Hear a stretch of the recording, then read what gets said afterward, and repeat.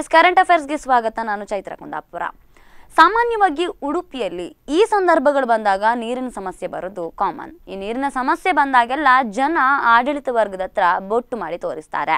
ನಮಗೆ ನೀರಿನ ವ್ಯವಸ್ಥೆಯನ್ನ ಮಾಡಲಿಲ್ಲ ಅಂತಲೋ ಅಥವಾ ನೀರಿನ ಬ, ಜ, ಮುಂಜಾಗ್ರತೆ ಕ್ರಮಗಳನ್ನು ಕ್ರಮಗಳನ್ನ ಕೈಗೊಳ್ಳಿಲ್ಲ ಅಂತಲೋ ಒಂದಷ್ಟು ಆರೋಪ, ಪ್ರತ್ಯಾರೋಪಗಳನ್ನು ಮಾಡುವಂಥದ್ದು ಕಾಮನ್ ಸೊ ಈ ವಿಚಾರದಲ್ಲಿ ರಾಜ್ಯದಾದ್ಯಂತ, ದೇಶದಾದ್ಯಂತ ಹೋದರೂ ಕೂಡ ಆಡಳಿತ ಪಕ್ಷಗಳು, ಪ್ರತಿಪಕ್ಷಗಳು ಸಾಮಾನ್ಯವಾಗಿ ಬರದ ವಿಚಾರವಾಗಿ, ನೀರಿನ ವಿಚಾರವಾಗಿ ರಾಜಕೀಯ ಮಾಡ್ತಾ ಆರೋಪ, ಪ್ರತ್ಯಾರೋಪಗಳನ್ನ ಮಾಡೋದನ್ನ ನಾವು ಕೇಳಿದ್ದೇವೆ. ಅಂಥದ್ದೇ ಒಂದು ಆರೋಪ, ಪ್ರತ್ಯಾರೋಪಗಳ ಹೂರಣದಂತಿರುವಂತಹ ಒಂದು ವಿಶಿಷ್ಟವಾಗಿರ್ತಕ್ಕಂತಹ ವಿಚಾರ ಈಗ ನಮ್ಮ ಮುಂದೆ ಇರುವಂತಹದ್ದು. ಅದೇ ಸಾಲಿಗ್ರಾಮದಲ್ಲಿ ಆಗ್ತಾ ಇರುವಂತಹ ಬಾವಿ ಒಳಗಡೆ ಇನ್ನೊಂದು ಬಾವಿ ಅನ್ನುವಂತಹ ಹೊಸ ವಿಚಾರ ಇದೀಗ ಬಹಳ ದೊಡ್ಡ ಮಟ್ಟಿನಲ್ಲಿ ಸಾರ್ವಜನಿಕರ ಚರ್ಚೆಗೆ ಗ್ರಾಸವಾಗ್ತಾ ಇದೆ. ಏನಪ್ಪಾ ಇದು? ಬಾವಿಯೊಳಗಡೆ ಇನ್ನೊಂದು ಬಾವಿ ಅಂತೀರಾ? ಈ ಪ್ಯಾಕೇಜ್ ನೋಡಿ.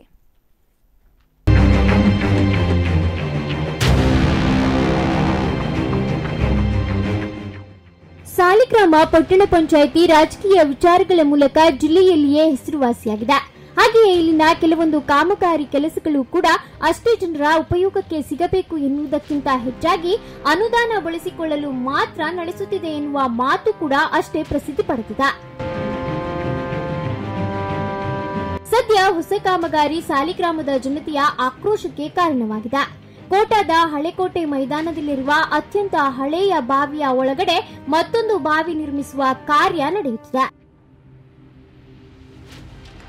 ಈ ಮೊದಲು ಹಳೆಯ ಬಾವಿಯ ಕೆಳಭಾಗವನ್ನ ಹೆಚ್ಚುವರಿ ನೀರು ಪಡೆಯಲು ಕುಸಿಯಲಾಗುತ್ತಿದೆ ಎಂದು ಸಾಲಿಗ್ರಾಮದ ಬಹುತೇಕ ಜನತೆ ಸುಮ್ಮನಿದ್ದರು. ಆದರೆ ಬಾವಿಯೊಳಗೆ ಮತ್ತೊಂದು ಬಾವಿ ನಿರ್ಮಿಸುವ ವಿಚಿತ್ರ ನೋಡಿ ಜನರು ಅಚ್ಚರಿಗೊಂಡಿದ್ದಾರೆ.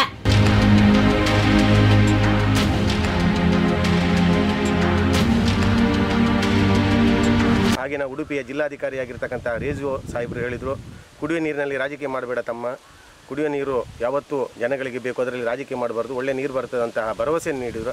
ಆದರೆ ಈ ಒಂದು ಸಂದರ್ಭದಲ್ಲಿ ಈ ಕಾಮಗಾರಿ ಪೋಲಾಗಿ ನೀರು ಹಾಳಾಗಿ ಮೂವತ್ತು ಲಕ್ಷ ರೂಪಾಯಿ ಪಟ್ಟಣ ಪಂಚಾಯಿತಿಗೆ ಹಾಗೂ ಜನಗಳ, ಜನಗಳಿಗೆ ಆರ್ಥಿಕವಾಗಿ ಹೊರೆಯಾಗಿದೆ.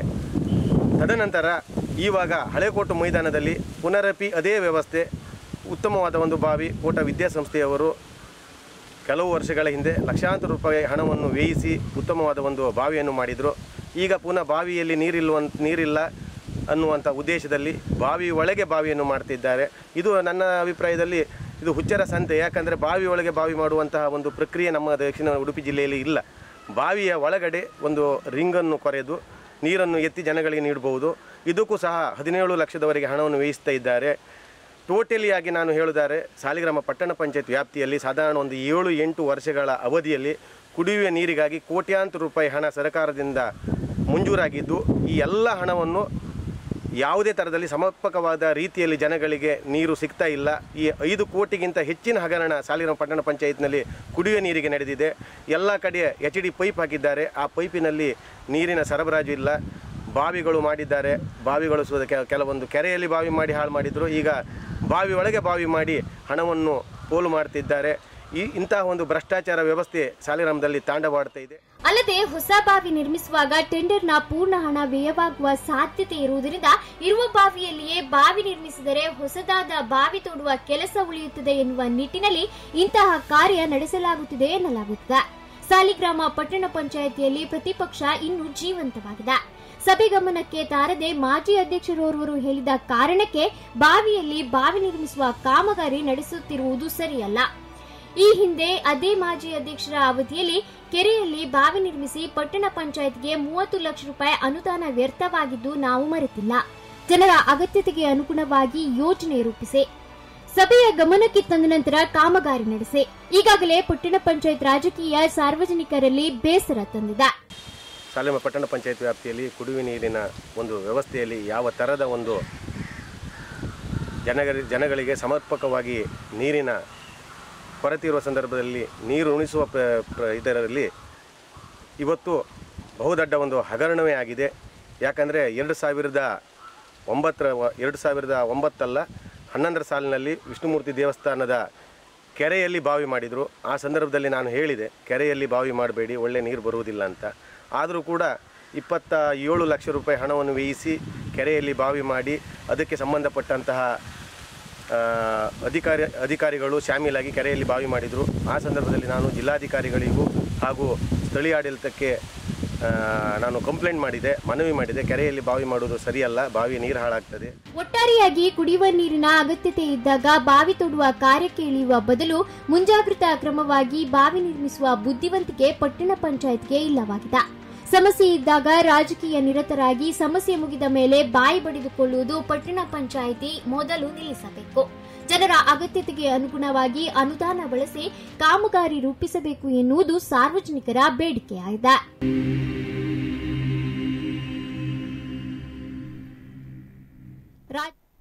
ನ್ಯೂಸ್ ಕೋಟಾ. ಎಸ್. ನೋಡಿದ್ರಲ್ಲ ವೀಕ್ಷಕರ? ಬಹುತೇಕ ಬಾವಿಯೊಳಗಡೆ ಬಾವಿ ಅನ್ನುವಂಥ ಒಂದು ವಿಶೇಷವಾಗಿರ್ತಕ್ಕಂಥ ಒಂದು ಚರ್ಚೆಗಳ ಗೂಡಾಗಿರ್ತಕ್ಕಂಥ ವಿಚಾರ ಅಂತ ಹೇಳ್ಬಹುದೇನೋ. ಯಾಕೆಂತಂದ್ರೆ ಇಲ್ಲಿ ಬಹುಶಃ ಈ ಹಿಂದೆ ಆದಂತಹ ಒಂದು ಕೆರೆಯ ಒಳಗಿನ ಬಾವಿ ಅನ್ನುವಂಥ ಪ್ರಕರಣ, ಜೊತೆಗೆ ಈ ಬಾವಿಯೊಳಗಿನ ಬಾವಿ ಅನ್ನುವಂಥ ಪ್ರಕರಣ ಎಲ್ಲೋ ಒಂದು ಕಡೆ ರಾಜಕೀಯವಾಗಿ ತಿರುವು ಪಡ್ಕೊಳ್ತಾ ಇದೆ ಅನ್ನುವಂಥದ್ದು ಬಹಳ ಸ್ಪಷ್ಟ. ಎಸ್, ಈ ಬಗ್ಗೆ ಇನ್ನಷ್ಟು ಚರ್ಚೆ ಮಾಡೋಣ. ನಮಗೆ ನಮ್ಮ ಜೊತೆ ಎರಡೂ ಪಕ್ಷದವರು, ಅಂದ್ರೆ ಎರಡೂ ಪರ ಮತ್ತು ವಿರೋಧ, ಎರಡೂ ರೀತಿಯಲ್ಲಿ ಚರ್ಚೆ ಮಾಡುವಂತವರು ಇದ್ದಾರೆ. ಈಗ ರಾಘವೇಂದ್ರ ಗಾಣಿಗ ಪಟ್ಟಣ ಪಂಚಾಯತ್ನ ಸದಸ್ಯರು ನಮ್ಮ ಜೊತೆ ಇದ್ದಾರೆ. ಕಾರ್ಯಕ್ರಮಕ್ಕೆ ಸ್ವಾಗತ ಸರ್ ನಿಮಗೆ. ಎಸ್ ಸರ್ ಬಹುತೇಕ ನಾವು ಇಷ್ಟೋ ತನಕ ನೋಡಿದ್ರಿ ನೀವು ಕೂಡ. ಅವ್ರು ಮಾಡಿದಂತಹ ಆರೋಪಕ್ಕೆ ನೀವೇನು ಹೇಳ್ತೀರಾ ಅನ್ನುವಂಥದ್ದು? ಅಲ್ಲ ನನಗೆ ಅರ್ಥ ಆಗ್ತಾ ಇಲ್ಲ.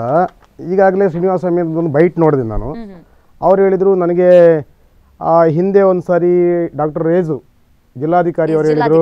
ಶ್ರೀನಿವಾಸ ಮೀನ್ರೆ ಕುಡಿಯುವ ನೀರಿನಲ್ಲಿ ರಾಜಕೀಯ ಮಾಡಬೇಡಿ ಅಂತೇಳಿ ನನಗೊಂದು ಕಿವಿ ಮಾತು ಹೇಳಿದರು ಅಂತ ಹೇಳಿದರು. ನನಗೀಗ ಅನಿಸ್ತಾ ಇದೆ ರೇಜು ಅವ್ರು ಹೇಳಿದ್ದು ಇವರು ತಗೊಳ್ಳೇ ಇಲ್ಲ. ಎಸ್ ಅಂದ್ರೆ ರಾಜಕೀಯ ಮಾಡ್ತಾ ಇದ್ದಾರೆ ರಾಜಕೀಯವೇ ಮಾಡ್ತಾ ಇದ್ದಾರೆ. ಯಾಕೆ ಈ ಸಮಸ್ಯೆ ಆಗಿದೆ ಅಂತ ಹೇಳಿದ್ರೆ ಸ್ವಾಭಾವಿಕವಾಗಿ ನನಗೆ ಗೊತ್ತಿಲ್ಲ. ಅವ್ರು ಏನೋ ಹೇಳ್ತಾ ಇದ್ದಾರೆ ಸಾಮಾನ್ಯ ಸಭೆಗೆ ಬರಬೇಕು ಸಾಮಾನ್ಯ ಸಭೆಯಲ್ಲಿ ಚರ್ಚೆ ಆಗಬೇಕು ಸಾಮಾನ್ಯ ಸಭೆ ಬರಲಿಲ್ಲ ಸದಸ್ಯರ ಗಮನ ಇಲ್ಲ ಅಂತ ಹೇಳ್ತಾರೆ. ಇಪ್ಪತ್ತೊಂಬತ್ತು ಒಂಬತ್ತು ಎರಡು ಸಾವಿರದ ಹದಿನಾರರ ಅಜೆಂಡಾ ಇದು. ಸಾಲಿಗ್ರಾಮ ಪಟ್ಟಣ ಪಂಚಾಯತ್ನ ಅಜೆಂಡಾ. ಇಪ್ಪತ್ತೊಂಬತ್ತು ಒಂಬತ್ತು ಎರಡು ಸಾವಿರದ ಹದಿನಾರರ ಅಜೆಂಡಾ. ಆ ಅಜೆಂಡದಲ್ಲಿ ಈ ಬಾವಿ ವಿಚಾರ ಎರಡು ಸಾವಿರದ ಹದಿನೈದು ಹದಿನಾರು ಮತ್ತು ಹದಿನಾರು ಹದಿನೇಳನೇ ಸಾಲಿನ ಹದಿನಾಲ್ಕನೇ ಹಣಕಾಸು ಯೋಜನೆಯಡಿ ಬಾವಿ ನಿರ್ಮಾಣ ಮತ್ತು ಶೌಚಾಲಯ ನಿರ್ಮಾಣದ ಅನುದಾನ ಕಾಯ್ದಿರಿಸಿ ಸದರಿ ಕಾಮಗಾರಿ ನಿರ್ವಹಿಸಲು ಸೂಕ್ತ ಸ್ಥಳ ಗುರುತಿಸುವ ಕುರಿತು ಒಂದು ಬಂದಿದೆ. ಬಂದಾಗ ನನ್ನ ವಾರ್ಡು ಪಾರಂಪಳ್ಳಿ ಪಡುಕೆರೆ ನನ್ನ ವಾರ್ಡಿಗೆ ಒಂದು ಬಾವಿ ಮಾಡ್ತಾ ಇದ್ದೇವೆ ಹೊಸದಾಗಿ ಬಾವಿ ನಿರ್ಮಾಣ ಮಾಡ್ತಾ ಇದ್ದೇವೆ ಒಂಬತ್ತುವರೆ ಲಕ್ಷ. ಅದಕ್ಕೆ ಮತ್ತೆ ಹೊಸದಾಗಿ ಆ ತೆರೆದ ಬಾವಿಗೆ ಆವರಣಕ್ಕೆ ಎರಡು ಪಾಯಿಂಟ್ ಹತ್ತು ಲಕ್ಷ. ಹಾಗೆ ಸಾಲಿಗ್ರಾಮ ಪಟ್ಟಣ ಪಂಚಾಯಿತಿಯ ಗುಂಡಿಮೆ ಹಳಕೋಟು ಸರ್ಕಾರಿ ಜಾಗದಲ್ಲಿ ತೆರೆದ ಬಾವಿ ನಿರ್ಮಾಣ ಕಾಮಗಾರಿಗೆ ಹದಿನಾಲ್ಕು ಲಕ್ಷ ನಲವತ್ತೆಂಟು ಲಕ್ಷ ಇದೆ. ಇದು ಅಜೆಂಡದಲ್ಲಿದ್ದಂಥದ್ದು. ಸ್ಥಳ ಇದು ಕಾಯ್ದಿರಿಸಲಿಕ್ಕೆ. ಆ ನಂತರದಲ್ಲಿ ದಿನಾಂಕ ಇಪ್ಪತ್ತೊಂಬತ್ತು ಹನ್ನೊಂದು ಎರಡು ಸಾವಿರದ ಹದಿನಾರರಲ್ಲಿ ಒಂದು ಸಾಮಾನ್ಯ ಸಭೆ ನಡೆಯಿತು ನಮ್ಮಲ್ಲಿ ಸದಸ್ಯರು ಕೇಳಿದರೆ ಹದಿನಾಲ್ಕು ಜನ. ಹಾಜರಿ. ಹದಿನಾಲ್ಕು ಜನ. ಹದಿನಾಲ್ಕು ಜನ ಹಾಜರಿದ್ದೇವೆ. ರಾಘವೇಂದ್ರ ಗಾಣಿಗಾದ ನಾನು ಹಾಜರಿದ್ದೇನೆ. ಶ್ರೀನಿವಾಸ ಮೀನರು ಹಾಜರಿದ್ದಾರೆ. ಆಗ ವಸುಮತಿ ನಾಗೇಶ್ ಅನ್ನುವರು ಅಧ್ಯಕ್ಷರಾಗಿದ್ದಾರೆ. ಆಗ ಸ್ಥಳ ಗುರುತುವಾಗಿ ಹದಿನಾಲ್ಕು ಪಾಯಿಂಟ್ ನಲವತ್ತೇಳು, ನಲವತ್ತೆಂಟು ಲಕ್ಷಕ್ಕೆ ಅದು ಮಂಜೂರಾತಿ ಸಿಕ್ಕಿದೆ. ಶ್ರೀನಿವಾಸ ಮೀನರು ಹೇಳ್ತಾರೆ, ನಮ್ಗೆ ಗೊತ್ತಿಲ್ಲ, ನಮ್ಗೆ ಯಾರು ಹೇಳಲಿಲ್ಲ, ಸದಸ್ಯರ ಗಮನಕ್ಕಿಲ್ಲ ಅಂತ ಹೇಳ್ತಾರೆ. ಯಾರೋ ಮಾಜಿ ಅಧ್ಯಕ್ಷರು ಹೇಳಿದ್ದಾರೆ, ಅವ್ರು ಹೇಳ್ದಲ್ಲಿ ಬಾವಿ ಆಗ್ತದೆ. ಇಲ್ಲ, ಯಾಕಾಗ್ತದೆ ಅವರ ಬಾವಿ ಬಾವಿ ನೋಡಿ, ತಹಶೀಲ್ದಾರ್, ಉಡುಪಿ ತಹಶೀಲ್ದಾರ್ ಈಗ ಹದಿನಾಲ್ಕು ಪಾಯಿಂಟ್ ನಲವತ್ತೆಂಟು ಲಕ್ಷಕ್ಕೆ ಅನುಮೋದನೆ ಸಿಕ್ಕಿದ ನಂತರ ಸರ್ಕಾರಿ ಜಾಗ ಬೇಕು ನಮಗೆ. ಸರ್ಕಾರಿ ಜಾಗ ಬೇಕಾದಾಗ ಇದೇ ಪಿ ಡಿ ಅಂದರೆ ಯೋಜನಾ ನಿರ್ದೇಶಕರು ಮತ್ತೆ ತಾಲೂಕ್ ತಹಶೀಲ್ದಾರರು ತಹಶೀಲ್ದಾರ್ ಬಂದು ಸ್ಥಳದ ಇದು ಮಾಡಿದ್ರು ಪರಿಶೀಲನೆ ಮಾಡಿದ್ರು. ಎಲ್ಲಿ ಸರ್ಕಾರಿ ಜಾಗ ಇಲ್ಲದಿದ್ದಾಗ ಗುಣ್ಮೆಯಲ್ಲಿ ಹಳಕೋಟೆ ಮೈದಾನ ಅದು ಮೊದಲು ಇವ್ರು ಹೇಳ್ತಾರೆ ಕೋಟಾ ವಿವೇಕ ಹೈಸ್ಕೂಲ್ ಅವ್ರು ಕಟ್ಟಿದ್ದು ಅಂತೇಳಿ ಇಪ್ಪತ್ತೇಳು ಇಪ್ಪತ್ತೆಂಟು ವರ್ಷದ ಹಿಂದೆ ಕಟ್ಟಂಥದ್ದು. ಅದು ಕೆಂಪು ಕಲ್ಲಿನಿಂದ ಕಟ್ಟಂಥದ್ದು. ಆ ಕೆಂಪು ಕಲ್ಲು ಈಗಾಗಲೇ ಏನಿಲ್ಲ ಡ್ಯಾಮೇಜ್ ಆಗಿದೆ.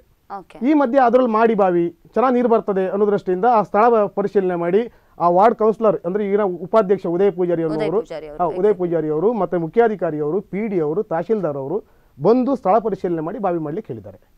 ಇಲ್ಲಿ ಏನು ಹಗರಣಗಳು ನಡೆದಿಲ್ಲ. ಈಗಾಗಲೇ ಆ ಬಾವಿಯಲ್ಲಿ ನೀವು ನೋಡಿದ್ರಿ ಈಗ ಅಲ್ಲಿ ತೋರಿಸಿದ್ರು. ಈಗಾಗಲೇ ಆ ಬಾವಿಯಲ್ಲಿ ಎಂಟರಿಂದ ಒಂಬತ್ತು ಫೀಟ್ ನೀರಿದೆ. ಈ ಕಡು ಬೇಸಿಗೆಯಲ್ಲಿ ನೀರಿರದ ಟೈಮಲ್ಲಿ ಯಾವ ಬಾವಿಯಲ್ಲೂ ಸಹ ಒಂದು ಫೀಟ್ ನೀರು ಇರೋದು ಕಷ್ಟ. ಈಗ ಅದರಲ್ಲಿ ಎಂಟರಿಂದ ಒಂಬತ್ತು ಫೀಟ್ ನೀರಿದೆ. ಆ ಹಳೆ ಬಾವಿ ಇರುವಂಥದ್ದು ಹದಿನಾಲ್ಕು ಅಡಿ. ಹಳೆ ಬಾವಿ. ಕೆಂಪು ಕಲ್ಲಿನ ಬಾವಿ. ಬಾವಿ, ಕೆಂಪು ಕಲ್ಲಿನ ಈಗಿನ ಬಾವಿ ಇರುವಂಥದ್ದು ಮೂವತ್ತಡಿ ಆಳ ಆಗಬೇಕು ಮೂವತ್ತಡಿ ಸಿಂಕ್ ಮಾಡಬೇಕು ಇಡೀ ಸಾಲಿಗ್ರಾಮ ಪಟ್ಟಣ ಪಂಚಾಯತಿಗೆ ನೀರು ಕೊಡಬೇಕು ಅನ್ನೋದು ಸಾಲಿಗ್ರಾಮ ಪಟ್ಟಣ ಪಂಚಾಯತ್ನ ಒಂದು ಯೋಚನೆ ಬಿಟ್ಟರೆ ಅದನ್ನು ಹಾಳು ಮಾಡಬೇಕು ಅನ್ನೋ ಯೋಚನೆ ನಮ್ದಲ್ಲ. ಹಾಗೆ ಹಾಗೆ ಹೇಳ್ತೇನೆ. ಇವ್ರು ಹೇಳಿದರು ಬಾವಿಯಲ್ಲಿ ಬಾವಿ ಕೆರೆಯಲ್ಲೇ ಬಾವಿ ಅಂತೇಳಿ. ಕೆರೆಯಲ್ಲೇ ಬಾವಿ. ಹೋಸರಿ ಕೆರೆಯಲ್ಲೇ ಬಾವಿ ಮಾಡಿದ್ರು ಇಪ್ಪತ್ತೇಳು ಲಕ್ಷ ವ್ಯಯಿಸಿದ್ರು ಅಂತೇಳಿ. ನಾನು ಹೇಳ್ತೇನೆ ಯಾರು ವಾಡಲ್ಲಾಗಿದ್ದು ಕೆರೆಯಲ್ಲೇ ಬಾವಿ ಆಗಿದ್ದು ಯಾರು ವಾರ್ಡಲ್ಲಿ? ಸನ್ಮಾನ್ಯ ಶ್ರೀನಿವಾಸ ಮೀನರು ವಾರ್ಡಲ್ಲೇ ಕೆರೆಯಲ್ಲಿ ಬಾವಿಯಾಗಿದ್ದು. ಯಾವುದೇ ಒಂದು ಕ್ರಿಯೋಜನೆ ಮಾಡುವಾಗ ನಮಗೆ ನೀರು ಕುಡಿಯೋ ನೀರು ಬೇಕು ಅನ್ನುವಾಗ ಕುಡಿಯೋ ನೀರು ಬೇಕು ಅನ್ನುವಾಗ ಕುಡಿಯೋ ನೀರು ಕುಡಿಯೋ ನೀರಿಗೆ ಸಮರ್ಪಕ ಸಮರ್ಪಕವಾದ ಕ್ರಿಯೋಜನೆ ಮಾಡ್ತೇವೆ. ಕ್ರಿಯೋಜನೆ ಮಾಡಿದಾಗ ವಾರ್ಡ್ ಸದಸ್ಯನ ಗಮನಕ್ಕೆ ತರ್ತೇವೆ. ಆ ವಾರ್ಡ್ ಸದಸ್ಯರು ಏನು ಮಾಡಬೇಕಂದ್ರೆ ಆ ಬಾವಿಗೆ ಗುರುತು ಮಾಡಬೇಕು. ಇಂಥ ಜಾಗದಲ್ಲಿ ನೀವು ಬಾವಿ ಮಾಡಿ. ಯಾರು ಕೊಟ್ಟಿದ್ದು? ಜಾಗದಲ್ಲಿ ಜಾಗದ ಗುರುತು ಕೊಟ್ಟಿದ್ದು ಯಾರು? ಆ ಬಾವಿ ಮಾಡಲಿಕ್ಕೆ ಅಂದ್ರೆ ಕೆರೆ ಒಳಗಡೆ ಬಾವಿ ಮಾಡೋದಕ್ಕೆ ಆ, ಅಮೀನ್ ಅವರು ಗುರ್ತು ಕೊಟ್ಟರು ಅಂತ ಹೇಳಿ ಅಲ್ಲ ಅವ್ರ ವಾರ್ಡ್ ವಾರ್ಡ್ ಅವ್ರದ್ದೇ ಅಲ್ವಾ? ಶ್ರೀನಿವಾಸ ಮೀನ್ರದೇ ವಾರ್ಡ್. ಅವ್ರು ಮಾಡಿದ್ರೆ ಯಾರು ಮಾಡ್ತಾರೆ? ಅವರ ಗಮನಕ್ಕಿಲ್ಲದೆ ಶ್ರೀನಿವಾಸ ಅಮೀನ್ರ ಗಮನಕ್ಕಿಲ್ಲದೆ ಕೆರೆಯಲ್ಲಿ ಯಾರು ಎಲ್ಲ ಬಾವಿ ಮಾಡ್ಲಿಕ್ಕೆ ಆಗ್ತದಾ ಓಕೆ. ಈಗ ಅದು ಹಾಗಾಗಿದೆ ಹೀಗಾಗಿದೆ. ನೋಡಿ ಅಲ್ಲಿ ಎಂ ಐ ಟಿ ಇಂಜಿನಿಯರ್ ಬಂದಿದ್ದಾರೆ. ಇಲ್ಲಿ ಕುಡಿಲಿಕ್ಕೆ ನೀರು ಯೋಗ್ಯ ಇದೆ. ಇಲ್ಲಿ ಬಾವಿ ಮಾಡ್ಬೋದು ಅಂತ ಹೇಳಿದ್ದಾರೆ. ಆದ್ರಿಂದ ನೋಡಿ ನಮಗೆ ನಾವು ಸಾಮಾನ್ಯ ಸದಸ್ಯರಾದವರಿಗೆ ನಮ್ಮ ಜವಾಬ್ದಾರಿ ಏನು ಕೇಳಿದರೆ ಕ್ರಿಯೋಜನೆ ಮಾಡ್ತೇವೆ. ಕುಡಿಯೋಕ್ಕೆ ನೀರಿಗೆ ನೀರು ನೀರಿನ ಮೂಲ ಹುಡುಕ್ತೇವೆ. ದುಡ್ಡನ್ನು ಹುಡುಕ್ತೇವೆ. ಆಗಬೇಕು ಅಂತ ಹೇಳ್ತೇವೆ. ಅದನ್ನು ಮಾಡುವಂಥ ಇಂಜಿನಿಯರ್ ಇದ್ದಾರೆ ಅಧಿಕಾರಿಗಳಿದ್ದಾರೆ ಮಾಡ್ತಾರೆ ಅವರು.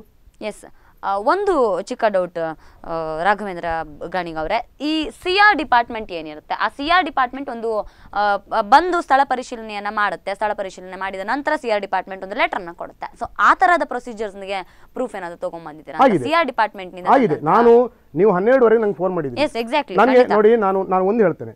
ಈ ಬಾವಿಯಲ್ಲಿ ಬಾವಿ ಅದು ನನ್ನ ವಾರ್ಡ್ ಸಹ ಅಲ್ಲ. ಓಕೆ ಖಂಡಿತ. ನಾನು ಆ ವಿಚಾರವಾಗಿ ನಾವು ಕೂಡ ಬೆಳಗ್ಗೆ ಕೂಡ ನಾವು ಎಲ್ಲವೂ ಇದೆ. ನಾವು ಮುಖ್ಯಾಧಿಕಾರಿ ನಮ್ಮ ಪಟ್ಟಣ ಪಂಚಾಯತ್ನ ಮುಖ್ಯಾಧಿಕಾರಿ ನಮ್ಮ ಪಂಚಾಯತ್ ಪಂಚಾಯತ್ನಲ್ಲಿ ಮುಖ್ಯಾಧಿಕಾರಿ ಹತ್ರ ಎಲ್ಲವೂ ಡಾಕ್ಯುಮೆಂಟ್ಸ್ ಇದೆ. ಎಲ್ಲವೂ ನೋಡಿದ್ದಾರೆ. ಎಲ್ಲವೂ ಪರ್ಮಿಷನ್ ಎಸ್ ಈ ವಿಚಾರದಲ್ಲಿ ಏನು ಅವರು ಈ ಹಿಂದೆ ಕೂಡ ಆ ಬೈಟ್ನಲ್ಲಿ ಕೂಡ ಇದ್ ಮಾಡಿದ್ರು. ಯಾವುದೇ ರೀತಿಯ ಸಭೆಯಲ್ಲಿ ಇದ್ ಮಾಡಲಿಲ್ಲ ಅಂತ ನೀವು ಹೇಳಿದ್ರೆ ಹದಿನಾಲ್ಕು ಜನ ಕೂಡ ಇದ್ದಂತಹ ಸಭೆಯಲ್ಲಿ ಈಗಲೂ. ಹೇಳ್ತೇನೆ ಶ್ರೀನಿವಾಸ ಮೀನರು ನನ್ನ ಸ್ನೇಹಿತರು. ಸ್ವಲ್ಪ ತಡವಾಗಿ ಬಂದರು. ನಾನು ಈಗಾಗಲೇ ಚರ್ಚೆ ಮಾಡಿದ್ದೇನೆ. ಇಪ್ಪತ್ತೊಂಬತ್ತು ಒಂಬತ್ತು ಎರಡು ಸಾವಿರದ ಹದಿನಾರರಲ್ಲಿ ಇಪ್ಪತ್ತೊಂಬತ್ತು ಒಂಬತ್ತು ಎರಡು ಸಾವಿರದ ಹದಿನಾರನ ಪಟ್ಟಣ ಪಂಚಾಯತ್ನ ಅಜೆಂಡಾದಲ್ಲಿ ಆ ವಿಚಾರಗಳು ಬಂದಿದೆ. ಒಂದು ನಿಮಿಷ ಒಂದು ನಿಮಿಷ ಒಂದು ನಿಮಿಷ ನಾನು ಹೇಳ್ತೇನೆ ಹೇಳ್ತೇನೆ ಹೇಳ್ತೇನೆ. ಆ ವಿಚಾರಗಳು ಬಂದಿದೆ. ಪಟ್ಟಣ ಪಂಚಾಯತ್ನ ಹಳಕೋಟೆ ರಾಘವೇಂದ್ರ ಗಾಣಿಗೋರೆ ಒಂದು ನಿಮಿಷ. ಎಸ್ ವೀಕ್ಷಕರೇ ಇದೀಗ ನಮ್ ಜೊತೆ ಆ ಕುರ್ತಾಗಿ ಒಂದಷ್ಟು ಆರೋಪಗಳನ್ನ ಮಾಡಿರ್ತಕ್ಕಂತಹ ಶ್ರೀನಿವಾಸ್ ಅಮೀನ್ ಅವರು ನಮ್ ಜೊತೆ ಸೇರ್ಕೊಂಡಿದ್ದಾರೆ. ಕಾರ್ಯಕ್ರಮಕ್ಕೆ ಸ್ವಾಗತ ಶ್ರೀನಿವಾಸ್ ಅಮೀನ್ ಅವರೇ ನಿಮ್ಗೆ. ಎಸ್ ಇಷ್ಟೊತ್ತು ಅವ್ರು ಮಾತನಾಡೋದನ್ನ ಕೂಡ ಕೇಳಿಸಿದ್ರಿ ಒಂದಷ್ಟು ಪರ ವಿರೋಧ ಚರ್ಚೆಗಳು ಸಾಮಾನ್ಯವಾಗಿ ಆಗ್ತಾ ಇದೆ. ನಿಮ್ಮ ಒಂದೊಂದೇ ಪ್ರಶ್ನೆಗೆ ಅವರು ದಾಖಲೆ ಸಮೇತ ಉತ್ತರವನ್ನ ಕೊಡ್ತಾ ಇರುವಂತಹದ್ದು. ಬಹುತೇಕ ಏನು ನೀವೇನ್ ಹೇಳಿದ್ರಿ ಸಾಮಾನ್ಯ ಸಭೆಯಲ್ಲಿ ಉಲ್ಲೇಖ ಯಾವುದೇ ರೀತಿಯ ಮಾಹಿತಿಯನ್ನು ನಮಗೆ ಕೊಟ್ಟಿರ್ಲಿಲ್ಲ ಅಂತ. ಸೊ ಅವ್ರು ಹೇಳ್ತಾ ಇದ್ದಾರೆ ಹದಿನಾಲ್ಕು ಜನ ಸದಸ್ಯರು ಬಂದ್ ಹಾಜರಿದ್ದಂತಹ ಸಭೆಯಲ್ಲೇನೆ ನಾವು ಅದನ್ನು ಉಲ್ಲೇಖ ಮಾಡಿದ್ದೇವೆ. ಅದು ಕೂಡ ಇಪ್ಪತ್ತೊಂಬತ್ತೊಂಬತ್ತು ಎರಡ್ ಸಾವಿರದ ಹದಿನಾರರಲ್ಲಿ ನಡೆದಂತಹ ಮೀಟಿಂಗ್ನಲ್ಲಿ ಅದನ್ನು ಉಲ್ಲೇಖ ಮಾಡಿದ್ದೇವೆ ಅಂತ. ಎಸ್ ರಾಘವೇಂದ್ರ ಗಾಣಿಗೌರ ಅವರೇ ನಿಮ್ಮ ಹತ್ರ ಪ್ರೂಫ್ ಕೂಡ ಇದೆ. ಖಂಡಿತ ಅವ್ರಿಗೆ ತೋರಿಸಬಹುದು ಅಂತ ಇಲ್ಲ ನನಗೆ ಸ್ವಾಭಾವಿಕವಾಗಿ ಹೇಳ್ತೀನಿ ಯಾವುದೇ ಪ್ರೂಫ್ಗಳು ಬೇಡ. Okay. ನಮ್ಮ ತಲೆಯ ಒಂದು ನಮ್ಗೆ ಲ್ಯಾಪ್ಟಾಪ್ ಇದ್ದಾಗ. ರಾಘವೇಂದ್ರ ಗಾಣಿಗರು ಹೇಳ್ತಿದ್ರು ಇಪ್ಪತ್ತೊಂಬತ್ತು ಒಂಬತ್ತರ ಮೀಟಿಂಗ್ನಲ್ಲಿ ಹಳೆಕೋಟು ಮೈದಾನದ ಬಾವಿಯನ್ನು ರಿಂಗ್ ಅಳವಡಿಸಿ ಅಗಲಗೊಳಿಸುವ ಕುರಿತು. ನಿಜವಾಗಿ ಹೇಳುವುದಾದರೆ ಸ ಖಾಸಗಿ ವಿದ್ಯಾಸಂಸ್ಥೆಯ ಒಂದು ಬಾವಿ ಅದು. ಆ ವಿದ್ಯಾಸಂಸ್ಥೆಯವರು ಈ ಈವಾಗಲೇ ಕೋರ್ಟಿನಲ್ಲಿ ಆ ಜಾಗಕ್ಕೆ ಸಂಬಂಧಪಟ್ಟಂತೆ ಮೊಕದ್ದಮೆ ಹೂಡಿದ್ದಾರೆ. ಒಂದ್ ನಿಮಿಷ ನಾನು ಹೇಳ್ತೀನಿ ಒಂದ್ ನಿಮಿಷ ಹೇಳ್ತೀನಿ. ಒಂದ್ ನಿಮಿಷ. ಹೇಳ್ತೀನಿ. ಆ ವಿದ್ಯಾಸಂಸ್ಥೆಯವರ ಹತ್ರ ಅನುಮತಿಯೂ ಕೂಡ ಪಡ್ಕೊಳ್ಳಿಲ್ಲ. ಅದಲ್ಲದೆ ಇಂದಿನ ಒಂದು ಸಾಲ ಪಟ್ಟಣ ಪಂಚಾಯತ್ ವ್ಯವಸ್ಥೆಯಲ್ಲಿ ಪ್ರತಿಯೊಂದು ವ್ಯವಸ್ಥೆಯಲ್ಲಿ ನಾವು ಪಕ್ಷದ ಚಿಹ್ನೆಯ ಅಡಿಯಲ್ಲಿ ಗೆದ್ದು ಬಂದವರು. ಪಂಚಾಯತ್ ವ್ಯಾಪ್ತಿ ಬೇರೆ ಪುರಸಭೆ ವ್ಯಾಪ್ತಿಯಲ್ಲಿ ಬೇರೆ. ನಮ್ಮಲ್ಲಿಯೂ ಕೂಡ ವಿರೋಧ ಪಕ್ಷ ಆಡಳಿತ ಪಕ್ಷ ಎಂದು ಇದೆ ರಾಘವೇಂದ್ರ ಗಾಣಿಗರಿ ನಾನು ಒಂದು ಮಾತು ಕೇಳ್ತೀನಿ. ಸಾಲಿಗ್ರಾಮದಲ್ಲಿ.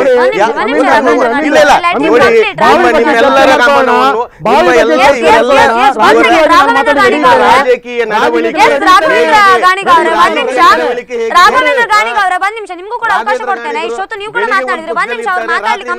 ಇರ್ತಾರೆ, ಸ್ವಾಭಾವಿಕವಾಗಿ ಗೊತ್ತಿದೆ. ಸಾಲಿಗ್ರಾಮದ ಆಡಳಿತ ವ್ಯವಸ್ಥೆಯಲ್ಲಿ ಮೇಡಮ್ ವಿಚಾರಕ್ಕೆ ಸಂಬಂಧಪಟ್ಟಂತೆ ಬರ್ತೇನೆ ನಾನು. ಸಾಲಿಗ್ರಾಮದ ಆಡಳಿತ ವ್ಯವಸ್ಥೆಯಲ್ಲಿ ಇದುವರೆಗೂ ಜನಗಳಿಗೆ ಡೌಟ್ಫುಲ್ ಕೇಸ್ ಆಗಿದೆ. ಯಾರು ಆಡಳಿತ ಪಾರ್ಟಿ ಯಾರು ವಿರೋಧ ಪಾರ್ಟಿ ಯಾವ ಪಕ್ಷದವರು ಯಾವ ಹೊತ್ತಿಗೆ ತೇ- ಸೇರ್ಕೊಳ್ತಾರೆ ಯಾರನ್ನು ಯಾರು ಹೊತ್ತಾಗ್ತಾರೆ ಅನ್ನುವುದೇ ಜನಗಳಿಗೆ ಆಶ್ಚರ್ಯವಾಗಿ ಉಳಿದಿದೆ. ಈ ವಿಚಾರದಲ್ಲಿ ಬರ್ತೇನೆ ಈ ವಿಚಾರದಲ್ಲಿ ಬರ್ತೇನೆ ಅಂದ್ರೆ ಇಪ್ಪತ್ತೊಂಬತ್ತು ಒಂಬತ್ತು ಎರಡ್ ಸಾವಿರದ ಹದಿನೇಳರ ಮೀಟಿಂಗ್ನಲ್ಲಿ ಹಳೆ ಹದಿನಾರರ ಮೀಟಿಂಗ್. ಹದಿ- Yes, okay, ಹದಿನಾರರ ಮೀಟಿಂಗ್ ಅಲ್ಲಿ ನವೆಂಬರ್ ಅಲ್ಲಿ ಹದಿನಾರರ ಮೀಟಿಂಗ್ ಅಲ್ಲಿ. ಹದಿನಾರರ ಅಧ್ಯಕ್ಷರಾದವರು ಇದ್ದಾರೆ. ಹಳೆಕೋಟು ನಾನು ನೋಡುವುದಿಲ್ಲ ಬೇಡ. ಹಳೆಕೋಟು ಮೈದಾನದ ಬಾವಿಯಲ್ಲಿ. ತಗೊಳ್ಳಿ ನೋಡಿ. ಬಾವಿಯನ್ನು ಅಗಲಗೊಳಿಸಿ. ನೋಡಿ, ಇದರಲ್ಲಿ ನಾವು ಅರ್ಥ. ಮಾಡ್ಕೊಳ್ಬೇಕು. ಏನ್ ಕೊಟ್ಟಿದ್ದಾರೆ ನೋಡಿ. ಹಳೆಕೋಟೆ 14 ಲಕ್ಷ ನಿರ್ಮಾಣ ಸರ್ಕಾರಿ ಜಾಗದಲ್ಲಿ ತೆರೆದ ಬಾವಿ ನಿರ್ಮಾಣ ಕಾಮಗಾರಿ. ತೆರೆದ ಬಾವಿ ನಿರ್ಮಾಣ ಹಳೆ ಹಳೆಕೋಟು ಮೈದಾನದಲ್ಲಿ. ತೆರೆದ ಬಾವಿ ಹೌದಲ್ಲ ನಿರ್ಮಾಣ ತೆರೆದ ಬಾವಿ ನಿರ್ಮಾಣ ಮಾಡ್ಲೇ ಇಲ್ಲಲ್ಲ ಗಾಣಿಗ್ರೆ ಒಂದ್ ನಿಮಿಷ.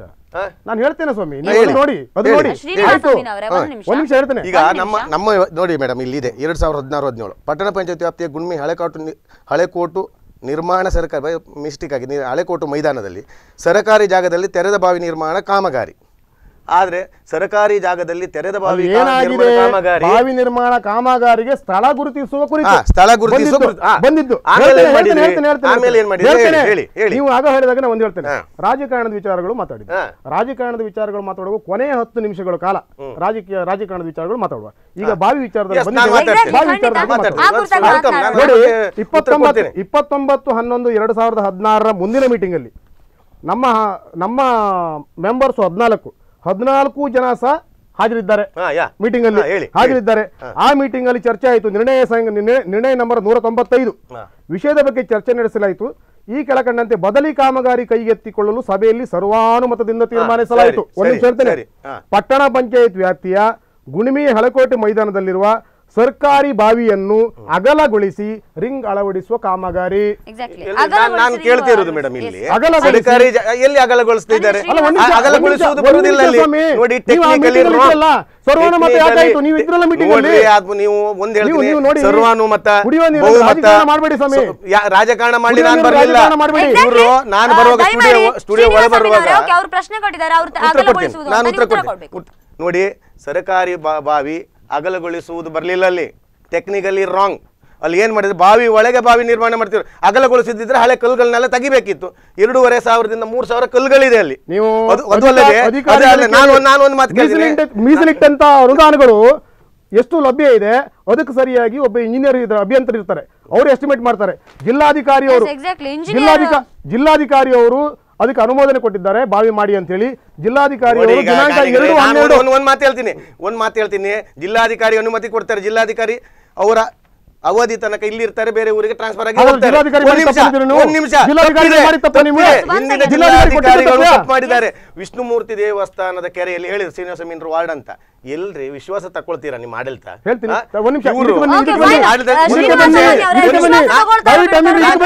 ಒಂದು ವಿಚಾರ ಹೇಳ್ತೀನಿ. ಹಳೆ ಕೋಟು ಮೈದಾನದಲ್ಲಿ ಬಾವಿ ಅಗಲಗೊಳಿಸುವುದಾರೆ ಅಗಲಗೊಳಿಸಲಿಲ್ಲ ಅಲ್ಲಿ. ಅಗಲಗೊಳಿಸಲಿಲ್ಲ. ಎರಡೂವರೆ ಸಾವಿರ ಒಂದು ಕಲ್ಲಿಗೆ ಒಂದು ಕೆಂಪು ಕಲ್ಲಿಗೆ ಈ ಕಾಲದಲ್ಲಿ ಎಂಬತ್ತರಿಂದ ತೊಂಬತ್ತು ರೂಪಾಯಿ ಆಗ್ತದೆ. ಅದು ಕಟ್ಲಿಕ್ಕೆ ನೂರ ಅರವತ್ತು ರೂಪಾಯಿ ಆಗ್ತದೆ. ಸಾಧಾರಣ ಎಂಟರಿಂದ ಹತ್ತು ಲಕ್ಷ ರೂಪಾಯಿಯ ಬಾವಿ ಅದು. ಆ ಬಾವಿ ಒಳಗೆ ರಿಂಗ್ ಅಳವಡಿಸಿ ಬಾವಿ ನೀರನ್ನು ಲಿಫ್ಟ್ ಮಾಡಬಹುದಿತ್ತು. ಅದಾದ್ಮೇಲೆ ಬಹುಮತ ನಿರ್ಣಯ ಮಾಡ್ಕೊಂಡಿದ್ದಾರೆ ಅಂತ ನಾವು ಸರ್ವಾನುಮತದ ಒಪ್ಪಿಗೆ ಸಿಕ್ಕಿದೆ.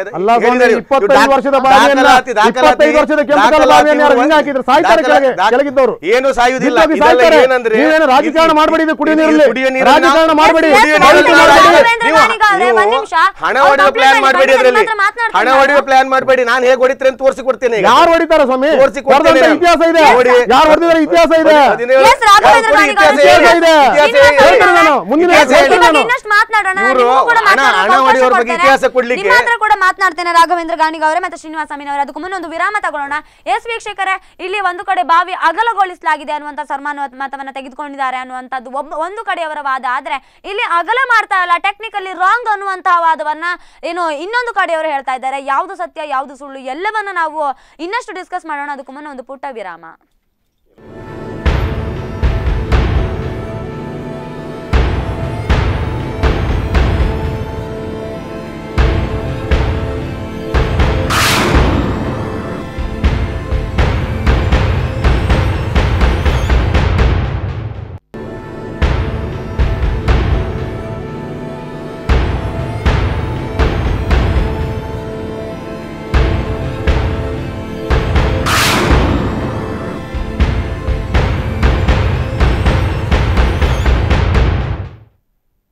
ಎಸ್ ವಿರಾಮದ ಬಳಿಕ ಮತ್ತೊಮ್ಮೆ ಕರೆಂಟ್ ಅಫೇರ್ಸ್ಗೆ ಸ್ವಾಗತ ಬಾವಿಯೊಳಗೆ ಬಾವಿ, ಇನ್ನೊಂದಷ್ಟು ಚರ್ಚೆಯನ್ನು ಹುಟ್ಟು ಹಾಕ್ತಾ ಇದೆ. ಒಂದು ಕಡೆಯಿಂದ ಒಬ್ರು ಹೇಳ್ತಾ ಇದ್ದಾರೆ, ಇದು ಬಾವಿಯನ್ನು ಅಗಲಗೊಳಿಸುವಂತಕ್ಕೆ ಗೊಳಿಸೋದಕ್ಕೋಸ್ಕರ ಅನುಮತಿಯನ್ನು ಪಡ್ಕೊಂಡಿರುವಂತದ್ದು ಅಂತ. ಇನ್ನು ಕೆಲ ಮತ್ತೊಂದು ರೀತಿಯಲ್ಲಿ ವಾದ ಮಾಡ್ತಾ ಇದ್ದಾರೆ. ಇದು ಬಾವಿಯನ್ನು ಅಲ, ಅಗಲಗೊಳಿಸೋದಲ್ಲ, ಅದು ಟೆಕ್ನಿಕಲಿ ವರ್ಡ್ ಹಾಗೇನೆ ಇರೋದು ಅಂತ. ಯಾವುದು ಸತ್ಯ, ಯಾವುದು ಮಿಥ್ಯ, ಎಲ್ಲವನ್ನ ಚರ್ಚೆ ಮಾಡೋಣ. ಎಸ್ ರಾಘವೇಂದ್ರ ಗಾಣಿಗ ಅವರೇ, ಅವ್ರು ಹೇಳ್ತಾ ಇದ್ರು, ಅದು ಬಾವಿಯನ್ನ ಅಗಲಗೊಳಿಸೋದಕ್ಕೆ ಮಾಡಿರ್ತಕ್ಕಂತಹ ಏನು ಅನುಮತಿ, ತಗೊಂಡಿರುವಂತಹ ಅನುಮತಿ ಅಂತ. ಸೊ ನೀವೇನ್ ಹೇಳ್ತೀರಾ ಅಂತ ಅದಕ್ಕೆ? ಅಗಲಗೊಳಿಸಿ ಅಗಲ ಅಗಲಗೊಳಿಸಿ ರಿಂಗ್ ಅಳವಡಿಸಿ ಕಾಮಗಾರಿ ಅಂತಿದೆ. ಸರ್ಕಾರಿ ಬಾವಿ ಎಸ್ಟಿಮೇಟ್ ಮಾಡಿದ್ದು ಇಂಜಿನಿಯರ್ ಎಸ್ಟಿಮೇಟ್ ಮಾಡಿ ಕೊಟ್ಟಿದ್ದಾರೆ ಸುಮಾರು ಆರು ಮೀಟ್ರು ಆರಕ್ಕಿಂತ ಸ್ವಲ್ಪ ಹೆಚ್ಚು. ಸುಮಾರು ಇಪ್ಪತ್ತೆರಡು ಫೀಟ್ ಅಗಲ ಬಾವಿ ಅದು. ಇಪ್ಪತ್ತೆರಡು ಫೀಟ್ ಅಗಲ ಬಾವಿ ಸುಮಾರು ಮೂವತ್ತು ಫೀಟು ಸಿಂಕ್ ಆಗಬೇಕು ಅಂದರೆ ಕುಸಿಬೇಕು. ಆಗ ನೀರು ಬರ್ತದೆ ಅಂತೇಳಿ ಈಗಾಗಲೇ ಅದರಲ್ಲಿ ಎಂಟರಿಂದ ಒಂಬತ್ತು ಫೀಟ್ ನೀರಿದೆ. ಓಕೆ. ಶ್ರೀನಿವಾಸಮೀನ್ ಹೇಳಿದಾಗೆ ನೀರು ಬರುವುದಿಲ್ಲ ವ್ಯರ್ಥ ಆಗುತ್ತೆ ಖಂಡಿತವಾಗಲೂ ಸುಳ್ಳು. ಈ ಬಾವಿಗೆ ಪಟ್ಟಣ ಪಂಚಾಯತ್ ಸದಸ್ಯನಾದ ನಾನು ಗ್ಯಾರಂಟಿ ಕೊಡ್ತೇನೆ ನನ್ನ ನನ್ನ ಅಧ್ಯಕ್ಷರು ವಸುಮತಿ ನಾಗೇಶ್ ವಸುಮತಿ ನಾಗೇಶ್ ಅಧ್ಯಕ್ಷರಾದಾಗೆ ಆಗಿದ್ದು ಸೀನಾ ಸಮೀನ್ರು ಆ ಸಭೆಯಲ್ಲಿ ಇದ್ದಾಗೆ ಆಗಿದ್ದು. ಸೀನಾ ಸಮೀನ್ ನಮ್ಗೆ ಗಮನಕ್ಕಿಲ್ಲ ಅಂತ ಹೇಳ್ತಾರೆ. ಹದಿನಾಲ್ಕು ಜನ ಸದಸ್ಯರು ಆ ಸಭೆಯಲ್ಲಿ ಇದ್ದು ಅನುಮೋದನೆ ಕೊಟ್ಟಂತದ್ದು ದಾಖಲೆ ಇದೆ. ಅದಕ್ಕೆ ಒಂದ್ ನಿಮಿಷ ಹೇಳ್ತೇನೆ. ಆದ್ರೆ ಆ ಬಾವಿ ಆ ಬಾವಿ ಅಂತೂ ಅಂದ್ರೆ- ಆ ಬಾವಿ ಅಂತೂ ಸಾಲಿಗ್ರಾಮ ಪಟ್ಟಣ ಪಂಚಾಯತ್ನಲ್ಲಿ ಮೂರಾವರ್ತಿ ಶ್ರೀನಿವಾಸ್ ಅಮೀನ್ರು ಸದಸ್ಯರಾಗಿದ್ರು. ಓಕೆ ಇವ್ರು ಕಾಣದಿದ್ದ ನೀರು ಮೂರಾವರ್ತಿಯಲ್ಲಿ ಕಾಣದಿದ್ದ ನೀರು ಆ ಬಾವಿ ಕೊಡಿಸ್ತೇವೆ ಕೊಡಿಸ್ತೇ ಕೊಡಿಸ್ತೇವೆ ಎಸ್ ಈಗ ಅವ್ರು ಮೇಡಮ್, ನಾನು ಮಾಡ್ತಾ ಒಂದು- ಒಂದು- ಒಂದು- ಪ್ರಶ್ನೆ ಒಂದು ವಿಚ- ಇವ್ರ- ವಿಚಾರಕ್ಕೆ- ನಾನು ಸ್ಪಷ್ಟತೆ ಕೊಡ್ಲಿಕ್ಕೆ ಇಚ್ಛ- ಇಷ್ಟಪಡ್ತೇನೆ. ಬಾವಿಯನ್ನು ಅಗಲಗೊಳಿಸುವ ಅಗಲಗೊಳಿಸುವುದಂದ್ರೆ ಅಲ್ಲಿ ಇರ್ತಕ್ಕಂಥ ಕಲ್ಲನ್ನೆಲ್ಲ ತೆಗೆದು ಆಮೇಲೆ ಬಾವಿ ನಿರ್ಮಾಣ ಮಾಡಬೇಕಿತ್ತು. ಇದರಲ್ಲಿ ಏನಾಗಿದೆ? ಎಷ್ಟಾಕಿದ್ದಾರೆ? ಹದಿನಾಲ್ಕು ಲಕ್ಷದ ನಲವತ್ತೆಂಟು ನಲವತ್ತೆಂಟು ಸಾವಿರ. ಹದಿನಾಲ್ಕು ಲಕ್ಷ ನಲವತ್ತೆಂಟು ಸಾವಿರದ ಕಾಮಗಾರಿ ಆಗುವುದಿಲ್ಲ ಅಲ್ಲಿ. ಯಾಕೆಂದ್ರೆ ಬಾವಿಯನ್ನು ಇವಾಗಲೇ ತೋಡಿದ ಬಾವಿಗೆ ಕಲ್ಲು ಕಟ್ಟಿದ ಬಾವಿಗೆ ಉತ್ತಮ ನೀರು ಬರುವ ಬಾವಿಗೆ ನಮ್ಮ ಉಡುಪಿ ಜಿಲ್ಲೆಯಲ್ಲಿ ಹೇಗಾದರೆ ಬಾವಿ ಒಳಗೆ ಎರಡು ರಿಂಗ್ ಹಾಕಿ ಅಲ್ಲಿಂದ ನೀರನ್ನು ಪಂಪ್ ಶಿಫ್ಟ್ ಮಾಡಿ ಜನಗಳಿಗೆ ಕುಡಿ ಬಂದು ಕೊಡುವಂಥದ್ದು. ಮತ್ತು ಸಾಲಿಮ ಪಟ್ಟಣ ಪಂಚಾಯತ್ ವ್ಯಾಪ್ತಿಯಲ್ಲಿ ಹಳೆಕೋಟು ಮೈದಾನದಲ್ಲಿ ಬಾವಿ ಮಾಡ್ಲಿಕ್ಕೆ ಜಾಗ ಇಲ್ಲ ಅಂತ ಹೇಳಿದ್ರೆ ಬಹಳ ಆಶ್ಚರ್ಯ ಆಗ್ತದೆ. ತೋರಿಸ್ಬೇಕಾಗಿತ್ತು. ಯಾಕಂದ್ರೆ ತೋರಿಸ್ಬೇಕಾಗಿತ್ತು ನೀವು. ನೀವು ವಿರೋಧ ಪಕ್ಷದ ಮುಖಂಡರು ನಾವು ವಿರೋಧ ಪಕ್ಷದ. ತೋರಿಸ್ಬೇಕಾಗಿತ್ತು ನೀವು. ನಾನು- ಯಾಕೆ ತೋರಿಸಿಲ್ಲ ನೀವು? ಗಾಣಿಗರೇ ನಿಮ್ಮ ಜವಾಬ್ದಾರಿ ಇದೆ. ಇವತ್ತು ಬಾವಿ ಇವತ್ತು ಬಾವಿ ಹಾಳಾಗಿದೆ ಹೇಳಲಿಕ್ಕೆ ನಿಮ್ ಜವಾಬ್ದಾರಿ ಇದೆ. ನೇರವಾಗಿ ತೋರಿಸಿದ ಹೇಳ್ತೀನಿ. ಜವಾಬ್ದಾರಿ ಇಲ್ವಾ ನಿಮ್ಗೆ? ಕಳೆದ ಸಾಲಿನಲ್ಲಿ ಹಾಗೆ ಹಳೆಕೋಟು ಮೈದಾನವನ್ನು ಬಿಡಿ. ಕಳೆದ ಸಾಲಿ ವಿಷ್ಣುಮೂರ್ತಿ ದೇವಸ್ಥಾನ ನೀವು ಇದನ್ನು ಪೂರೈಸಿಕೊಳ್ಳಿ ವಿಷ್ಣುಮೂರ್ತಿ ಪೂರೈಸ್ಕೊಳ್ಳಿ. ಅಲ್ಲ ಇದಕ್ಕೆ ಉತ್ತರ ಕೊಡ್ತೀನಿ. ಬೇಡ. ಇದಕ್ಕೆ ಉತ್ತರ ನೀವು ಕೊಡ್ತೀನಿ. ಹಳೆಕೋಟು ಮೈದಾನದ ಉತ್ತರ ಕೊಡ್ತೀನಿ. ಇದರಲ್ಲಿ ಬಾವಿಯಿಂದ ನೀರು ಶಿಫ್ಟ್ ಮಾಡಿ ಜನಗಳಿಗೆ ಕೊಡಬಹುದಿತ್ತು. ಹಳೆಕೋಟು ಮೈದಾನ ಬಹಳಷ್ಟು ವಿಸ್ತೀರ್ಣವಾದ ಎಕರೆಗಟ್ಟಲೆ ಜಾಗ ಇರುವಂತ ಪ್ರದೇಶ. ಇಚ್ಛಾಶಕ್ತಿ ಇದೆ ಇಚ್ಛಾಶಕ್ತಿ ಸ್ಥಳೀಯ ಶಾಸಕರಿಗೆ ಇಚ್ಛಾಶಕ್ತಿ ಇದ್ದಿದ್ದರೆ ಸಾಲಿನ ಪಟ್ಟಣ ಪಂಚಾಯತ್ನವರಿಗೆ ಕುಡಿಯುವ ನೀರನ್ನು ಕೊಡುವಂತ ಮುತುವರ್ಜಿ ಇದ್ದಿದ್ದರಲ್ಲಿ ಆದಲ್ಲಿ ಜಾಗವನ್ನು ಅವರು ಸೂಚಿಸಬಹುದಿತ್ತು. ಸಾಲಿಗ್ರಾಮ ಪಟ್ಟಣ ಪಂಚಾಯತ್ನಲ್ಲಿ ಏನಾಗಿದೆ? ಏಕ ವ್ಯಕ್ತಿಯ ದರ್ಬಾರ್ ಸಾಲಿಗ್ರಾಮದಲ್ಲಿ ನಡೀತಾ ಇರುವುದು. ಅವ್ರು ಏನು ಹೇಳ್ತಾರೆ? ಮಾಜಿ ಅಧ್ಯಕ್ಷರು ನಾನು ಮತ್ತೆ ಹೇಳುವ ಪ್ರಶ್ನೆಗಳಿಲ್ಲ. ಅವ್ರು ಸಾಲಿಗ್ರಾಮ ಪಟ್ಟಣ ಪಂಚಾಯತ್ನಲ್ಲಿ ಒಬ್ಬ ಅಧಿಕೃತವಾಗಿ ಗ್ಯಾಸ್ ಗೋಡನ್ ನಡೆಸುವವರಿಗೆ ಸರ್ ಕೋರ್ಟ್ ಸರ್ಕಾರದ ಆದೇಶದ ಪ್ರಕಾರ ಸಾಲಿಗ್ರಾಮ ಪಟ್ಟಣ ಪಂಚಾಯತ್ ಹಳೆಕೋಟು ಮೈದಾನದಲ್ಲಿ ಗ್ಯಾಸ್ ಗೋಡನ್ ಕಟ್ಟಲಿಕ್ಕೆ ಅವಕಾಶ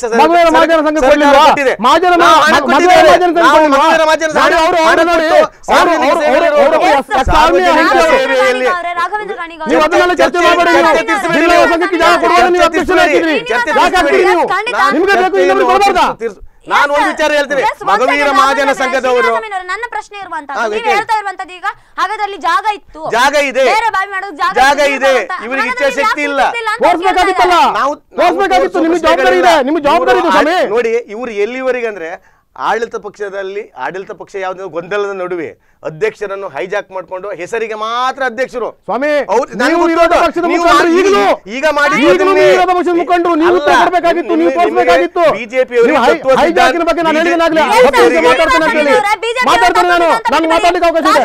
ರಾಜಕೀಯವಾಗಿ ಪ್ರಶ್ನೆ ಮಾಡುವಂತದ್ದು ನೀವ್ ಯಾಕೆ ಸೂಚಿಸ್ಲಿಲ್ಲ? ಅವ್ರು ಕೇಳ್ತಾ ಇದ್ದಾರೆ. ನಾವು ಸೂಚಿಸಬಹುದಾಗಿತ್ತಲ್ಲ ಅಂತ. ಸೂಚಿಸು ನೋಡಿ ಆಡಳಿತ ವ್ಯವಸ್ಥೆಯಲ್ಲಿ ಆಡಳಿತ ವ್ಯವಸ್ಥೆ ಎಷ್ಟು ವಿರೋಧ ವಿಶ್ವಾಸ- ವಿಶ್ವಾಸ ತಗೊಳ್ಳಿಲ್ಲ. ಎಲ್ಲೂ ಯಾರು ತಕೊಳ್ಳಲಿಲ್ಲ ತಗೊಳ್ಳಿಲ್ಲ? ಗಮನಕ್ಕೆ ನೀವು ಬರಲಿಲ್ಲ ಸತ್ತೋಗಿಲ್ಲ ಹೇಳ್ತೀರಿ ಅಲ್ಲ ವಿರೋಧ ಪಕ್ಷ ಸತ್ತೋಗಿಲ್ಲ ಜೀವಂತ ಇದೆ ಅಂತ ಹೇಳ್ತೀರಿ ಇವತ್ತು ಜೀವಂತ ಇದೆ ಅಂತ ಹೇಳಿ ನೀವೇ ಹೇಳುವ ವಿಶ್ವಾಸಕ್ಕೆ ನೀವು ಅಂತ ತಗೊಳ್ಳೋದು ವಿಶ್ವಾಸ ಆ- ಆ ಮೇಡಮ್? ಅದಾದ ಮೇಲೆ ಅದಾದ ಮೇಲೆ ಮೊನ್ನೆ ಕಂಟಿನ್ಯೂ ನಾಲ್ಕು ಮೀಟಿಂಗ್ ಆಗಲಿಲ್ಲ ಸಾಲಿನ ಪಟ್ಟಣ ಪಂಚಾಯತ್ನಲ್ಲಿ. ನೀವು ಅಧ್ಯಕ್ಷರನ್ನೇ ಬಾವಿಗೆ ಬರುವುದು ನಾನು. ಬಾವಿ ಬರ್ ಬರ್ಬೇಕಾದ್ರೆ ಕತೆ ಮಸ್ತಿದೆ ಇದೆ ಇದರಲ್ಲಿ. ಬಾವಿ ವಿಚಾರಕ್ಕೆ ಬರುವ ಬರುವುದು ನಾನು. ನೀವು ಅಧ್ಯಕ್ಷ ಈಗಿರುವ ಅಧ್ಯಕ್ಷರು ಈಗಿರುವ ಅಧ್ಯಕ್ಷರನ್ನು ವಿಶ್ವಾಸ ತಗೊಳ್ಳದೆ ಏಕಮೇಮ ವ್ಯಕ್ತಿಯ ದರ್ಬಾರಿನಲ್ಲಿ ಹಳೆಕೋಟು ಮೈದಾನದಲ್ಲಿ ಇಂಜಿನಿಯರ್ ಯಾರು ಹೇಳಿದ ನಂತರ ಪ್ರೂಫ್ ಇದೆ. ಎಲ್ಲರ ತಂತ ಕಾಲ್ನಲ್ಲಿ ರೆಕಾರ್ಡಿಂಗ್ ಮಾಡಿಕೊಳ್ಳುವಂಥ ಮನಸ್ಥಿತಿಯನ್ನು ನಾನಲ್ಲ. ಕಾಲ್ ರೆಕಾರ್ಡ್ ಮಾಡೋದಿಲ್ಲ ಅವ್ರು ಹೇಳಿದ್ದು. ರಾ, ನೇರವಾಗಿ ಹೇಳ್ತೇನೆ, ರಾಜು ಪೂಜಾರಿ ಅವರು ಹಾಗೂ ಉದಯ ಪೂಜಾರಿ ಅವರು ಮಾಜಿ ಅಧ್ಯಕ್ಷ ರಾಜು ಪೂಜಾರಿ, ಉಪಾಧ್ಯಕ್ಷ ಉದಯ್ ಪೂಜಾರಿ ಅವರು ಸೂಚಿಸಿದ್ದಾರೆ ಹಳೆಕೋಟೆ ಮೈದಾನದಲ್ಲಿ. ಜಾಗ ಇಲ್ಲ ಬಾವಿ ಒಳಗೆ ಬಾವಿ ಮಾಡಿ. ಇದು ಅಧ್ಯಕ್ಷ ನೋಡಿ ಮೇಡಮ್ ಸಾಲಿಗ್ರಾಮದಲ್ಲಿ ಅಧ್ಯಕ್ಷರ ವಿಚಾರದಲ್ಲಿ ಅಧ್ಯಕ್ಷರ?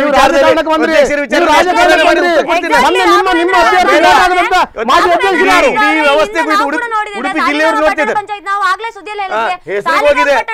ರಾಜ್ಯದಲ್ಲೇ ಫೇಮಸ್ ಆಗ್ತಾ ಇದೆ. ಅಧ್ಯಕ್ಷರು ಒಂದ್ ರೀತಿಯಲ್ಲಿ ಸ್ಟೇಟ್ಮೆಂಟ್ ಗಳನ್ನ ಕೊಟ್ಟರು ಅಲ್ಲಿನ ಒಳಗಿನ. ರಾಜಕಾರಣಗಳನ್ನ ಬಿಟ್ಬಿಡೋಣ. ಆ ರಾಜಕಾರಣ ಇಡೀ ರಾಜ್ಯಾದ್ಯಂತ ನೋಡಿದ್ದೇವೆ ನಾವು ಕೂಡ ಸುದ್ದಿ ಮಾಡಿದ್ದೇವೆ ಶ್ರೀನಿವಾಸ ಅಮೀನ್ ಮೀನವರೇ ಈಗ ಈಗ ನೀವು ನೀವು ಹಾಜರಿದ್ದಂತಹ ಸಭೆಯಲ್ಲಿ ಈ ರೀ- ಈ ರೀತಿಯ ಉಲ್ಲೇಖ ಆಗಿದ್ದು ನಿಜ ನಿರ್ಣಯ ತೆಗೆದುಕೊಂಡದ್ ನಿಜ. ಸೊ ನೀವ್ ಹೇಳ್ತಾ ಇದ್ದೀರಾ ಆ ನಿರ್ಣಯದಲ್ಲಿ ಬಾವಿಯನ್ನು ಅಗಲಗೊಳಿಸಲಾಗ್ತದೆ ಅಂತ ಮಾತ್ರ ಶ್ರೀನಿವಾಸ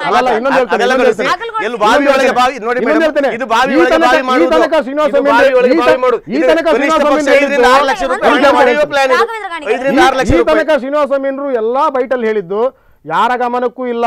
ಆಗ ಆಗ ಸಹ ಹೇಳಿದ್ದಾರೆ. ಆ ಬೈಟಲ್ಲಿ ಹೇಳಿದ್ದಾರೆ. ಒಂದ್ ನಿಮಿಷ. ಸದಸ್ಯರ ಗಮನಕ್ಕೆ ಅಲ್ಲಿ ಸದಸ್ಯರ ಗಮನಕ್ಕೆ ಕೊಟ್ಟಿದ್ದೇನೆ. ಈಗ ಈಗ ನೋಡಿ ಇದು ಸುಳ್ಳು ಹೇಳ್ತದ. ಅಜೆಂಡಾ ಸುಳ್ಳು ಶ್ರೀನಿವಾಸ ನೀವು ಅಲ್ಲಿ ಇದು ಸುಳ್ಳು ನೀವು ನಿಮ್ಮ ಗಮನಕ್ಕೆ ಬರ್ಲಿಲ್ಲ ಅಂತ ಹೇಳಿದ್ದು ಬಾವಿಯನ್ನ ಬಾವಿ ಒಳಗಡೆ ಬಾವಿ ಮಾಡ್ತಾ ಇದ್ದಾರೆ ಅನ್ನೋದು ನಿಮ್ಮ ಗಮನಕ್ಕೆ ಬರ್ಲಿಲ್ಲ ಅಂತ ಹೇಳಿದ್ದ? ಅಥವಾ ಬಾವಿಯನ್ನ ಅಗಲ ಮಾಡ್ತಾ ಇದ್ದಾರೆ ಅನ್ನೋದು ನಮ್ಮ ನಾವು ನೋಡಿ ಮೇಡಮ್ ನಾವು ಎಣಿಸ್ಕೊಂಡಿದ್ದು ನಮ್ಮ ಜಿಲ್ಲೆಯಲ್ಲಿ ಬಾವಿಯ ಒಳಗೆ ರಿಂಗ್ ಅಳವಡಿಸಿ ಬಾವಿಯ ನೀರನ್ನು ಲಿಫ್ಟ್ ಮಾಡುವ ನಾವೇನ್ ತಿಳ್ಕೊಂಡಿದ್ದೇವೆ ಅಂದ್ರೆ ಬಾವಿ ಕೊಟ್ಟಿದ್ದು ಬಾವಿಯನ್ನು ಅಗಲಗೊಳಿಸುವುದನ್ನು ಕೊಟ್ಟರು ಮೋಸ್ಟ್ಲಿ ಅಗಲಗೊಳಿಸುವುದಲ್ಲ ಮೋಸ್ಟ್ಲಿ ಅಗಲಗೊಳಿಸಲಿಲ್ಲ. ನಾವು ಎಲ್ಲ ದಿನ ನಾವು ಅದನ್ನೇ ನೋಡ್ಲಿಕ್ಕೆ ಆಗುದಿಲ್ಲ. ಮೊನ್ನೆ ನಾನು ನಮ್ಮ ಹಾಲಿಗೆ ಹೋಗುವಾಗ ನೋಡಿದೆ ನಾನು. ಬಾ ಅದು ಬಾವಿ ಒಳಗೆ ರಿಂಗ್ ಅಳವಡಿಸಿ ನೀರು ತೆಗೆ ತೆಗುವ ಪ್ಲಾನ್ ಇರಬೇಕನ್ನ ಆಮೇಲೆ ಇಂಜಿನಿಯರಿಂಗ್ ಫೋನ್ ಮಾಡಿದೆ. ಇದು ಏನು ಸರ್ ಬಾವಿ ಒಳಗೆ ಬಾವಿ ಮಾಡ್ತಿದೆ? ಅದು ಮಾಜಿ ಅಧ್ಯಕ್ಷರಾದ ರಾಜು ಪೂಜಾರಿ ಅವರು ಉದಯ್ ಪೂಜಾರಿ ಅವರು ಹೇಳಿದರು. ಎಲ್ಲೂ ಜಾಗ ಸಿಗಲಿಲ್ಲ. ಆದ್ರಿಂದ ನಾವು ಬಾವಿ ಒಳಗೆ ಬಾವಿ ಮಾಡ್ತಿದ್ದೇವೆ. ನಾನು ಅಲ್ಲಿ ಒಂದು ವಿಚಾರ ಅಲ್ಲಿ ಒಂದು ಅಲ್ಲಿ ಒಂದು ವಿಚಾರ ಹೇಳ್ತೀನಿ ಮೇಡಮ್. ಎಲ್ಲಾದರೂ ಬಾವಿ ಒಳಗೆ ಬಾವಿ ಮಾಡುವವರಿಗೆ ಹದಿನಾಲ್ಕು ಲಕ್ಷದ ನಲವತ್ತೆಂಟು ಸಾವಿರ ರೂಪಾಯಿ ಇವರು ಎಸ್ಟಿಮೇಟ್ ಮಾಡಿದ್ದಾರೆ. ನೋಡಿ ಬಾವಿಯ ಹೊಂಡ ತೋಡ್ಲಿಕ್ಕೆ ಕೆಲಸ ಆಗ್ತದೆ ಸ್ವಾಮಿ ಹೊಂಡ ತೋಡ್ಲಿಲ್ಲ. ಸ್ವಾಮಿ ನೀವೊಬ್ಬರು ರಾಜಕಾರಣಿ. ಹದಿನಾಲ್ಕು ಲಕ್ಷ ನಲವತ್ತೆಂಟು ಸಾವಿರ ಇಟ್ಟು ಕೂಡಲೇ ಉತ್ತರ ಕೊಡ್ತೀನಿ ನಾನು ಉತ್ತರ ಕೊಡ್ತೀನಿ. ಎಲ್ಲ ಗೊತ್ತುಂಟು ನನಗೆ ನೀವು ಮಾಡಿ, ನೀವು ಹಳೆ ಮಾಡಿ. ಬಾವಿಯನ್ನು ಹೊಸ ನೀವು ಮಾಡಿ, ಬಾವಿ ನಾನು ಮಾಡ್ಲಿಕ್ಕೆ ತೋರಿಸ್ಲಿಕ್ಕೆ ಗೊತ್ತುಂಟು. ಕೆರೆಯಲ್ಲಿ ಬಾವಿ ಮಾಡಿ ಸಾಧನೆ ಮಾಡಿದವರು ನೀವೇ. ಈಗ ಬಾವಿ ಒಳಗೆ ಸಾಧನೆ ಬಾವಿ ಮಾಡಿ. ಸಾಧನೆ ಮಾಡುವವರು ನೀವೇ. ಸಾಧನೆ Yes, ನೀವೆಲ್ಲ yes, ಆ, ಈ- ಈ- ಇದಕ್ಕೆ- ಶ್ರೀನಿವಾಸ ಮೀನವ್ರು ಇದನ್ನ ಕಂಪ್ಲೀಟ್ ಮಾಡಿ ಹೇಳಿ. ನೀವು ಹೇಳ್ತಾ ಇದ್ರಿ ಏನು ಇಂಜಿನಿಯರಿಂಗ್ ಫೋನ್ ಮಾಡಿ ಮಾಡಿ. ಆವಾಗ ನೇರವಾಗಿ ಆಪಾದನೆ ಮಾಡಿದ್ದಾರೆ ಇಂಜಿನಿಯರ್ ಅವರು. ನೇರವಾಗಿ ಹೇಳಿದ್ದಾರೆ ಮಾಜಿ ಅಧ್ಯಕ್ಷರಾಗಿದ್ದ ರಾಜು ಪೂಜಾರಿ ಅವರು ಉದಯ್ ಪೂಜಾರಿ ಅವರ ಡೈರೆಕ್ಷನ್ನಲ್ಲಿ ನಾ ಈ ಬಾವಿ ಈ ಬಾವಿ ಮಾಡ್ತಿದ್ದೇವೆ ಅಂತ. ಓಕೆ ಸಾಲಿಗ್ರಾಮದ ರಾಜಕೀಯ ಜಂಡಾಟ ಆ ಇವಾಗಲೇ ನೀವು ಹೇಳಿದ್ರೆ ನಿಮ್ಗೆ ಗೊತ್ತುಂಟು.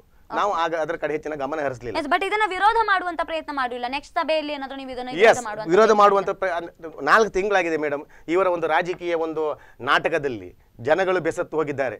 ಆ? ಅದಾದ ಮೇಲೆ ಸಭೆ ನಡೆಯಲಿಲ್ಲ ಸಭೆ ನಡೆಯಲಿಲ್ಲ. ಎಲ್ಲಿ ಉತ್ತರ ಕೊಡ್ಲಿಕ್ಕೆ? ಸಭೆ ಸಭೆಯನ್ನು ನಡೆಸಿದ ಉತ್ತರ ಕೊಡ್ಲಿಕ್ಕೆ ಆಗ್ತದೆ ಉತ್ತರ ಕೊಡ್ಬೇಕು ನೀವು?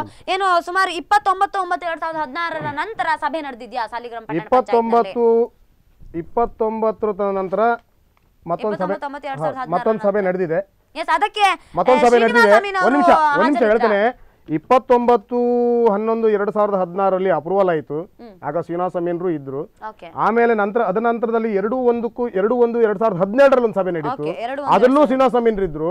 ಆ ತರಗಳ ಕಾರಣಗಳಿದ್ರೆ ಒಂದ್ ನಿಮಿಷ? ಸರ್? ಒಂದ್ ನಿಮಿಷ ಸರ್. ಓಕೆ ಅವರಿಗೆ ಒಂದು ಕ್ಲಾರಿಫಿಕೇಶನ್ ಕೊಡಬೇಡಿ ಎರಡು ಒಂದು ಎರಡ್ ಸಾವಿರದ ಹದಿನೇಳರಲ್ಲಿ ಹೇಳ್ತೀನಿ ಹೇಳ್ತೀನಿ ಹೇಳ್ತೀನಿ ಹೇಳ್ತೀನಿ. ನೋಡಿ ಈ ಪಟ್ಟಣ ಪಂಚಾಯತ್ನ ಈ ನಡವಳಿ ಅಂದ್ರೆ ಅಲ್ಲಿ ಈ ಬದಲಿ ಕಾಮಗಾರಿ ಕೈಗೆತ್ತಿಕೊಳ್ಳುವುದು ಅಂತೇಳಿ ಸರ್ವಾನುಮತದ ನಿರ್ಣಯಗಳಾಗಿದೆ. ಸರ್ವಾನುಮತದ ನಿರ್ಣಯಗಳಲ್ಲಿ ಶ್ರೀನಿವಾಸ ಮೀನರು ಸಮೇತ ಎಲ್ಲಾ ಅಧ್ಯಕ್ಷರು ಉಪಾಧ್ಯಕ್ಷರು ಸದಸ್ಯರುಗಳು ಒಪ್ಪಿಗೆ ಓಕೆ ಈ ಕೊಟ್ಟಿದ್ದಾರೆ ಬದಲಿ ಒಪ್ಪಿಗೆ. ಅದೇ ಬದ- ಬದಲಿ ಇದೇ ಹೇಳಿದ್ದು ಬದಲಿ ಕಾಮಗಾರಿ ಇದೆ. ಓಕೆ ಬದಲಿ ಕಾಮಗಾರಿ ಅಂದ್ರೆ ಬಾವಿ ಒಳಗೆ ಬಾವಿ ಅಂತ ಅದ್ರಲ್ಲಿ ಉಲ್ಲೇಖ ಮಾಡಿದೀರಾ ಬಾವಿ ಸರ್ಕಾರಿ ಬಾವಿಯನ್ನು ಅಗಲಗೊಳಿಸಿ ರಿಂಗ್ ಅಳವಡಿಸುವ ಕಾಮಗಾರಿ. ಓಕೆ ಸರ್ಕಾರಿ ಬಾವಿಗಳು ಅಲ್ಲಿ ಇಟ್ಟಂತದ್ದು ಹದಿನಾಲ್ಕು ಲಕ್ಷದ ನಲವತ್ತೆಂಟು ಸಾವಿರಗಳು. ಹದಿನಾಲ್ಕು ಲಕ್ಷದ ನಲವತ್ತೆಂಟು ಸಾವಿರಗಳಿಗೆ ಏನ್ ಬೇಕಾ? ಅದನ್ನು ಎಸ್ಟಿಮೇಟ್ ಮಾಡಿದ್ದಾರೆ. ಎಸ್ಟಿಮೇಟ್ ಕಾಪಿ ಇಲ್ಲಿದೆ. ಎಸ್ಟಿಮೇಟ್ ಮಾಡಿ ಇಂಜಿನಿಯರ್ ಈ ತರ ಮಾಡಿ ಅಂತ ಅವ್ರು ಇಷ್ಟೋ ತನಕ ವಾದ ಮಾಡಿದ್ರು ಅಗಲಗೊಳಿಸೋದಂತ ಮಾತ್ರ ನಮಗೆ ಹೇಳಿದ್ರು. ನಾನು- ಒಂದು ಹೇಳ್ತೇನೆ ನಾನು ಒಂದು ಹೇಳ್ತೇನೆ ನಾನು ಒಂದು ಹೇಳ್ತೇನೆ ನಾನು ಒಂದು ಹೇಳ್ತೇನೆ. ಒಂದು ನಿಮಿಷ. ಗೊತ್ತು ನನಗೆ. ನನಗೆ ಗೊತ್ತು ನಾನು ಹೇಳ್ತೇನೆ ನಾನು ಹೇಳ್ತೇನೆ ಮಾ- ನಾನು ಹೇಳ್ತೇನೆ. ಹದಿನಾಲ್ಕು ಲಕ್ಷದ ನಲವತ್ತೆಂಟು ಸಾವಿರ ಇಟ್ಟು ಕೂಡಲೇ ಎರಡು ರಿಂಗ್ ಅನ್ನು ಕುಸ್ತು ಕೂಡಲೇ ಬಾವಿ ಹದಿನಾಲ್ಕು ಲಕ್ಷದ ನಲವತ್ತೆಂಟು ಬಿಲ್ ಆಗುದಿಲ್ಲ. ಗೊತ್ತಿಲ್ವಾ? ಮಾಡೋದು ಬಿಡಿ ರಾಘವೇಂದ್ರ ಇವ್ರು ಹೇಳ್ತಾರೆ, ಅದು ಅಂದ್ರೆ ದುಡ್ಡು ತಿನ್ನೋದು ಕಾಮಗಾರಿಗಳನ್ನ ದುಡ್ಡು bill ತಿನ್ನೋದು ಅಂತಾರೆ. ನಾನು ದುಡ್ಡು ಕೇಳ್ತೇನೆ. ತಿನ್ನೋದು ಅಂತಾರೆ. ಬಾವಿನ ಶ್ರೀನಿವಾಸ ನಿಮ್ಮ ಹತ್ರ ಕೇಳ್ತೇನೆ. ಹಾಗಾದ್ರೆ ನೀವು ಹದಿನಾಲ್ಕು ಲಕ್ಷ ಬಿಲ್ ಮಾಡಬೇಕು ಅಂತ ಬಾವಿ ಮಾಡಿ ಇವ್ರು ಹೇಳ್ತಿದ್ದಾರಲ್ಲ, 100% ಇವ್ರು- ಇವ್ರ ಆರೋಪ ಇವ್ರು ಅದೇ ಅಲ್ಲ. ಹೊರಟಿದೆ ಅದಕ್ಕೆ. ಇವ್ರ ಆರೋಪ ಅಲ್ಲ, ಆರೋಪ ಬಿಡಿ. ನಾನು ನಾನು ಹೇಳ್ತೇನೆ, ನೋಡಿ ಮೇಡಮ್, ನಾನು ಹೇಳ್ತೇನೆ. ನಾನು ಹೇಳ್ತೇನೆ. ಅವರೇ, ಪ್ರಶ್ನೆಗೆ ಉತ್ತರ ಕೊಡಿ ನೀವೇ ಈಗ ಹೇಳಿದ್ರೆ ಹದಿನಾಲ್ಕು ಲಕ್ಷ ಆಗೋದಿಲ್ಲ ಅಂತ ಹಾಗಾದ್ರೆ ನಿಮ್ಮ ಪ್ರಕಾರ ಬಿಲ್ ಮಾಡಬೇಕು ಅನ್ನೋ ಕಾರಣಕ್ಕೆ ಕಾಮಗಾರಿ ಹದಿನಾಲ್ಕು ಲಕ್ಷದ ಮಾಡ್ತೀರಾ? ನಲವತ್ತೆಂಟು ಸಾವಿರಕ್ಕೆ ಏನು ಎಸ್ಟಿಮೇಟ್ ಮಾಡಿದ್ದಾರೆ ಅಷ್ಟಕ್ಕೆ ಬಾವಿ ಮಾಡ್ತೇವೆ ಇಂಜಿನಿಯರ್ ಇದ್ದಾರೆ ದುಡ್ಡು ಹೋಗ್ಬೇಕು ನಿಮ್ಗೆ ಯಾವ್ದೇ ಮಾಡಿ ನೀವು ಬಾವಿ- ಮಾಡುದಿಲ್ವಾ? ಮಾಡಿ. ಬಾವಿ ಮಾಡುದಿಲ್ವಾ? ಬಾವಿ ಮಾಡೋದು. ದುಡ್ಡು ಹೇಳ್ತಾರೆ. ಬಾವಿಯನ್ನ ಅಗಲಗೊಳಿಸೋದಕ್ಕೆ ಮಾಡಿದ್ದಿ. ಅನುಮತಿಯನ್ನ ಬಾವಿಯನ್ನ ಅಗಲಗೊಳಿಸೋದಕ್ಕೆ ಎಲ್ಲೋಗಿದ್ರು ಇವರು ಬದಲಿ ಜನವರಿ ಮೀಟಿಂಗ್ ಎಲ್ಲೋಗಿದ್ರು? ಆಕ್ಷೇಪ ಮಾಡಬೇಕಾಗಿತ್ತು ಜನವರಿ ಮೀಟಿಂಗ್ ಎಲ್ಲ ಎಲ್ಲೋಗಿದ್ದಾರೆ ಅವರು ಹೇಳ್ತಾ ಇದ್ದಾರೆ ನಮ್ಮ ದಾರಿ ತಪ್ಪಿಸಿದ್ದಾರೆ ನಮ್ಮ. ಬಾವಿಯನ್ನ ಅಗಲ ಮಾಡ್ತಾ ಅಂತ ಒಂದ್ ನಿಮಿಷ. ಶ್ರೀನಿವಾಸ ಒಂದ್ ನಾನು ಕೇಳ್ತೇನೆ ರಾಘವೇಂದ್ರ ಗಾಣಿಗ ಅವರೇ ಬಾವಿಯನ್ನ ಅಗಲಗೊಳಿಸೋದು ಅಂದ್ರೆ ಎಂತ? ಬಾವಿಯೊಳಗೆ ಬಾವಿ ಮಾಡೋದು ಅಂದ್ರೆ ಅಂತ ನೋಡಿ ಉತ್ತರ ಬಾವಿಯನ್ನ ಸರ್ಕಾರಿ ಬಾವಿಯನ್ನ ಅಗಲಗೊಳಿಸುವುದು ಅಂತೇಳಿ ಕಾಮಗಾರಿ ಅಗಲಗೊಳಿಸಲಿಕ್ಕೆ ಆಗುದಿಲ್ಲ ಮೇಡಮ್ ಕಲ್ಲು ಕೀಳ್ಲಿಕ್ಕೆ? ಆಗುದಿಲ್ಲ. ಉಲ್ಲೇಖ ಮಾಡೋ ಪ್ರಶ್ನೆ ಅಲ್ಲ. ಹದಿನಾಲ್ಕು ಲಕ್ಷ ನಲವತ್ತೆಂಟು ಸಾವಿರಕ್ಕೆ ಏನ್ ಎಸ್ಟಿಮೇಟ್ ಮಾಡಬೇಕು ಮಾಡಿದ್ದಾರೆ. ಕಾಮಗಾರಿ ನಡೀತಾ ಇದೆ. ನೂರಕ್ಕೂ ನೂರು ನೀರು ಬರ್ತದೆ. ಈಗಾಗಲೇ ಎಂಟು ಒಂದ್ ನಿಮಿಷ. ಒಂದು ನಿಮಿಷ, ನೀರು- ಒಂದ್ ನಿಮಿಷ, ಪಟ್ಟಣ ಪಂಚಾಯತ್ ಹದಿನಾಲ್ಕು. ಲಕ್ಷದ ನಲವತ್ತೆಂಟು ಸಾವಿರಕ್ಕೆ ಎಸ್ಟಿಮೇಟ್ ಆಗಿದೆ. ಬಾವಿ ಕೆಲಸ ಆಗ್ತಾ ಇದೆ. ನೂರಕ್ಕೂ ನೂರು ಬಾವಿ ಇವ- ಈಗಾಗಲೇ ಒಂಬತ್ತು ಫೀಟ್ ನೀರಿದೆ. ಆ ಬಾವಿ ಮೂವತ್ತು ಫೀಟ್ ಸಿಂಕ್ ಮಾಡೇ ಮಾಡ್ತಾರೆ. ಈ ಅಕೇರಿ ಅಂದ್ರೆ ಏನಾಗುತ್ತೆ? ನೀರ್ ಬೇಡವಾ? ಅಲ್ಲರಿ ಅಂತ ಬಾವಿಯಲ್ಲಿ ಎರಡು ಆ ಬಾವಿ ಮಾಡ್ಲಿಕ್ಕೆ ಇವತ್ತಿನ ಕಾಲದಲ್ಲಿ ಆ ಬಾವಿ ಮಾಡಿ ನೀರ್ ಬೇಡ ಇಪ್ಪತ್ತು ಲಕ್ಷ ರೂಪಾಯಿ ಬೇಕು ಮೇಡಮ್. ಇದು ರಿಂಗ್ ಬಾವಿ ಅಲ್ಲ. ಕೆಂಪು ಕಲ್ಲಿನ ಬಾವಿ ಸುಭದ್ರವಾಗಿದೆ. ಇಡೀ ನಾನು ಎಲ್ಲ ಇಂಜಿನಿಯರ್ಸ್ ಹತ್ರ ಶಾಲೆಯಲ್ಲಿ ಕೇಳಿದ್ದೀನಿ. ಆಕ್ಷೇಪಣೆ ಹಾಕುವ ಮೊದಲು ಎಲ್ಲರ ಹತ್ರ ಕೇಳಿದ್ದೇನೆ. ಸುಭದ್ರವಾದ ಬಾವಿ. ಆ ಬಾವಿಯನ್ನು ಯಾವ ಇವರು ಹದಿನಾರು ಲಕ್ಷ ರೂಪಾಯಿ ಇದ್ದ ಹಣ ಹಾಕಿದ್ದಲ್ಲದೆ ಮೊದಲಿಂದ ಒಂದು ಇಪ್ಪತ್ತು ಲಕ್ಷ ರೂಪಾಯಿ ವ್ಯಾಲ್ಯೂ ಬಾವಿಯನ್ನು ಹಾಳು ಮಾಡಿದ್ರು ಇವ್ರು. ಆ ಬಾವಿಗೆ ಒಂದು ಎರಡರಿಂದ ಮೂರು ಲಕ್ಷ ಖರ್ಚು ಮಾಡಿ ರಿಂಗ್ ಹಾಕಿ ಪಂಪ್ ಹಾಕಿದ್ರೆ ಉತ್ತಮವಾದ ನೀರು ಸಿಗ್ತಾ ಇತ್ತು ಈ ಹದಿನಾರು ಲಕ್ಷ ಬೇರೆ ಕಡೆ ಆಗ್ಬೋದಿತ್ತು. ನಾವು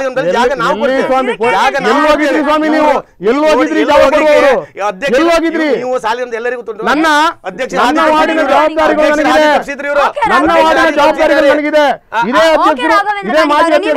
ಶ್ರೀನಿವಾಸ ಅಮೀನ್ ಅವರ ವಾರ್ಡ್ ಆಗಿತ್ತು ಅದು. ಸೊ ಅಲ್ಲ ಅದು.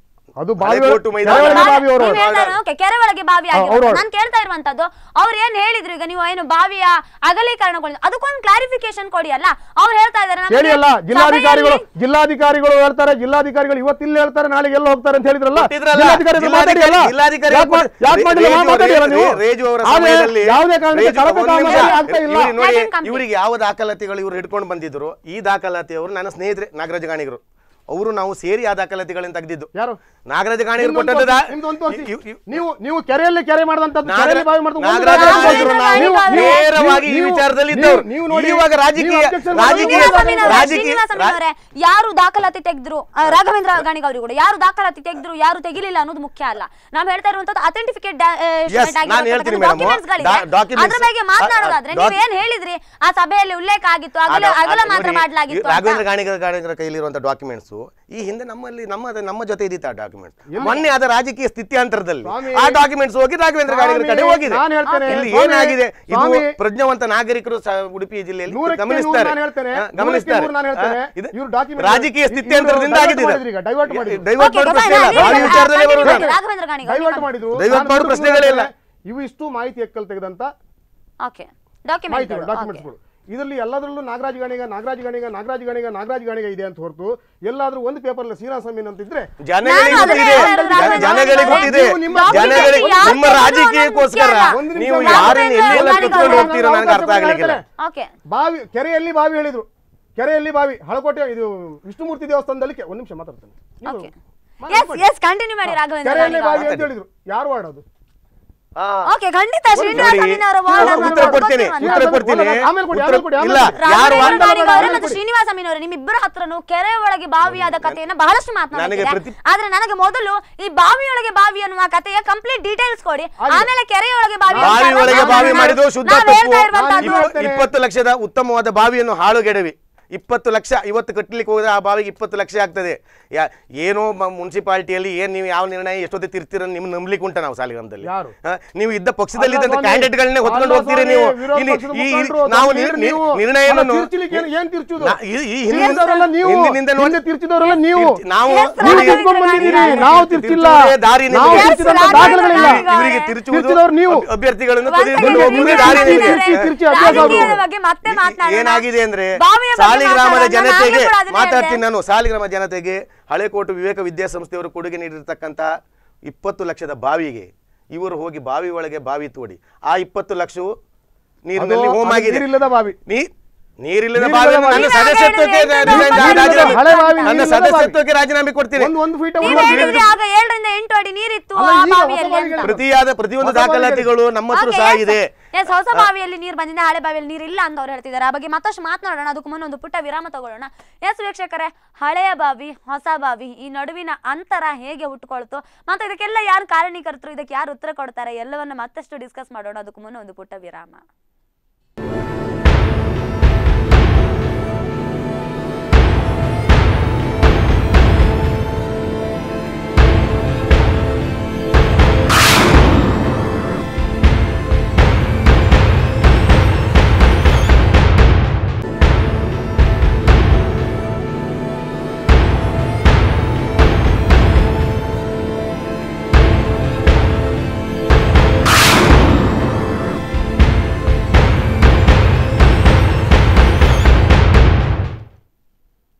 ವಿರಾಮದ ಬಳಿಕ ಮತ್ತೊಮ್ಮೆ ಕರೆಂಟ್ ಅಫೇರ್ಸ್ಗೆ ಸ್ವಾಗತ. ಬನ್ನಿ, ಮತ್ತೊಂದಷ್ಟು ಬಾವಿ ಒಳಗಿನ ಬಾವಿಯ ಕಥೆಗಳನ್ನು ತಿಳ್ಕೊಳ್ಳೋಣ. ಆ ಕುರಿತಾದಂತಹ ಪರ ವಿರೋಧ ಚರ್ಚೆಗಳನ್ನು ಮತ್ತೆ ಮುಂದುವರಿಸೋಣ. ಎಸ್, ರಾಘವೇಂದ್ರ ಗಾಣಿಗರೆ, ನೀವಾಗಲೇ ಮಾತಾಡ್ತಾ ಇದ್ರಿ. ಇನ್ನು ಒಟ್ಟು ಈ ಬಾವಿಯ ವಿಚಾರದಲ್ಲಿ ಮತ್ತೆ ರಾಜಕಾರಣ ಮಾಡಬೇಡಿ ಅಂತ. ಆ ಕೂಡ ಶ್ರೀನಿವಾಸ ಸ್ವಾಮಿನವರು ಹೇಳಿದ್ರು. ನಮಗೆ ಯಾವುದೇ ರೀತಿಯ ಅಂದ್ರೆ ಬಾವಿಯ ಒಳಗಡೆ ಬಾವಿ ಮಾಡುವ ವಿಚಾರವಾಗಿ ನಮಗೆ ಗೊತ್ತಿರಲಿಲ್ಲ. ಕೇವಲ ಬಾವಿಯನ್ನು ಅಗಲಗೊಳಿಸೋದು ಅನ್ನುವ ವಿಚಾರವಾಗಿ ಮಾತ್ರ ಗೊತ್ತಿತ್ತು ಅಂತ. ನನಗೆ ಪ್ರಶ್ನೆ ಮಾಡುವಂತಹದ್ದು ನೀವು ಮತ್ತೆ ಪುನಃ ಏನು ಎರಡನೇ ತಾರೀಕು ಎರಡು ಒಂದು ಎರಡು ಸಾವಿರದ ಹದಿನೇಳರಲ್ಲಿ ಪುನಃ ಸಭೆಯನ್ನು ಕರೀಲಾಯಿತು ಸೊ ಆ ಸಭೆಯಲ್ಲಿ ಬಾವಿಯ ಏನು ಬಾವಿಯನ್ನು ಅಗಲಗೊಳಿಸೋದಕ್ಕೆ ಸಾಧ್ಯವಾಗೋದಿಲ್ಲ. ಅದರ ಬದಲಿಗೆ ಬಾವಿ ಒಳಗಡೆ ಬಾವಿಯನ್ನು ಮಾಡ್ತೇವೆ ಅನ್ನುವಂಥ ಉಲ್ಲೇಖಗಳನ್ನು ಏನಾದರೂ ಮಾಡಿ ಮಾಡಿಲ್ಲ ಒಂದು ಸಾರಿ ಜಿಲ್ಲಾಧಿಕಾರಿಗಳು ಆದೇಶ ಬಂದ ಮೇಲೆ ಮಾಡಿ ಅಂತೇಳಿ ಆದೇಶ ಬಂದ ಮೇಲೆ ಮತ್ತೆ ತಿರ್ಗಾ ತಿರ್ಗಾ ಅಜೆಂಡದಲ್ಲಿ ಹಾಕುವಂತ ಪ್ರಶ್ನೆ ಇಲ್ಲ. ಯಾವುದೂ ಇಲ್ಲ. ಒಂದು ವೇಳೆ ಸೀನಾ ಸಮೀನ್ರಿಗೆ ನಿರ್ಣಯ ಆಗುವಾಗ ಸೀನಾ ಅಮೀನ್ರು ಕೂತ್ಕೊಂಡಿದ್ರು ಆ, ಸರ್ವಾನುಮತದ ನಿರ್ಣಯ ಆಗಿದೆ. ಒಂದು ವೇಳೆ ಅದ್ರ ಬಗ್ಗೆ ಇದಿದ್ರೆ ಸಮಾಧಾನ ಇಲ್ದಿದ್ರೆ ಆ ಮೀಟಿಂಗಲ್ಲಿ ಚರ್ಚೆ ಮಾಡ್ಬೋದಾಗಿತ್ತು. ಅವರು ಪ್ರತಿಪಕ್ಷದ ಮುಖಂಡರು ಚರ್ಚೆ ಮಾಡಬಹುದಾಗಿತ್ತು ಅದೆಲ್ಲ ಮಾಡಿದೆ. ಇವತ್ತು ಯಾಕೆ ಹತಾಶ ಮನೋಭಾವದಿಂದ ಚರ್ಚೆ ಮಾಡ್ತಾರೋ ನನಗೆ ನೋಡಿ ಗೊತ್ತಿಲ್ಲ. ನಾನು ಹೇಳ್ತೀನಿ. ಅಲ್ಲ ನಾನು ನಾನು ಹೇಳ್ತೀನಿ. ಹತಾಶ ಮನೋಭಾವನೆ ಇಲ್ಲ. ಹತಾಶರಾಗಿ ನೀವು. complete ನಾನು ಮಾಡಿ. ನಾನು ಮಾಡ್ತೇನೆ. ಸಾಲಿಗ್ರಾಮದಲ್ಲಿ. ಹತಾಶರಾಗಿ. ಇಲ್ಲಿದ್ದೀರಿ ಮೇಡಮ್. ಹೇಳ್ತೀನಿ. ನೀವು ಆಮೇಲೆ ಮಾತಾಡಿ. ನೀವು ಹೇಳಿದ್ದೆಲ್ಲ ಕೇಳಲಿಕ್ಕೆ ಆಗ್ಲಿಕ್ಕಿಲ್ಲ ಆಮೇಲೆ- ನೀವು ಉತ್ತರ ಕೊಡಿ. ನೀವು ಮಾತಾಡಿ. ನಾನು ಕೂತ್ಕೊಳ್ತೇನೆ. ಸುಮ್ಮನೆ ನಾನು ಉತ್ತರ ಕೊಡುವಾಗ ನೀವು ಇಲ್ಲ ಖಂಡಿತ ಮಾತಾಡುದಿಲ್ಲ ನಾನು. ಕೂತ್ಕೊಳ್ಳಿ. ನನಗೆ. ಈಗ ಹತಾಶ ಮನೋಭಾವದಿಂದ ಯಾಕೆ ಮಾಡ್ತಾರೋ ನಂಗೆ ಗೊತ್ತಿಲ್ಲ. ಇಷ್ಟು ಟೈಮ್ ಆದ್ಮೇಲೆ ಬಾವಿ ಈಗ ಈಗಾಗಲೇ ಒಂದು ಹದಿನೈದು ಇಪ್ಪತ್ತು ಫೀಟ್ ಕೆಳಗೆ ಹೋದ್ಮೇಲೆ ಈ ಮಧ್ಯೆ ಯಾಕೆ ರಾಜಕಾರಣ ಮಾಡ್ತಾರೋ ಗೊತ್ತಿಲ್ಲ. ಅವ್ರು ಆಗಾಗಲೇ ಹೇಳಿದ್ರು ಜಿಲ್ಲಾಧಿಕಾರಿಗಳು ನಂಗೆ ಒಂದು ಹೇಳಿದ್ದಾರೆ. ಖಂಡಿತ ನೀರಿನ ವಿಷಯದಲ್ಲಿ ವಿಷಯ ರಾಜಕೀಯ ಮಾಡಬೇಡ ಹೇಳಿ ಅಂತೇಳಿ. ಪುನಃ ಪುನಃ ಯಾಕೆ ಮಾಡ್ತಾರೋ ಗೊತ್ತಿಲ್ಲ. ಶ್ರೀನಿವಾಸ ಅಮೀನ್ ಅದನ್ನು ಬಿಟ್ಬಿಡಿ. ದಯವಿಟ್ಟು. ಮುಗಿಸಿಲ್ಲ ನಾನು. ಓಕೆ ಆ ಬಾವಿ ನಿಜವಾಗಲೂ ಸಕ್ಸಸ್ ಅದು. ಖಂಡಿತವಾಗ್ಲು ಈಗಲೇ ಒಂಬತ್ತು ಫೀಟ್ ನೀರಿದೆ. ಇನ್ನೂ ಸಿಂಕ್ ಆಗ್ಲಿಕ್ಕಿದೆ ಮೂವತ್ತು ಫೀಟ್ ಸಿಂಕ್ ಆಗ್ಲಿಕ್ಕಿದೆ. ನನ್ನ ಲೆಕ್ಕದಲ್ಲಿ ಈ ಟೈಮಲ್ಲಿ ಮೇ ಜೂನ್ ಟೈಮಲ್ಲಿ ಹದಿನಾರರಿಂದ ಹದಿನೇಳು ಫೀಟ್ ನೀರು ಸಿಗುವಂಥ ಬಾವಿ. ಇಡೀ ಪಟ್ಟಣ ಪಂಚಾಯತಿಗೆ ಸಾಕಾಗುವಂಥ ಬಾವಿ. ಅದಕ್ಕೆ ನನ್ನೊಂದು ಮನವಿ ಇದೆ ಶಿವಸಮೀನ್ರೆ ದಯವಿಟ್ಟು ನೀವು ಆ ಬಾವಿಯ ವಿಚಾರದಲ್ಲಿ ನೀರು ಮನವಿ. ಮೇಡಮ್ ನಾನು ಹೇಳುವಾಗ ಎಲ್ಲ ಎಲ್ಲ ಹಿಂದಿನ ಎಲ್ಲ ವಿಚಾರಗಳು ಬಾವಿಯೊಳ ಒಂದು ಬಾವಿ ಅದಕ್ಕೆ ಸಂಬಂಧಪಟ್ಟಂತ ಎಲ್ಲ ವಿಚಾರಗಳನ್ನ ಹೇಳಬೇಕಾಗ್ತದೆ. ಸಾಲಿಗ್ರಾಮ ಪಟ್ಟಣ ಪಂಚಾಯತ್ನನ್ನು ಮೂರನೇ ಬಾರಿ ಪ್ರತಿನಿಧಿಸುತ್ತಿದ್ದೇನೆ ಓಕೆ ಈ ಹಿಂದೆ ತೊಂಬತ್ತಾರನೇ ಇಸ್ವಿ ಸಾವಿರದ ಒಂಬೈನೂರ ತೊಂಬತ್ತಾರರಲ್ಲಿ ಶ್ರೀಮಾನ್ ಜಯಪ್ರಕಾಶ್ ಹೆಗಡೆ ಅವರು ಉಸ್ತುವಾರಿ ಮಿನಿಸ್ಟರ್ ಆಗಿರುವಾಗ ದಕ್ಷಿಣ ಕನ್ನಡ ಜಿಲ್ಲಾ ಉಸ್ತುವಾರಿ ಮಿನಿಸ್ಟರ್ ಇರುವಾಗ ಈ ಕುಡಿಯುವ ನೀರು ಅನ್ನುವ ಘಟಕ. ಒಂದು ನಾಲ್ಕು ಓವರ್ ಹೆಡ್ ಟ್ಯಾಂಕ್ ಬಚ್ಚೇಗೌಡರು ನೀರಾವರಿ ಮಿನಿಸ್ಟರ್ ಆಗಿರುವಾಗ ಸಾಲಿಗ್ರಾಮದಲ್ಲಿ ಅಲೌಟ್ ಆಗಿದೆ. ಆವರೆಗೂ ಕುಡಿಯುವ ನೀರಿನ ಸಮಸ್ಯೆ ಭಾಳಷ್ಟು ಇದಿದೆ ಆವಾಗ ಅದಾದ ಮೇಲೆ ಸಾಲಿಗ್ರಾಮದಲ್ಲಿ ಕುಡಿಯುವ ನೀರು ಅನ್ನುವಂಥದ್ದು ಮನೆ ಬಾಗಿಲಿಗೆ ತಂದು ಕೊಟ್ಟಿದ್ದರು ಜಯಪ್ರಕಾಶ್ ಹೆಗಡೆ ಅವರು ಅವರು ಸಾವಿರದ ಒಂಬೈನೂರ ತೊಂಬತ್ತಾರರಿಂದ ಬಾ ಬಾವಿಗಳು ಮಾಡಿದರು. ಈಗ ಆ ಬಾವಿಯಿಂದ ಕೆಲವು ಬಾವಿಯಿಂದ ನೀರು ಬರ್ತಾ ಇದೆ. ಕೆಲವು ಬಾವಿಗಳೆಲ್ಲ ಬರ್ಡನ್ ಆಗಿದೆ ಈಗ. ಆದರೆ ಸಾಲಿನ ಪಟ್ಟಣ ಪಂಚಾಯತ್ ವ್ಯಾಪ್ತಿಯಲ್ಲಿ ನಮ್ಮಲ್ಲಿ ಎಲ್ಲಿಯಾದರೂ ಕೂಡ ಬಾವಿಯಲ್ಲಿ ನೀರಿಲ್ಲ ಅಂದಮೇಲೆ ಬಾವಿಗೆ ರಿಂಗ್ ಇಳಿಸಿ ನೀರು ತೆಗೆಯುವುದು ನಮ್ಮದೊಂದು ಕರ್ತವ್ಯ. ಓಕೆ. ಆದರೆ ಇದು ಕ್ರಮೇಣವಾಗಿ ಈ ವಿಚಾರಗಳು ಸಾವಿರದ ತೊಂಬತ್ತಾರರಿಂದ ಎರಡು ಸಾವಿರದ ಎರಡರಲ್ಲಿ ಸಾಲಿನ ಪಟ್ಟಣ ಪಂಚಾಯತ್ ಇಲೆಕ್ಷನ್ ಆಗಿದ್ದು. ನಮ್ಮ ಆ ಆ ಅವಧಿಯಲ್ಲಿ ನಾನು ಪ- ಪಕ್ಷೇತರ ಇದು ಕೌನ್ಸಿಲರ್ ಆಗಿದ್ದೆ.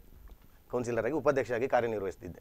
ಆ ಸಂದರ್ಭದಿಂದ ಅದಾದ ಮೇಲೆ ಎರಡು ಸಾವಿರದ ಎರಡರಿಂದ ಎರಡು ಸಾವಿರದ ಏಳರವರೆಗೆ ಸಾಲಿರಂ ಪಟ್ಟಣ ಪಂಚಾಯತ್ನಲ್ಲಿ ಪಕ್ಷೇತರ ಪೌರ ಸಮಿತಿ ಆಡಳಿತ ಇದ್ದಿತ್ತು. ಆವಾಗ ಈ ಯಾವ ಸಮಸ್ಯೆಗಳು ಕಂಡು ಬರಲಿಲ್ಲ. ನಾವು ಜನಗಳಿಗೆ ಧರ್ಮಕ್ಕೆ ಮನೆ ಬಾಗಿಲಿಗೆ ನೀರು ಕೊಡ್ತಿದ್ದೆವು ನಳ್ಳಿ ನೀರು. ಅದಾದ್ಮೇಲೆ ರಾಘವೇಂದ್ರ ಗಾಣಿಗರು ಹೇಳಿದಾಗ ನಾನು ಮಾತಾಡ್ತಿರುವಾಗ ರಾಘವೇಂದ್ರ ಗಾಣಿಗರು ಹೇಳಿದಾಗ ಎರಡು ಸಾವಿರದ ಏಳರಿಂದ ಈವರೆಗೂ ಆಡಳಿತ ಮಾಡ್ತಾ ಇರುವುದು ಸಾಲಿಗ್ರಾಮದಲ್ಲಿ ಭಾರತೀಯ ಜನತಾ ಪಾರ್ಟಿ. ಅದು ಅದು ಜಿಜ್ಞಾಸೆಯಲ್ಲಿ ಇದೆ. ಈ ಅವಧಿಯಲ್ಲಿ ಜಿಜ್ಞಾಸೆಯಲ್ಲಿ ಇದೆ. ಈ ಕುಡಿಯುವ ನೀರಿನ ಸಮಸ್ಯೆ ಎಲ್ಲಿವರೆಗೆ ಬಂದಿದೆ ಅಂದರೆ ಈ ಹಿಂದೆಯೂ ಕೂಡ ಹೇಳಿದರು ಶ್ರೀನಿವಾಸ ಅವರ ವ್ಯಾಪ್ತಿಯಲ್ಲಿ ಬರ್ತದೆ ಅಂತ. ಅದು ಪ್ರಾಕೃತಿಕ ವಿಪಕೋಪದ ಹಣ. ಆ ಹಣವನ್ನು ಅಧ್ಯಕ್ಷರ ಪವರಲ್ಲಿ ಬಾವಿ ಮಾಡುವುದು. ಇದು ಕೂಡ ಈ ಈ ವಿಚಾರದಲ್ಲಿ ಸಾಲಿನ ಪಟ್ಟಣ ಪಂಚಾಯತಿಯಲ್ಲಿ ಕೇಳುವೊಬ್ಬರು ಅಧ್ಯಕ್ಷರಂತ ಇದ್ದಾರೆ. ಎಲ್ಲಿಂದ ಕರ್ಕೊಂಡು ಬಂದು ಯಾವ ಪಕ್ಷದಿಂದ ಕರ್ಕೊಂಡು ಬಂದು ಕೂಡಿಸಿರಂತ ಅವರೇ ಉತ್ತರ ಕೊಡಬೇಕು ಜನಗಳಿಗೆ ಗೊತ್ತಿಲ್ಲ. ಆದ್ರೆ ರಾಘವೇಂದ್ರ ಗಾಣಿಗರು ಇವತ್ತು ಅದನ್ನು ಸಮರ್ಥಿಸಿಕೊಳ್ಳಿಕ್ಕೆ ಬಂದು ಕೂತಿದ್ರು. ರಾಘವೇಂದ್ರ ಗಾಣಿಗರ ಬದಲಿಗೆ ಮಾಜಿ ಅಧ್ಯಕ್ಷರು ಬಂದು ಕೂತಿದ್ದಿದ್ರೆ ನಾನು ಉತ್ತರ ಸಮಂಜಸವಾಗಿ ಕೊಡ್ತಾ ಇದ್ದೇವೆ? ಕೊಡ್ತಾ ಇದ್ದೆ. ರಾಜು ಬದಲಿಗೆ ಬಂದವರು ಇವರು. ಭಾರತೀಯ ಜನತಾ. ಪಾರ್ಟಿಯಿಂದ ಗೆದ್ದವರು. ಇವರು ಕಾಂಗ್ರೆಸ್ ಪಕ್ಷದ ಬಂಡಾಯ ಅಭ್ಯರ್ಥಿಗೆ ಇವರು ಸೂಚ ಇವರು ತತ್ವ ಸಿದ್ಧಾಂತ ಬಿಟ್ಟು ಸೂಚಕರಾಗಿ ಸಹಿ ಹಾಕಿದ್ದಾರೆ.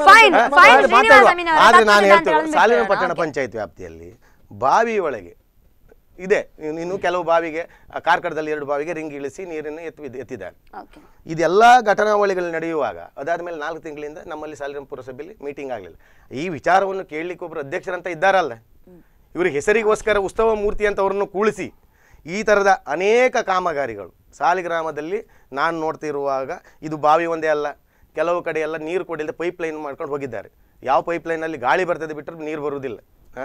ಈ ಸಂದರ್ಭದಲ್ಲಿ ಈ ವಿಚಾರಕ್ಕೆ ಉತ್ತರ ಕೊಡಬೇಕು ಅನ್ನೋದು ರೀತಿಯಲ್ಲಿ ಇವರು ಹಳೆಕೋಟು ಮೈದಾನ ಅಂಥ ಉತ್ತಮವಾದ ಬಾವಿ ಹ್ಮ್? ಯಾರ ಒಪ್ಪಿಗೆಯನ್ನು ಪಡೆದೆ. ಅಂಥ ಸಮಸ್ಯೆಗಳಿರುವಾಗ ನಮ್ಮ ಹತ್ರ ಒಂದು ಮಾತು ಕೇಳಬೇಕಿತ್ತು.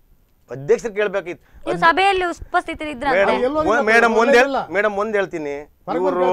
ಅಧ್ಯಕ್ಷ ಅಭ್ಯರ್ಥಿನೇ ಹೈಜಾಕ್ ಮಾಡಿ ಕರ್ಕೊಂಡು ಹೋದವ್ರು. ಅವರಿಗೆ ಮಾತಾಡ್ಲಿಕ್ಕೆ ವ್ಯವಸ್ಥೆ ಇಲ್ಲದೆ. ಅವ್ರು ಯಾರಿಗೆ ಹೇಳ್ಬೋದು? ಅವ್ರ ಕಷ್ಟವನ್ನು ಯಾರಿಗೆ ಹೇಳ್ಬೋದು? ಫೈನ್ ನೀವು ಮಾತನಾಡ್ಬೋದಿತ್ತಲ್ಲ ನಾವು ಮಾತಾಡ್ಲಿಕ್ಕೆ ಯಾವುದೇ ವಿಶ್ವಾಸ ತಕೊಳ್ಳಿದೆ ಇನ್ನು ನಾವು ಕೇಳಿದ್ದೇವೆ ಇಂಜಿನಿಯರ್ ಇನ್ನು ನೋಡಿ ವಿರೋಧ ಪಕ್ಷ ಅಂದ ಮೇಲೆ ವಿರೋಧ ಮಾಡ್ಲಿಕ್ಕೆ ಇರುವುದಲ್ಲ.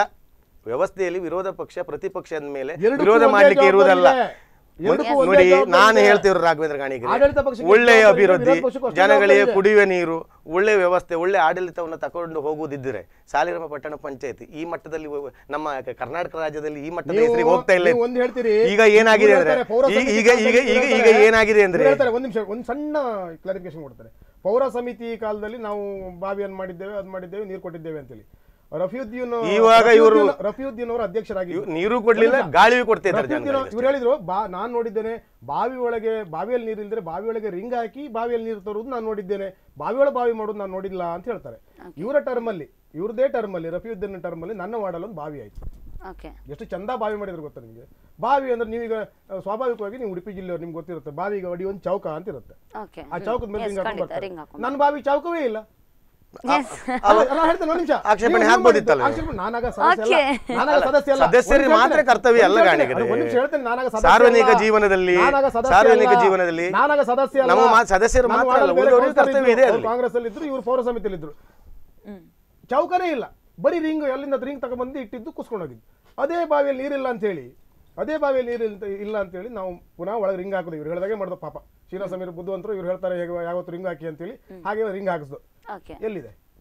ಹೊರಗಿನ ಮಣ್ಣು ಪೂರ ಒಳಗೆ ಬಂದು ಹೊರಗಿದ್ದವ್ರು ಪೂರ ಒಳಗೆ ಆ ಬಾವಿ ಒಳಗೆ ಬೀಳ್ಲಿಕ್ಕೆ ಸ್ಟಾರ್ಟ್ ಆದ್ರು. ನಿಲ್ಸ್ಬಿಟ್ಟು ನಾವು ಕೆಲಸ ಇವಾಗ ನಿಲ್ಸ್ಬಿಟ್ಟು. ಈಗ ನಾನು ಹೊಸ ಬಾವಿಯನ್ನು ನಾನು ಪುನಃ ಮಾಡ್ತಾ ಇದ್ದೇನೆ? ಹದಿಮೂರು ಲಕ್ಷ ಬೇರೆ ಜಾಗ ತಗೊಂಡು ಬೇರೆ ಜಾಗ ತಗೊಂಡು ರಿಂಗ್ ಹಾಕಿ ವ್ಯವಸ್ಥಿತವಾದ ಬಾವಿ ಮಾಡ್ತಾ ಇದ್ದೇನೆ. ಈಗಾಗಲೇ ಹದಿನೈದು ಫೀಟ್ ನೀರು ಬಂದಿದೆ. ಇನ್ನೂ ಸಿಂಕ್. ಮಾಡ್ತೇವೆ. ಸೀನಾ ಬನ್ನಿ ನಾಳೆಗೆ ನಿಮ್ದು ನಿಯೋಗ ಬರ್ಲಿ. ನೀವು ನಿಯೋಗ ಬರ್ಲಿ. ಅಲ್ಲಲ್ಲ ನಾನು ಉತ್ತರ ಕೊಡ್ತೀನಿ ನೋಡಿ. ನೀವು ಪುಡುಕೇರಿ ನಾನು ವಿಚಾರಗಳು ಹೇಳುವುದಿಲ್ಲ ಈಗ. ಬಾವಿ ಒಳಗೊಂದು ಬಾವಿ. ಇರತಕ್ಕಂಥ ಇಪ್ಪತ್ತು ಲಕ್ಷದ ಬಾವಿಯನ್ನು ಹಾಳುಗೆಡವಿ. ಆ ಹದ್- ಮತ್ತು ಉಳಿದ ಹದಿನೇಳು ಲಕ್ಷ ರೂಪಾಯಿ ಆ ಬಾವಿಗೆ ಹಾಕ್ತಾರೆ? ಇವರು ಹದಿನಾಲ್ಕು ಲಕ್ಷದ ಐವತ್ತು ಸಾವಿರ ಆ ಬಾವಿಗೆ ಹಾಕಿ ಒಂದು ಕಡೆಯಿಂದ ಒಂದು ಉತ್ತಮವಾದ ಬಾವಿಯನ್ನು ಅವಸಾನ ಮಾಡಿದ್ರು. ಅದು ಹೋಯ್ತು. ಆ ಬಾವಿ ಕತೆ ಮುಗೀತು. ಇದಕ್ಕೆ ಹೇಗಂದ್ರೆ ರಾಜಕೀಯ ಸನ್ಯಾಸ ತಗೊಳ್ತೇನೆ. ನಿಮ್ಗೆ ಅಲ್ಲ ನೀರಿರುವ ಬಾವಿಯಲ್ಲಿ ನೋಡಿ ಸಾಲಿಗ್ರಾಮದಲ್ಲಿ ದಯವಿಟ್ಟು ಹೇಳ್ತೀನಿ ಮೇಡಮ್ ಈ ಈ ಉದಾಹರಣೆ ಮಾತೆಲ್ಲ ಬೇಡ ನನಗೆ. ರಾಜಕೀಯ ಸನ್ಯಾಸ ತಗೊಳ್ತೇನೆ. ದಯವಿಟ್ಟು ಒಂದು ಮಾತು ಹೇಳ್ತೀನಿ. ಆ ಬಾವಿಯಲ್ಲಿ ಇಪ್ಪತ್ತು ಲಕ್ಷದ ಬಾವಿಯನ್ನು ಹಾಳು ಮಾಡಿದ್ರನ್ನು ಅನ್ನುವಂತ ಒಂದು ಆ, ಪ್ರ- ಪ- ತಪ್ಪು ನಿಮ್ಮ ಮನಸ್ಸಲ್ಲಿ ಇಲ್ವಾ? ಖಂಡಿತವಾಗಿ. ಪಶ್ಚಾತ್ತಾಪ ಇಲ್ಲ. ಇವ್ರಿಗೆ ಪಶ್ಚಾತ್ತಾಪ ಇಲ್ಲ. ಯಾಕಂದ್ರೆ ಇಲ್ಲ. ಇವ್ರ ಹಣ ಅಲ್ಲಲ್ಲ. ಅಲ್ಲ. ಸಾರ್ವಜನಿಕರ ತೆರಿಗೆ ಹಣ. ಸರ್ಕಾರ ಸರ್ಕಾರದ ಹಣ ಅಂದ್ರೆ ಸರ್ಕಾರ ಅಂದ್ರೆ ಸಾರ್ವಜನಿಕ ಜನಗಳು ಜನಗಳಿಂದ ಸರ್ಕಾರ. ಸಾರ್ವಜನಿಕರು ಸಾರ್ವಜನಿಕ ಈ ಸಾಲ ಸಮೀಕ್ಷೆ ಮಾಡಿ. ಸ್ಪಂದನ. ಚಾನೆಲ್ ನವರು ಸಮೀಕ್ಷೆ ಮಾಡ್ತಾರೆ ನೆಕ್ಸ್ಟ್ ಏನ್ ನಿಮ್ ನಿಮ್ಮ ಪರವಾಗಿ ಹತ್ತು ಓಟ್ ಬಿಡ್ಲಿಕ್ಕಿಲ್ಲ ಅಲ್ಲಿ. ಬಾವಿ ವಿಚಾರದಲ್ಲಿ. ದಯವಿಟ್ಟು. ಓಟ್ ಅಲ್ಲಲ್ಲ ಓಟ್ ರಾಜಕೀಯ ಚುನಾವಣೆಯಲ್ಲಿ ವಾದ. ಇಪ್ಪತ್ತು ಲಕ್ಷದ ಬಾವಿಯನ್ನು ಅವಸಾನ ಮಾಡಿ ಇವರಿಗೆ ಎಲ್ಲೂ ಸಾಲಿಗ್ರಾಮದಲ್ಲಿ ಜಾಗ ಸಿಗುವುದಿಲ್ಲ ಅಂತ ತೋರಿಸ್ಬೇಕಾಗಿ ಸ್ವಾಮಿ, ನಾನು ಆಗ್ಲೇ ನಿಮ್- ಹೇಳ್ತಾ ಇದ್ದೀನಿ, ನಿಮ್ಗೆ ಪದೇ ಪದೇ ಹೇಳ್ಬೇಡಿ. ತೋ- ನಿಮ್ಗೆ- ತೋ- ನಿಮ್ಗೂ ತೋರ್ಸ್ಲಿಕ್ಕೆ ಜವಾಬ್ದಾರಿ ಇದೆ, ಶಾಸಕರಿಗೂ ಜವಾಬ್ದಾರಿ ಇದೆ ಶಾಸಕರಿಗೂ ಕೂಡ ಜವಾಬ್ದಾರಿ ಇದೆ. ವಿಧಾನ ಪರಿಷತ್ ಸದಸ್ಯರಿಗೂ ಜವಾಬ್ದಾರಿ ಇದೆ. ದಯವಿಟ್ಟು ಫೋನ್ ಮಾಡಬೇಕಾಗಿತ್ತು ಶಾಸಕರ ಹತ್ರ ಮಾತಾಡ್ಬೇಕಾಗಿತ್ತು. ದಯವಿಟ್ಟು ದಯವಿಟ್ಟು ದಯವಿಟ್ಟು. ನಾವು ಸಣ್ಣ ನಾವು ನಾವು ಶಾಸಕರ ಮನೆ ಯಾವತ್ತು ಹೋದವರಲ್ಲ. ಹೋಗಿಲ್ಲ ನೀವು? ಯಾವತ್ತು ಯಾವತ್ತು ಹೋಗಿಲ್ಲ? ಯಾವತ್ತು ಹೋಗ್ಲಿಲ್ಲ. ಯಾವ ವಿಚಾರ ಯಾವ ವಿಚಾರ ನೀವು ತೋರ್ಸಿ ಕೊಡಿ ಮೊನ್ನೆ ಹೋಗಿದ್ದು.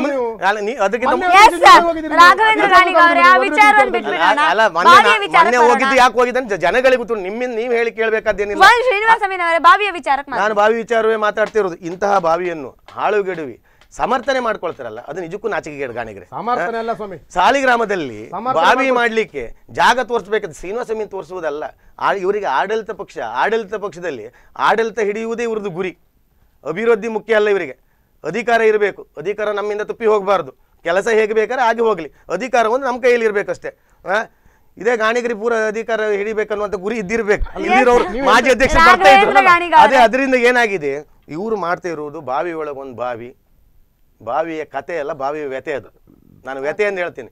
ಸಾಲಿಗ್ರಾಮದ ವಿವೇಕ ವಿದ್ಯಾಸಂಸ್ಥೆಯವರು ಕಟ್ಟಿಸಿರ್ತಕ್ಕಂಥ ಬಾವಿ ಅಗಲೀಕರಣ ಮಾಡಿ ಬಾವಿಯೊಳಗೆ ಒಳಗೆ ರಿಂಗ್ ಅಳವಡಿಸಿದಲ್ಲ ಬಾವಿ ಒಳಗೆ ಬಾವಿ ಮಾಡಿ ಸಮರ್ಥನೆ ಮಾಡ್ಕೊಳ್ತಿದ್ದಾರೆ. ಮತ್ತೆ ಆ ಬಾವಿಯಲ್ಲಿ ಒಂದು ನಾನು ಚಾಲೆಂಜ್ ಆಗ್ತೇನೆ. ಗಾಣಿಗರ ಒಂದು ನಿಮಿಷ. ವಶಪಡಿಸಿಕೊಂಡಿದೆ. ನಾನು- ಒಂದು ಚಾಲೆಂಜ್ ಕೋರ್ಟ್ ಅಲ್ಲಿ ಇದೆ. ಕೋರ್ಟ್ ಅಲ್ಲಿ ಅಲ್ಲಿ ಇದೆ. ಕೋರ್ಟಿಗೆ ಹಾಕಿದ್ದು ವಿದ್ಯಾಸಂಸ್ಥೆ ಅವರು court ಅಲ್ಲಿ ಇದೆ.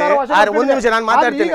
ಸರ್ಕಾರ ಏನ್ ಹೇಳಿದೆ? ಅದ್ರಲ್ಲಿ ಮಾಡಿ ಅಂತ ಹೇಳಿದೆ, ಇವರು ಎಲ್ಲಿ ವ್ಯಂಗ್ಯಭರಿತವಾದ ಮಾತಂದ್ರೆ ಆ ಬಾವಿಯಲ್ಲಿ ನೀರು ಬರಲಿದೆ ರಾಜಕೀಯ ಸನ್ಯಾಸ ತಗೊಳ್ತೇನೆ ಅಂದ್ರೆ ನೀರಿದ್ದ ಬಾವಿಯಲ್ಲಿ ನೀರು ಬರುದೆಂದ ಅಡುವ ವಿಶೇಷ ಏನಿಲ್ಲ. ನೀರಿದ್ದ ಬಾವಿ ಅಲ್ಲ, ನೀರಿಲ್ಲದ ಬಂಜರು ಬಾವಿ ಅಲ್ಲ.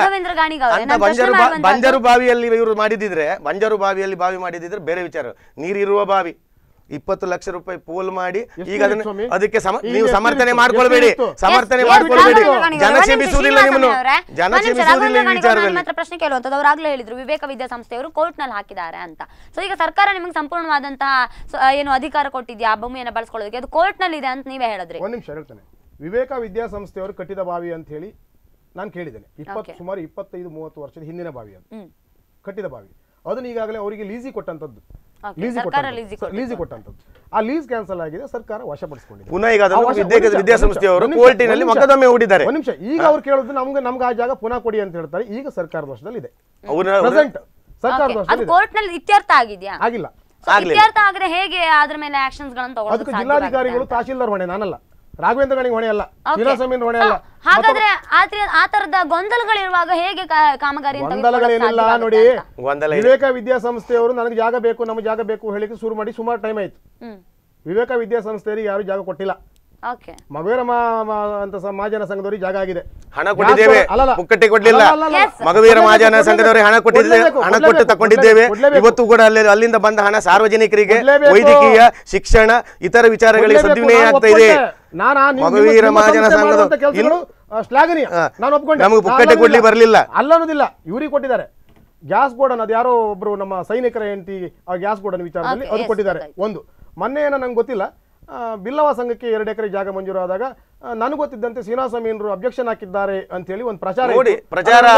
ರಾಜಕೀಯವಾಗಿ ಶ್ರೀನಿವಾಸ ಮೀನ್ ಅವರನ್ನು ಹಣಿಲಿಕ್ಕೆ ಈ ಷಡ್ಯಂತ್ರ ಮಾಡ್ತಿರೋದು. ಶ್ರೀನಿವಾಸ ಮೀನು ಒಂದ್ ನಿಮಿಷ ಇದು ಸ್ಪಷ್ಟೀಕರಣ ಬಾವಿ ವಿಚಾರ ಬೇರೆ ಕಡೆ ಹೋಗ್ಬಾರ್ದು. ಆದ್ರೆ ದಯವಿಟ್ಟು ಈ ಬೆಂಕಿ ಹಾಕುವ ಪ್ರಶ್ನೆ ಬೇಡ. ಶ್ರೀನಿವಾಸ ಮೀನು ಬಿಲ್ಲವ ಸಂಘದವರಿಗೆ ಎಲ್ಲೂ ಜಾಗ ಕೊಡಬೇಡಿ ಎಂದು ಹೇಳಲಿಲ್ಲ. ನನಗೊಂದು ಇಚ್ಛಾಶಕ್ತಿ ಇದೆ. ಸಮಾಜದಲ್ಲಿ ಎಲ್ಲ ಸಮಾಜದವರು ಮೇಲೆ ಬರಬೇಕು. ಶ್ರೀನಿವಾಸ ಮೀನು ಯಾರು ಆಕ್ಷೇಪಣೆ ಹಾಕಿಲ್ಲ ಶ್ರೀನಿವಾಸ ಮೀನು ಆಕ್ಷೇಪಣೆ ಹಾಕಿದ, ಏನಂತ ಹಾಕಿದ್ದಾನೆ? ಹಳೆಕೋಟು ಮೈದಾನವನ್ನು ಹೊರತುಪಡಿಸಿ. ಹಳೆಕೋಟು ಮೈದಾನ ಅಂತ ಕ್ರೀಡಾಂಗಣ ಇದೆ ಅಲ್ಲಿ. ಲಕ್ಷಾಂತರ ರೂಪಾಯಿ ನಾವು ಪಾರಂಪಳ್ಳಿ ಪಾರಂಪಳ್ಳಿ ಕ್ರಿಕೆಟರ್ಸ್ನವರು. ಅಳತೆ ಮಾಡಿದ ಅದನ್ನೇ ಪಾರಂಪಳ್ಳಿ ಒಂದು ನಿಮಿಷ. ಪಾರಂಪಳ್ಳಿ ಕ್ರಿಕೆಟ್ ಟೀಮಿನವರು ನಾಲ್ಕು ಸಲ ನಾವೇ ನಾನು ಅದರ ಸದಸ್ಯ ನಾಲ್ಕು ಸಲ ಮೂರು ಸಲ ಫ್ಲಡ್ ಲೈಟ್ ಮ್ಯಾಚ್ ಮಾಡಿದೆ.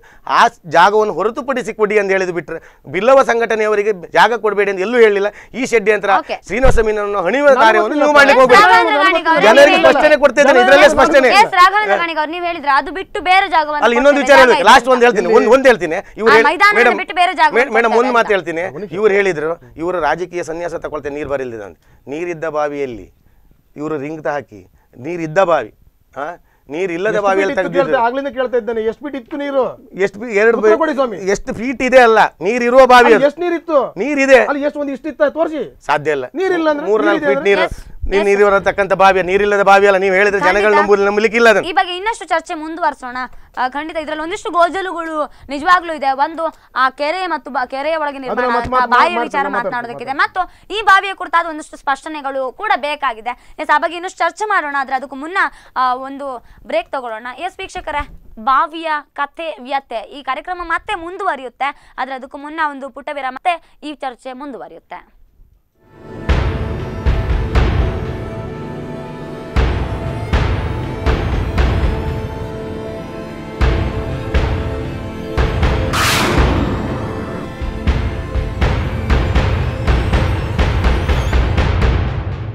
ಎಸ್ ಕರೆಂಟ್ ಅಫೇರ್ಸ್ಗೆ ಸ್ವಾಗತ. ನಾನು ಚೈತ್ರ ಕುಂದಾಪುರ.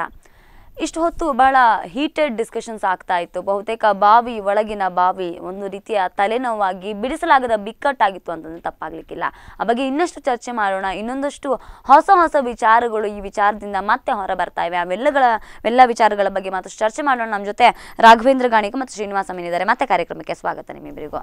ಎಸ್ ಶ್ರೀನಿವಾಸ ಅಮೀನವರೇ ನೀವಾಗಲೇ ಹೇಳ್ತಾ ಇದ್ರಿ. ಒಂದಷ್ಟು ಗೊಂದಲಗಳು. ಸಣ್ಣ ಸ್ಪಷ್ಟೀಕರಣ ಎಸ್ ಕೊಡ್ತೇನೆ. ಹೇಳಿ. ನಾನಾಗ ಹೇಳಿದೆ ಆ, ಬಾವಿಯನ್ನ ಅಗಲಗೊಳಿಸಿ ರಿಂಗ್ ಹಾಕುವಂಥದ್ದು. ಅದು ನನ್ನ ಹತ್ರ ಆಗ ಕಾಪಿ ಇರಲಿಲ್ಲ ನನಗೆ ತರಿಸ್ಕೊಂಡಿದ್ದೇನೆ. ಜಿಲ್ಲಾಧಿಕಾರಿಯ ಕಚೇರಿಯಿಂದ ಎಂಟು ಮೂರು ಎರಡು ಸಾವಿರದ ಹದಿನೇಳಕ್ಕೆ ನಮಗೆ ತಾಂತ್ರಿಕ ಮಂಜೂರಾತಿ ಸಿಕ್ಕಿದೆ. ಪಟ್ಟಣ ಪಂಚಾಯತ್ ವ್ಯಾಪ್ತಿಯ ಗುಣ್ಮಿ ಹಳಕೋಟೆ ಮೈದಾನದಲ್ಲಿರುವ ಸರ್ಕಾರಿ ಬಾವಿಯನ್ನು ಆಳಗೊಡಿಸಿ ರಿಂಗ್ ಅಳವಡಿಸುವ ಕುರಿತು ಅಂತೇಳಿ ಮಂಜೂರಾತಿ ಸಿಕ್ಕಿದೆ. ಅದರ ಪ್ರಕಾರ ಎಸ್ಟಿಮೇಟ್ ಆಗಿದೆ.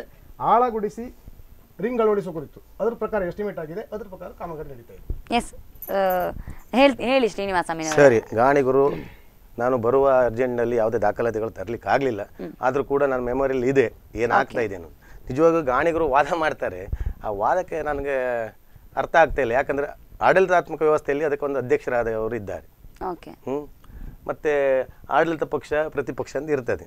ಹ್ಞೂ ಇಂಥ ವಿಚಾರಗಳು ಬರುವಾಗ ಅಧ್ಯಕ್ಷರಾದವ್ರನ್ನ ಕರೆಸಬೇಕಿತ್ತು.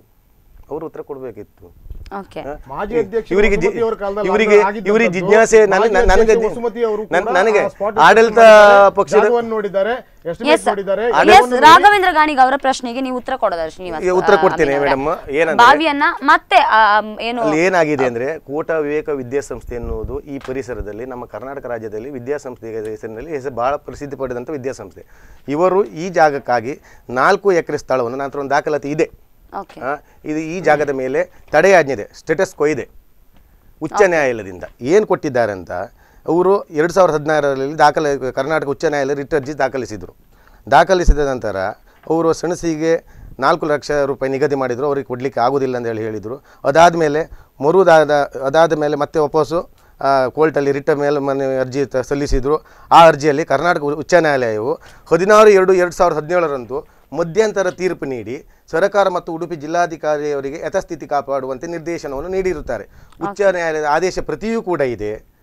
ಅಲ್ಲದೆ ಕೋಟ ಬಿಲ್ಲವ ಇದೇ ಹಳೆಕೋಟು ಮೈದಾನದಲ್ಲಿ. ಬಿಲ್ಲವ ಸೇವಾ ಸಂಘ ಸಾಲಿನ ಉಡುಪಿ ಜಿಲ್ಲೆಯವರಿಗೆ ಕಾದಿಸುವ ನಮ್ಮ ಸಂಪೂರ್ಣ ವಿರೋಧವೆಂದು ಆಕ್ಷೇಪಣೆ ಅವರು ಸಲ್ಲಿಸಿದ್ದಾರೆ. ಕೆಲವು ನಾವು ಸಲ್ಲಿಸಲಿಲ್ಲ. ನಾವು ಕ್ರೀಡಾಂಗಣ ಮಾತ್ರ ಕೊಡಬಾರದು ಅಂತ ಹೇಳಿದ್ದು. ಅಲ್ಲ, ಈಗ ಈ ನೀವು- ನೀವು- ಈ ಉಚ್ಚ ನ್ಯಾಯಾಲಯದ ಒಂದು ನಿಮಿಷ ಒಂದು ನಿಮಿಷ. ನಾನು ಮೈದಾನ ಮಾತಾಡ್ತಿದ್ದೆ ನಾನು ಮಾತಾಡ್ತಿದ್ದೇನೆ. ಮಾತಾಡ್ತಿದ್ದೇನೆ. ಆ, ಉಚ್ಚ ನ್ಯಾಯಾಲಯದಿಂದ ನೇರವಾಗಿ ನಿರ್ದೇಶನ ಮಾನ್ಯ ಜಿಲ್ಲಾಧಿಕಾರಿಗಳಿಗೂ ಹಾಗೂ ಶಾಸಕರಿಗೂ ವಿಧಾನ ಪರಿಷತ್ ಸದಸ್ಯರಿಗೂ ಕಂದಾಯ ಪರಿವೀಕ್ಷಕರಿಗೂ ಮುಖ್ಯಾಧಿಕಾರಿ ಪಟ್ಟಣ ಪಂಚಾಯತ್ ಸಾಲಿಗ್ರಾಮ ಇವರಿಗೆ ನ್ಯಾಯಾಲಯದಿಂದ ಸ್ಟೇಟಸ್ಕೋ ಯಥಾಸ್ಥಿತಿ ಕಾಪಾಡುವಂತೆ ಆದೇಶವಾಗಿದೆ. ಇದೆಲ್ಲದರ ನಡುವೆ ನೀರಿರುವ ಬಾವಿಯಲ್ಲಿ ಮೂರರಿಂದ ನಾಲ್ಕು ಫೀಟ್ ನೀರಿದೆ ಆ ಬಾವಿಯಲ್ಲಿ ಎಲ್ಲರಿಗೂ ಗೊತ್ತಿದೆ ಇವ್ರು. ಇವ್ರು ಪಡುಕೆರೆಯವರು ಅದೇ ನಾವು ಅದೇ ವ್ಯಾಪ್ತಿಯವರು ಅದೇ ವ್ಯಾಪ್ತಿ ವ್ಯಾಪ್ತಿಯವರು ಇವರು. ಇವರು ಇವ್ರು ನೋಡಿ- ಇವರು ಆಡಳಿತ ಪಕ್ಷದ ಪರವಾಗಿ ಇವರು ಬ್ಯಾಟಿಂಗ್ ಮಾಡ್ತಿರೋದು ನಂಗೆ ಸಮಂಜಸವಾಗಿ ನೋಡ್ತಾ ಇಲ್ಲ? ಓಕೆ ನನ್ನ ಒಂದು ಪ್ರಶ್ನೆ. ರಾಘವೇಂದ್ರ ಗಾಣಿಗ ಅವರೇ ಒಂದು ಪ್ರಶ್ನೆಗೆ ಕನ್ಫರ್ಮ್ ಕೊಡಿ. ಅವ್ರು ತೋರಿಸ್ತಾ ಇದ್ದಾರೆ ಏನು ಹೈಕೋರ್ಟ್ನಿಂದ ಸ್ಟೇ ಇದೆ ಅಂತ. ಈ ಹಳಕೋಟೆ ಮೈದಾನವನ್ನ ಯಾರಿಗಾದ್ರೂ ಬಂದವರಿಗೆಲ್ಲ ಕೊಡಬೇಕು ಅನ್ನುವರೇ ಅವರು ಹಳಕೋಟೆ. ಉಳಿಸಿ ಅಲ್ಲಲ್ಲ ಹಳೆಕೋಟೆ ಉಳಿಸಿ ಅನ್ನುವ ಒಂದು ಇದರಲ್ಲಿ ಒಂದು ಸಂಸ್ಥೆಯಲ್ಲಿ ಹಳೆಕೋಟೆ ಉಳಿಸಿ ಅಂತ ಹೇಳಿ ಹೋರಾಟ ಮಾಡಿದವರು ಆ ಹೋರಾಟದ ಸೆಕ್ರೆಟರಿ ಅವರು ಓಕೆ ಫೈನ್ ನಾನು ಕೇಳ್ತಾ ಇರುವಂತದ್ದು ಅವ್ರಿಗೆ ಏನು ಎಲ್ಲರಿಗೂ ಕೊಟ್ಬಿಡಿ ಅನ್ನೋದಾ? ನಾನು ಒಂದು ವಿಚಾರಗಳನ್ನು ಹೇಳುವುದು. ಊಟ ವಿದ್ಯೆ. ಕೋಟ ವಿದ್ಯಾಸಂಸ್ಥೆಯವರು ಎಸ್ ಅವ್ರು ಉಲ್ಲೇಖ ಮಾಡಿದ್ದಾರೆ.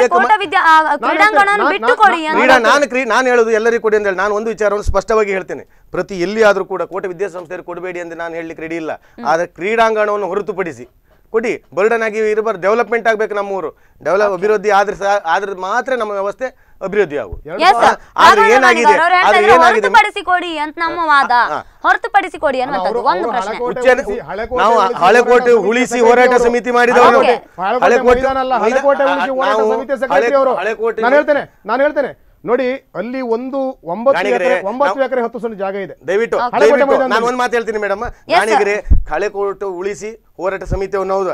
ಆದರೆ ಇದೇ ನೀವು ಭೋಜಮ್ಮ ಅವರ ಶ್ರೀನಿಧಿ ಗ್ಯಾಸ್ ಏಜೆನ್ಸಿ ಅವರ ಗ್ಯಾಸ್ ಗೋಡನೆ ವಿಚಾರದಲ್ಲಿ ತಮ್ಮ ಪಕ್ಷ ಆಡಳಿತ ಆಡಳಿತಾವಧಿಯಲ್ಲಿ ಇರುವಾಗ ಅದೇ ಪಕ್ಷದ ವಿರುದ್ಧ ಧಿಕ್ಕರಿಸಿ ನೀವು ಕೆಳಗಡೆ ಶ್ಯಾಮಿಯನಾಗಿ ಕೂತ್ಕೊಂಡು ಭೋಜಮ್ಮನಿಗೆ ಹಳೆಕೋಟು ಮೈದಾನದಲ್ಲಿ ನೀವು ಜಾಗ ನೀವು ಮಾಡಿಕೊಡ್ಲಿಲ್ಲ ನೀವು-? ಅದೇ ತರದಲ್ಲಿ. ನಾನು ಹೇಳ್ತಾ ನಿಮ್ಮ ಇರೋದು ಪಾರ್ಟಿಯ ಮುಖ್ಯಮಂತ್ರಿ ಕೊಟ್ಟಿದ್ದು ಒಂದು ಸಾಲಿರುವ ಪಟ್ಟಣ ಪಂಚಾಯತ್ನಲ್ಲಿ ಹೈಕೋರ್ಟಿನಿಂದ ಸೆಟೆಸ್ಕೋ ಇರುವಾಗ ಅಲ್ಲಿ ಉತ್ತಮವಾದ ನೀರಿರುವ ಸಂಪನ್ ಜಲ ಸಂಪನ್ಮೂಲ ಸಂಪದ್ಭರಿತವಾಗಿರತಕ್ಕಂಥ ಒಂದು ಇಪ್ಪತ್ತು ಲಕ್ಷದ ಬಾವಿಯನ್ನು ಹಾಳುಗೆಡವಿ ಇಪ್ಪತ್ತು ಲಕ್ಷವನ್ನು ಅವರ ಹತ್ರ ಪರಿಮಿ ಕಾಳಜಿಗಾದರೂ ಕೋಟ ಹೈಸ್ಕೂಲ್ ವಿದ್ಯಾಸಂಸ್ಥೆಯವರ ಹತ್ರ ಒಂದು ಮಾತು ಅವರೇ ಹೇಳ್ತಾರೆ. ಒಂದ್ ನಿಮಿಷ ಒಂದ್ ನಿಮಿಷ ಎಲ್ಲ ಶ್ರೀನಿವಾಸ ಎಲ್ಲ ನಿಮಿಷ ನನ್ನ ಒಂದೇ ಪ್ರಶ್ನೆ ರಾಘವೇಂದ್ರ ಗಾಣಿಗ ಅವರೇ. ಹೈಕೋರ್ಟ್ ಗಿಂತ ಸರ್ಕಾರ ದೊಡ್ಡದಾ. ಹೈಕೋರ್ಟ್ ರಿಟ್ ರಿಟ್ ಹಾಕಿದ ಮೇಲೆ ಹೈಕೋರ್ಟ್ ತಡೆಯಾಜ್ಞೆ ಕೊಟ್ಟ ಮೇಲೆ ಸರ್ಕಾರ ದೊಡ್ಡದ ಹಾಗಾದ್ರೆ. ಜಿಲ್ಲಾಧಿಕಾರಿಗಳು ಕೊಡ್ತಾರೆ ಅನ್ನೋದಾದ್ರೆ ಹೈಕೋರ್ಟ್ ಗಿಂತ ಜಿಲ್ಲಾಧಿಕಾರಿಗಳು ದೊಡ್ಡದ. ಸರ್ಕಾರ ಹೈಕೋರ್ಟ್ ಗಿಂತ ದೊಡ್ಡದ? ನಮ್ಮ ಪ್ರಶ್ನೆ ನಮ್ಮ ಪ್ರಶ್ನೆ ರಾಘವೇಂದ್ರ ಗಾಣಿಗ ಅವರೇ ಹೈಕೋರ್ಟ್ ಗಿಂತ ಸರ್ಕಾರ ದೊಡ್ಡದ ಹಾಗಾದ್ರೆ? ನಮ್ಮ ದೇಶದ ಕಾನೂನು ವ್ಯವಸ್ಥೆಯಲ್ಲಿ ಸಂವಿಧಾನಕ್ಕಿಂತ ದೊಡ್ಡದಲ್ಲ ಸರ್ಕಾರ? ನಾನು ಹೇಳ್ತೇನೆ ವಿವೇಕ ಪದವಿ ಪೂರ್ವ ಕಾಲೇಜ್ ಅವರು ಅವರು ಬೇಡಿಕೆ ಇಟ್ಟಂತ ಜಾಗ ಶಾಲಾ ಆಟದ ಮೈದಾನ. ಓಕೆ ಫೈನ್ ಹಾಗಾದ್ರೆ ಆಟದ ಮೈದಾನದ ಒಳಗಡೆ ಇಲ್ಲ, ಇಲ್ಲ, ಅದು ಹೊರಗಿದೆ. ವಿವೇಕ ಹಳೆ ಹೊರಗಿದೆ. ಮೈದಾನ ಇಲ್ಲ ವಿವೇಕ- ಸುಳ್ಳು ವಿವೇಕ ಹಳೆ. ಕೋಟೆ ಮೈದಾನದಲ್ಲಿ ಇಲ್ಲ, ಒಂಬತ್ತು ನಾಲ್ಕು ಎಕರೆ ಎರಡು ಸೆಂಟ್. ನಾಲ್ಕು ಎಕರೆ ಜ- ಒಂದು ವಿದ್ಯಾಸಂಸ್ಥೆ ಅಂತ ಆದ್ಮೇಲೆ ಮೈದಾನವು ಆ ವಿದ್ಯಾಸಂಸ್ಥೆ ಅಂದಮೇಲೆ ಮೈದಾನ ಇರಲೇಬೇಕು. ಆಟದ ಮೈದಾನ ಇಲ್ಲದೆ ವಿದ್ಯಾಸಂಸ್ಥೆ ಯಾವುದಕ್ಕೆ ಈಗ ಪರ್ಮಿಷನ್ ಸಿಗುವುದಿಲ್ಲ ಇವತ್ತಿನ ವ್ಯವಸ್ಥೆಯಲ್ಲಿ. ಒಂದು ವಿದ್ಯಾಸಂಸ್ಥೆ ಅಂತ ಆದಮೇಲೆ ನಾವು ಹಳೆಕೋಟೆ ಮೈದಾನ ಉಳಿಸಲಿಕ್ಕೆ ಹೋರಾಟ ಮಾಡುವರೆ. ಕೋಟೆ ವಿವೇಕ ವಿದ್ಯಾಸಂಸ್ಥೆ ಬಂದಿದ್ದರೂ ಕೂಡ ಖಾಸಗಿ ಪರಭಾರೆ ಮಾಡದೆ ಅದನ್ನು ಮೀಸಲಿರಿಸಿ ಪಟ್ಟಣ ಪಂಚಾಯತ್ ಕ್ರೀಡಾಂಗಣವಾಗಿ ಮೀಸಲಿರಿಸಬೇಕಂತ ನಾವು. ಹೈಕೋರ್ಟಿಗೆ ಹೋದವರು. ಆದರೆ ಸಂಪದ್ಭರಿತವಾದ ಜಲ ಸಂಪನ್ಮೂಲ ಇರುವಂಥ ಪ್ರದೇಶವನ್ನೇ ಹೋಗಿ ಇವರು ಸರ್ಕಾರದಿಂದ ಬಂದ ಅನುದಾನಕ್ಕೆ ಒಂದು ಮೋಕ್ಷ ತೋರಿಸಲಿಕ್ಕೆ ಹೋಗಿ ಬಾವಿ ಒಳಗೆ ಬಾವಿ ಮಾಡುವುದು. ಇದು ಮೂರ್ತರ ನಿರ್ಧಾರ ಬಿಟ್ರೆ ಯಾವ ಜನಗಳಿಗೂ ಜನಗಳಿಗೆ ನೀರು ಕೊಡಬಾರದು ನಾವು ಇವರು. ಮಹಾಸಾಧನೆ ಮಾಡಿದ್ರು. ರಾಜು ಪೂಜಾರ ಅವಧಿಯಲ್ಲಿ ರಾಜು ಪೂಜಾರಿ ಅವರು ಅಧ್ಯಕ್ಷರಾದ ಅವಧಿಯಲ್ಲಿ ಹುಳಿ ನೀರನ್ನು ಕೊಟ್ಟು ಮೂವತ್ತೈದು ಲಕ್ಷ ರೂಪಾಯಿ ವಾರ್ಡು? ಪ್ರಶ್ನೆ ಮೇಡಮ್ ನೋಡಿ. ಪ್ರಾಕೃತಿಕ. ಪ್ರಾಕೃತಿಕ ವಿಕೋಪದಿಂದ ವಿಕೋಪದಿಂದ ಬಂದ ಹಣ ಆ ಹಣದ ಅಧಿಕಾರ ಇರುವುದು. ಮುನ್ಸಿಪಾಲಿಟಿ ಅಧ್ಯಕ್ಷರಿಗೆ ಮತ್ತು ಶಾಸಕರಿಗೆ. ಅವರು ಗೊತ್ತು ಅದನ್ನು ಯಾವ ಯಾವ ಸದಸ್ಯರನ್ನು ಗೌರವ ವಿಶ್ವಾಸ ತಗೊಳ್ಬೇಕಂದೇನಿಲ್ಲ ಹಾಳಾಗಿದ್ದರೆ ನೀವು ಒಳ್ಳೇದಾಗಿದ್ದರೆ ನಾವು ವಿರೋಧ ಮಾಡಿದ್ದೇವೆ. ಮಾಡಿದ್ದೇವೆ. ಪೇಪರ್? ಕೊಟ್ಟಿದ್ದೇವೆ. ಒಂದು- ತೋರಿಸಿ ಮಾಡಿದ್ದು. ನಂತರ ಎಷ್ಟು ಆಗಿದೆ? ಇದು ರಾಮಾಯಣ ಈ ಹಳೆ ಈ ಬಾವಿ ಒಳಗೆ ಮತ್ತು ಕೆರೆಯೊಳಗೆ ಬಾವಿ ಮಾಡಿದ್ದು. ಈ ಈ ಹಿಂದೆ ಬಹಳಷ್ಟು ಸದ್ದು ಮಾಡಿದೆ ಅದು. ಹಿಂದಿನ ಇಲ್ಲಿ ಹಿಂದಿನ ಸಾಲ ಇಲೆಕ್ಷನ್ ಅಲ್ಲೂ ಅದ್ರ ಬಗ್ಗೆ ಚರ್ಚೆ ಆಗಿದೆ. ಶಾಸಕರು ರಿಕ್ವೆಸ್ಟ್ ಮಾಡಿದ್ರು ಕುಡಿಯೋ ನೀರಿಗೆ ಹಾಗೂ ಡಿ ಸಿ ಅವರು ರಿಕ್ವೆಸ್ಟ್ ಮಾಡಿದ್ದಕ್ಕೋಸ್ಕರ ಕುಡಿಯೋ ನೀರಿನಲ್ಲಿ ರಾಜಕೀಯ ಮಾಡಬೇಡಿ. ಆದರೆ ಇವತ್ತು ಅಲ್ಲಿ ಯಾವ ನೀರು ಬಂತು? ಯಾರು ಆಡಳಿತ ಇತ್ತು? ಪ್ರತಿಪಕ್ಷದವ್ರು ಹೇಳಿದ ಕೂಡ ಎಲ್ಲ ನಡೆಯುವುದಿಲ್ಲ ವ್ಯವಸ್ಥೆಯಲ್ಲಿ.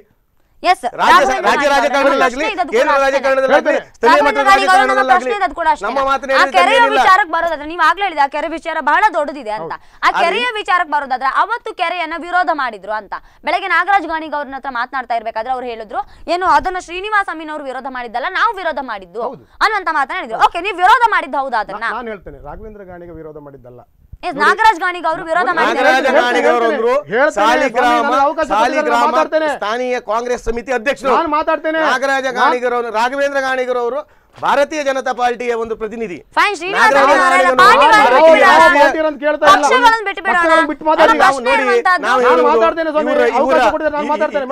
ಇವರ-. ಉದ್ದೇಶಕ್ಕೆ ನಾನು ಹೇಳ್ತೇನೆ. ರಾಜಿ ಆಗುವುದಲ್ಲ. Yes, ನಾನು ಹೇಳ್ತೇನೆ. ಶ್ರೀನಿವಾಸ ಅಮೀನ್ ನಾನು ಹೇಳ್ತೇನೆ. ಎರಡು ನಿಮಿಷ ಮುಗಿಸ್ತೇನೆ ನಾನು ಆ ಬಾವಿ ಆದಂತದ್ದು ಹೇಳಿ ಸರ್ ಆ ಬಾವಿ ಆದಂಥದ್ದು ಕೆರೆಯಲ್ಲಿ ಬಾವಿ ಆದಂತದ್ದು ಶ್ರೀನಿವಾಸ ಸ್ವಾಮಿಯನ್ರ ವಾರ್ಡ್ನಲ್ಲಿ ಅಧ್ಯಕ್ಷ ನಾನಲ್ಲ ಅಲ್ಲ ಅಧ್ಯಕ್ಷ ನೀವಲ್ಲ ಸ್ವಾಮಿ ಶಾಸಕ ನಾನಲ್ಲ. ಇವತ್ತು ಅಧ್ಯಕ್ಷ ವಿಧಾನ ಪರಿಷತ್ ಸದಸ್ಯ ನಾನಲ್ಲ. ಪ್ರತಿಪಕ್ಷ ನಾಯಕರನ್ನು ಎಷ್ಟು ವಿಶ್ವಾಸ. ಎಷ್ಟು ಪ್ರತಿಪಕ್ಷದವ್ರು ನೀವು ಎಷ್ಟು ವಿಶ್ವಾಸ ನೋಡಿ ನೋಡಿ. ಅಧಿಕಾರವನ್ನು ಅಧಿ- ಅಧಿಕಾರಕ್ಕೆ ಜಾಗವನ್ನ- ಕುಳಿತವರು ನೀವು. ಜಾಗವನ್ನ ಇವರು ಅಧಿಕಾರಕ್ಕೆ ಎಲ್ಲಿ ಹೋಗಿದ್ರಿ ಇವ್ರು? ಅಧಿಕಾರಕ್ಕೆ ಅಧಿಕಾರ Yes, ಒಂದೇ ಒಂದು ಅಧಿಕಾರ- ಶ್ರೀನಿವಾಸ ಅದಕ್ಕೆ ಜಾಗವನ್ನು ತೋರಿಸಿದ್ರು ನೀವು ದಯವಿಟ್ಟು. ನಾನು. ತೋರಿಸಲಿಲ್ಲ ಅಧಿಕಾರಕ್ಕೆ ಗಂಟಿ ಕುಳಿತವರು ಹಾಗಾದ್ರೆ ಮಾಡಬೇಕಾಗಿ ಇವರು ಅಧಿಕ ನಾವು ಅಬ್ಜೆಕ್ಷನ್. ಅಬ್ಜೆಕ್ಷನ್ ಮಾಡಿದ್ದೇನೆ ಮೀಟಿಂಗ್ ದಾಖಲೆ? meeting ಇದೆ? ಎಲ್ಲ ಮೀಟಿಂಗ್ ಚರ್ಚೆ ಆಗಿದೆ ಎಲ್ಲ ಮೀಟಿಂಗ್ ನೀವು? ಮೀಟಿಂಗ್ ಎಲ್ಲ ಅದಕ್ಕೆ ವಿರೋಧವನ್ನು ವ್ಯಕ್ತಪಡಿಸಿದ್ದೇನೆ. ಮೀಟಿಂಗ್ನಲ್ಲಿ ಉಲ್ಲೇಖ ಮಾಡಿದ್ದೇವೆ. ಸಾಕ್ಷಿ ಎಲ್ಲ ಸ- ಎಲ್ಲೂ ಇಲ್ಲ. ರಾಘವೇಂದ್ರ ದಾಖಲೆ- ಗಾಣಿಗರ ಬಾಯಲ್ಲಿ ದಾಖಲೆ ಇಲ್ಲ, ಮಾ- ಸಾಕ್ಷಿ ಮಾತು ಇಲ್ಲ. ಬಂದು ಜನತೆ ಒಪ್ಪಬೇಕಲ್ಲ ಶ್ರೀನಿವಾಸ ಮಾತು ಶ್ರೀನಿವಾಸ ಮಾತು ಮಾತೆ ಆ ಮಾತಿಗೆ ಗೌರವ ಇದೆ.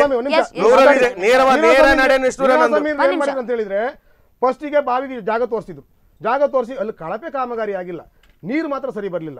ನೀರು ಸರಿ ಬರ್ತಿದ್ದು ಕೂಡಲೇ ಶ್ರೀನಿವಾಸ ಅಮೀನ್ರು ಅದನ್ನ ತೆಗೆದು ಇವ್ರು ತೋರಿಸಿದ್ದಿವ್ರು ಮಾಡಿ ಅಂದಿದ್ದು ಇವ್ರು ಇಲ್ಲೇ ಮಾಡಿ ಅಂದಿದ್ದಿವ್ರು ಇವ್ರದೇ ಅದನ್ನ ತೆಗೆದು ಯಾರು ಅಧ್ಯಕ್ಷ ತಲೆ ಮೇಲೆ ಹಾಕಿದ್ರು. ನೋಡಿ ಓಕೆ. ಹಿಂದಿನ ಹಿಂದಿನ ಮಾಜಿ ಅಧ್ಯಕ್ಷರು. ಏನ್ ಹೇಳ್ತೀರಿ? ಹಿಂದಿನ ಮಾಜಿ ಅಧ್ಯಕ್ಷರು ಅವ್ರನ್ನೇ ವಿರೋಧ ಮಾಡ್ಕೊಂಡು ಬಂದವರು ಈಗ. ಈಗ ಅವ್ರ ಪರವಾಗಿ ಅವರು ಸಮರ್ಥನೆ ಮಾಡ್ಕೊಳ್ತಾ ನಾಚಿಕೆ ಗೇಡಿನ ವಿಚಾರ. ಏನ್ ಸ್ವಾಮಿ? ನೋಡಿ ನಾವು ಅಧ್ಯಕ್ಷ ಪದವಿ ನಾನು? ಅಧಿಕಾರವನ್ನು? ನೀವು? ಎಲ್ಲ ವಿಚಾರದಲ್ಲೂ ವಿರೋಧ ಮಾಡ್ಕೊಂಡು ಬಂದವರು. ಕಳೆದ ಬಾರಿ- ಜನತಾ ಪಾರ್ಟಿಯ ಸಹಕಾರದಿಂದ ಗೆದ್ರು. ವಸುಮತಿ ನಾಗೇಶ್ ಅವರು. ಯಾರ್ ಇವ್ರು ಏನ್ ಮಾಡ್ತಾರೆ? ನಿನ್ನೆ ಕೂತ್ಕೊಂಡು ಜಂಟಿ ಪತ್ರಿಕೆ ಹೇಳಿದ್ರು ಇವ್ರು. ತತ್ವ ಸಿದ್ಧಾಂತ ವಸುಮತಿ ನಾಗೇಶ್ ಮತ್ತು ಜಂಟಿ ಪತ್ರಿಕೆ ನಮ್ಮಲ್ಲಿ ಕೇಳಿದ್ ಕೇಳಿದ ಉತ್ತರ ಪತ್ರಿಕೆ ಗೋಷ್ಠಿ ಇದೆಯಲ್ಲ, ಇದೇನಿದು? ಇದು ಬರ್ತದೆ. ಇಬ್ರು ಒಟ್ಟಿಗೆ ಜಂಟಿಯಾಗಿ ಹೇಳಿದ್ದಾರೆ ಹೇಳಿದ್ದಾರೆ ಅಂತ ಹೇಳಿ. ಮಾಡ್ಲಿಲ್ಲ ಎಲ್ಲೂ. ಪತ್ರಕರ್ತರು ನಮ್ಮ ಫೋನ್ ಮಾಡಿ ಕೇಳಿದ್ರು. ನಿಮಗೆ. ಅಲ್ಲಿ ಇವರಿಗೆ ನಾಚಿಕೆ ಹಾಗಾದ್ರೆ? ರಾಘವೇಂದ್ರ ಗಾಣಿಗವ್ರೆ ನೀವು ಏನ್ ಹೇಳ್ತಾ ಇದ್ರು ವಸುಮತಿ ನಾಗೇಶ್ ಅವರು ಹೇಳಿರುವಂತ ತಪ್ಪು ಅಂತ ಹೇಳ್ತಾ ಇದ್ದಾರೆ ಅಥವಾ ನಿಮಗೆ ವಿರೋಧ ಮಾಡ್ತಾ ಇದ್ದಾರೆ ವಸುಮತಿ ನಾಗೇಶ್ ಅವರು ಅಧ್ಯಕ್ಷರಾಗಿರುವಾಗಲೇ ವಸುಮತಿ ನಾಗೇಶ್ ನಾಗೇಶ್ ಅವರೇ ಆ ಸ್ಥಳಕ್ಕೆ ಹೋಗಿ ಸ್ಥಳ ಪರಿಶೀಲನೆ ಮಾಡಿ, ಪಿ ಡಿ ಬಂದಾಗ, ಮುಖ್ಯಾಧಿಕಾರಿಗಳಿದ್ದಾಗ, ತಹಶೀಲ್ದಾರ್ ಆ ಸ್ಥಳವನ್ನು ತೋರಿಸಿದಾಗ ವಸುಮತಿ ನಾಗೇಶ್ ಅವರೇ ಸಿಗ್ನೇಚರ್ ಮಾಡಿ ಅನುಮೋದನೆ ಮಾಡಿ ಕೊಟ್ಟವರು. ಇವತ್ತು ಅದೇ ವಸುಮತಿ ನಾಗೇಶ್ ಅವರು ಶ್ರೀನಿವಾಸ ಅಮೀನ್ ಜೊತೆ ಕೂತ್ಕೊಂಡು ಇದು ಸರಿ ಇಲ್ಲ ಅಂತ ಹೇಳಿದ್ರೆ ಅರ್ಥ ಆಗುದಿಲ್ಲ ಇದು. ಇದು. ಇದು ಸುಳ್ಳು ಹೇಳಿಕೆ. ಏನ್ ಸುಳ್ಳು ಹೇಳಿಕೆ ಸ್ವಾಮಿ ದಾಖಲೆ ಇಲ್ವಾ ಅವಮಾನ. ದಾಖಲೆ ಇಲ್ವಾ ದಾಖಲೆ ಇಲ್ವಾ? ನಾವು ಎಲ್ಲೂ ಪತ್ರಿಕಾಗೋಷ್ಠಿ ಮಾಡ್ಲಿಲ್ಲ ಪತ್ರಕರ್ತರು ಫೋನ್ ಮಾಡಿ ಕೇಳಿದ್ರು ನನ್ನ ಹತ್ರ ಹೀಗೀಗ ಆಗಿದೆ ಅಂತ. ಉದಯವಾಣಿ ಪತ್ರಿಕೆ ತಿಳಿಸಿದ್ದಾರೆ. ಜಂಟಿಯಾಗಿ ಜಂಟಿಯಾಗಿ ತಿಳಿಸಿದ್ದಾರೆ ಜಂಟಿಯಾಗಿ ನಾನು ಹೇಳಲಿಲ್ಲ ರಾಘವೇಂದ್ರ ಗಾಣಿಗರು ನೀವು ಈ ಮಾತು ಹೇಗ್ ಬೇಕಾದ್ರು ಮಾತಾಡ್ತೀರಿ ಹೇಗ್ ಬೇಕಾದ್ರು ತಿರ್ತೀರಿ. ನೀವು ಈ- ಈಗ ಒಂದು ಪಕ್ಷ ಆಮೇಲೆ ಮತ್ತೊಂದು ಪಕ್ಷ ನೀವು ಅಧಿಕಾರ ಯಾವ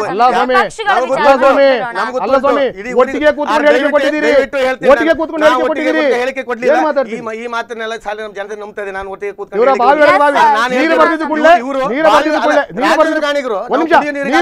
ನೀರು ಬರ್ದಿದ್ದು ಕೂಡಲೇ ನೀರು ಬರ್ದಿದ್ದು ಕೂಡಲೇ ತೆಗೆದು ಮಾಜಿ ಅಧ್ಯಕ್ಷರ ತಲೆ ಮೇಲೆ ಹಾಕಿದ್ರು. ಜಾಗ ತೋರಿಸ್ಕೊಂಡು. ಇವರ ಪೌರ ಇವರ ಪೌರ ಸಮಿತಿಯ ಇವರ ಪೌರ ಸಮಿತಿಯ ಕಾಲದಲ್ಲಿ ಕಾರ್ಕಳದ ಎಂಟನೇ ವಾರ್ಡ್ನಲ್ಲಿ ಕಾರ್ಕಳದ ಎಂಟನೇ ವಾರ್ಡಿನಲ್ಲಿ ಕೆರೆಯಲ್ಲಿ ಬಾವಿಯಾಗಿದೆ. ನೀವು ಸಮರ್ಥನೆ ಕೆರೆಯಲ್ಲಿ ಬಾವಿ ಮಾಡಿದ್ದಾರೆ. ಓಕೆ ಆ ಪಾಯಿಂಟ್ಗೆ ಬರ್ತೇನೆ. ನಾನು ನಾ- ನನ್ನ ಸ್ಪಷ್ಟನೆ ಬೇಕಾಗಿರುವಂತದ್ದು ಈಗ ಕೆರೆಯಲ್ಲಿ ಬಾವಿ ಆದಂತ ಸಂದರ್ಭದಲ್ಲಿ ಶ್ರೀನಿವಾಸ ಮೀನವರು ವಿರೋಧವನ್ನು ಮಾಡಿದ್ರಾ ಇಲ್ವಾ? ಮಾಡ್ಲಿಲ್ಲ. ನೂರಕ್ಕೆ ನೂರು ಮಾಡ್ಲಿಲ್ಲ. ನೂರಕ್ಕೆ. ನೂರು ಮಾಡಿದ್ದಾರೆ. ಮಾಹಿತಿ ಕಲ್ ತಗೊಂಡಿದ್ದಾರೆ. ಮಾಡಿದ್ದಾರೆ. ನಾಗರಾಜ್ ಗಾಣಿಗರು ಮಾಡಿದ್ದಾರೆ. ಬೇಕಷ್ಟು ದಾಖಲೆ ಇದೆ. ಒಂದು ಕೊಡಿ.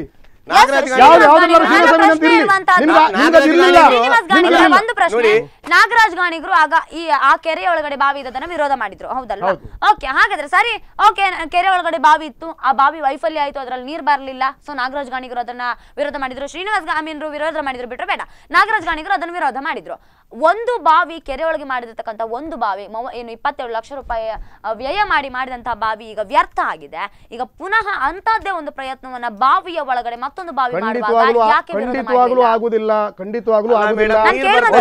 ನಾನು ನಿಮ್ಮ ಹೇಳ್ತೇನೆ. ಎಂ ಐ ಟಿಯ ಇಂಜಿನಿಯರ್ ಬಂದು ಈ ಬಾ ಈ ಕೆರೆಯಲ್ಲಿ. ಬಾವಿ ಮಾಡಬಹುದು ಅಂತ ಹೇಳಿ ಬಾರಿಯೂ ಬಂದಿದ್ರು. ಬಾವಿ ಜಿಲ್ಲಾಧಿಕಾರಿ ಸ್ವಾಮಿ, ಬಂದಿದ್ರು. ಒಂದು ನಿಮಿಷ ಸ್ವಾಮಿ. ಎಲ್ಲರೂ. ಈ ಕೆರೆ ಒಳಗೆ ಬಾವಿ ಮಾಡಬಹುದು ಎಲ್ಲ? ಒಟ್ಟಿಗೆ ಮಾಡಿದ್ದು ಇವ್ರದೇ. ವಾರ್ಡು ಇವರ ಇವ್ರದೇ ನೀವು ಟರ್ಮ್ ಮಾಡಿದ್ದಾರೆ ಮಾಡಿದ್ದಾರೆ ತೋರಿಸಿದ್ದಾರೆ. ಬರಲಿಲ್ಲ ಅದು ಕೆರೆಯಲ್ಲಿ ನಾವು- ಇರೋದ್ರಿಂದ ವಾಸನೆ ಬರ್ತಾ ಇತ್ತು ನೀರು ಆದ್ರೆ ಇವತ್ತಾಗುವಂತ ಬಾವಿ ಆತರ ಅಲ್ಲ ಇವತ್ತಾಗುವಂತ ಬಾವಿ ಬರ್ತದೆ. ಎಸ್ ನನ್ನ ಪ್ರಶ್ನೆ ಈಗ ಆಗ ಕೂಡ ಇಂಜಿನಿಯರ್ ಬಂದಿದ್ರು ಆಗ ಕೂಡ ಅವ್ರು ರಿಪೋರ್ಟ್ ಕೊಟ್ಟಿದ್ರು ಆಗ ಕೂಡ ನಿ- ಬಾವಿ ಮಾಡಬಹುದು ಅಂತ ಹೇಳಿದ್ರು. ಈಗ ಕೂಡ ಹೇಳಿದ್ದಾರೆ ಸೊ ಯಾವ ಗ್ಯಾರಂಟಿ ಮೇಲೆ ಹದಿಮೂರು